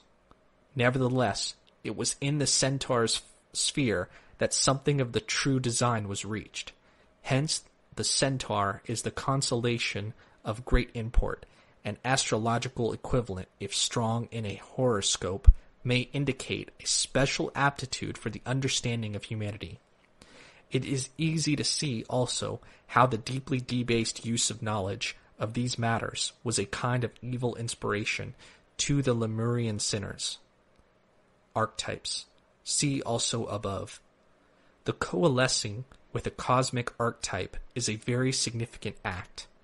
It means that a spiritual concept received from the logoidal mind becomes an actuality in Malkuth because it is lived out. This concept is first given to humanity in the form of a myth, and a myth may be likened to a dream of the logoidal unconscious, which then becomes translated to a projection of human consciousness. Work on an archetype helps a soul, group, or nation to redeem and assimilate an aspect of itself which had previously either been rejected or projected. Therefore, there are many types of archetypes, some dealing with the personality, specifically, some with the individuality, as well as universal and logoidal archetypes, which can be applied to groups and nations. It is all part of the process of integration. Pendragon. Arthur's symbol of the dragon refers to Lemuria when the constellation Draco held the bull star It also either it becomes also either the winged serpent of the higher wisdom of or the evil serpent, death, change, reincarnation, etc. The system of change, which later became death, was, at first, stages of withdrawal from the earth plane. Corruption of the physical plane has had not yet become stereotyped. The physical vehicle was hardly physical in the sense in which we now use the word. It was a densifying, etheric vehicle which could be cast off somewhat like a complete skin which another human being could then use while the former occupant returned to phases of inner plane life till he once more contacted in realization his own origins on entry into the solar logoidal system, passing once more in reverse, back up the path of human evolution as it then was. Such a journey, to which the incarn- incarnationary being brought its own experience, and after its own quota of development, was much simpler and shorter often than it is now, for we are speaking of the beginnings of human history. Now, the process is a long and intricate one, for after the ending of physical death of a period of development, on earth the spirit of man passes in a long journey of inter-incarnationary processes in which the evolutionary phases of the higher self are recapitulated again through the previous chains of its development before humanity lived on the present earth. This goes on at the same time that the personality and higher vehicles recapitulate and absorb in meditation the experiences of the incarnation just ended. All progress follows the laws of recapitulation, which involves the great laws of change, transmutation, and sacrifice. Physical re- recapitulation can be observed in the early stages of the human embryo. In the Aquarian age, Yesod is much concerned with redemption and equilibrium. Notes on the inner vehicles of man. In the heroic age, and even in later days, among Greek philosophers, the mind did not work in quite the same way as it does today. In the heroic age, the concrete mind was certainly in use and developing, but not nearly so developed as it later as it became later. It followed that the great archetypes and principles behind them worked through the etheric body in a manner not possible nowadays. Hence, in tales of these days, there can be discerned a macrocosmic grandeur in the microcosm. The concrete mind played a relatively smaller part in the makeup of man, but the abstract mind was normally in touch with the thinker of the day. At present, the reverse is the case, and for the abstract mind has receded in the uninitiated generally, and it is the density of mo- destiny of modern man to work as much as may be through his concrete mind. Thus, everything today is necessarily seen in different perspective. Great heroism, indeed, does exist today, but does not reflect itself, so to speak, directly upon the etheric from macrocosmic levels. To the modern mind, for example, the dragging of the body of Hector by Achilles after the latter had slain him seems cruel and dreadful. But it is probable that even the Trojans did not take that view at the time. It was a gigantic re- revenge on the scale of Hector and Achilles, a revenge in which the oversouls of both Greeks and Tro- Trojans took part. Thus is drama born or in mystery language, thus are rituals worked and worked. The Masters. See also above. In the East, especially in India, the conditions and atmosphere are much easier to manipulate from the inner planes for purposes of manifestation. Such manifestations are of the etheric or subtle aspects of matter, and being of matter can be termed physical but that word has then a meaning somewhat different from what it is usually understood by it. When the Theos- Theosophical Society was inaugurated, the strongest possible manifestations of the inner plane, adepti, were needed to impress the teaching. But when that had been achieved, the same strength of manifestation was no longer called for. Concerning the incarnations of inner plane adepti, the question is more complex than usually thought, and there are differences between the degrees of incarnation. A suitable discipline of a certain master can be used by that master, with the consent and oper- cooperation of the higher self of that disciple, for a type of incarnation, and the result would differ little from a genuine incarnation for as long as the Master's purpose required. The incarnating force, however, would be so incarnated that only temporary and intermittently, and the personality, thus manifesting it, would not be its own projection. An example of this, on the very highest level, is said to be the manifestation during three years of an aspect of the Christ and the Lord Jesus in order to accomplish great work the high initiate who manifested the force, having had other lives on earth directed by his own spirit. The Archangel Sandalphon. This archangel is the guide of the planet Earth and the regent of Malkuth. See Cosmic Doctrine. He has guided the Earth since Lemurian days, and many of his relationships with God with Earth figures in mythologies and the myths of certain gods. His development affects humanity somewhat as the evolution of humanity affects the development of the earth, the planetary spirit as described in the cosmic doctrine. The racial angels are in his especial jurisdiction, and certain countries and their influences are in a deep sense the result of his own stages of growth. Pallas Athene. Wisdom is virgin and unadulterated. To some extent, it is veiled, for the world could not survive the sight of it naked. The deeper into matter it penetrates, the more it must be shielded, and therefore it is armed for its own protection. It wears a helmet in order that its own fire shall not destroy the brain. It is begotten, not made. It is born of the Father, i.e., the divine spark, through logoidal contact. It bears the sphere and holds all knowledge. In short, it is Pallas Athene, and on her shield is the Gorgon's head, veiled or unveiled.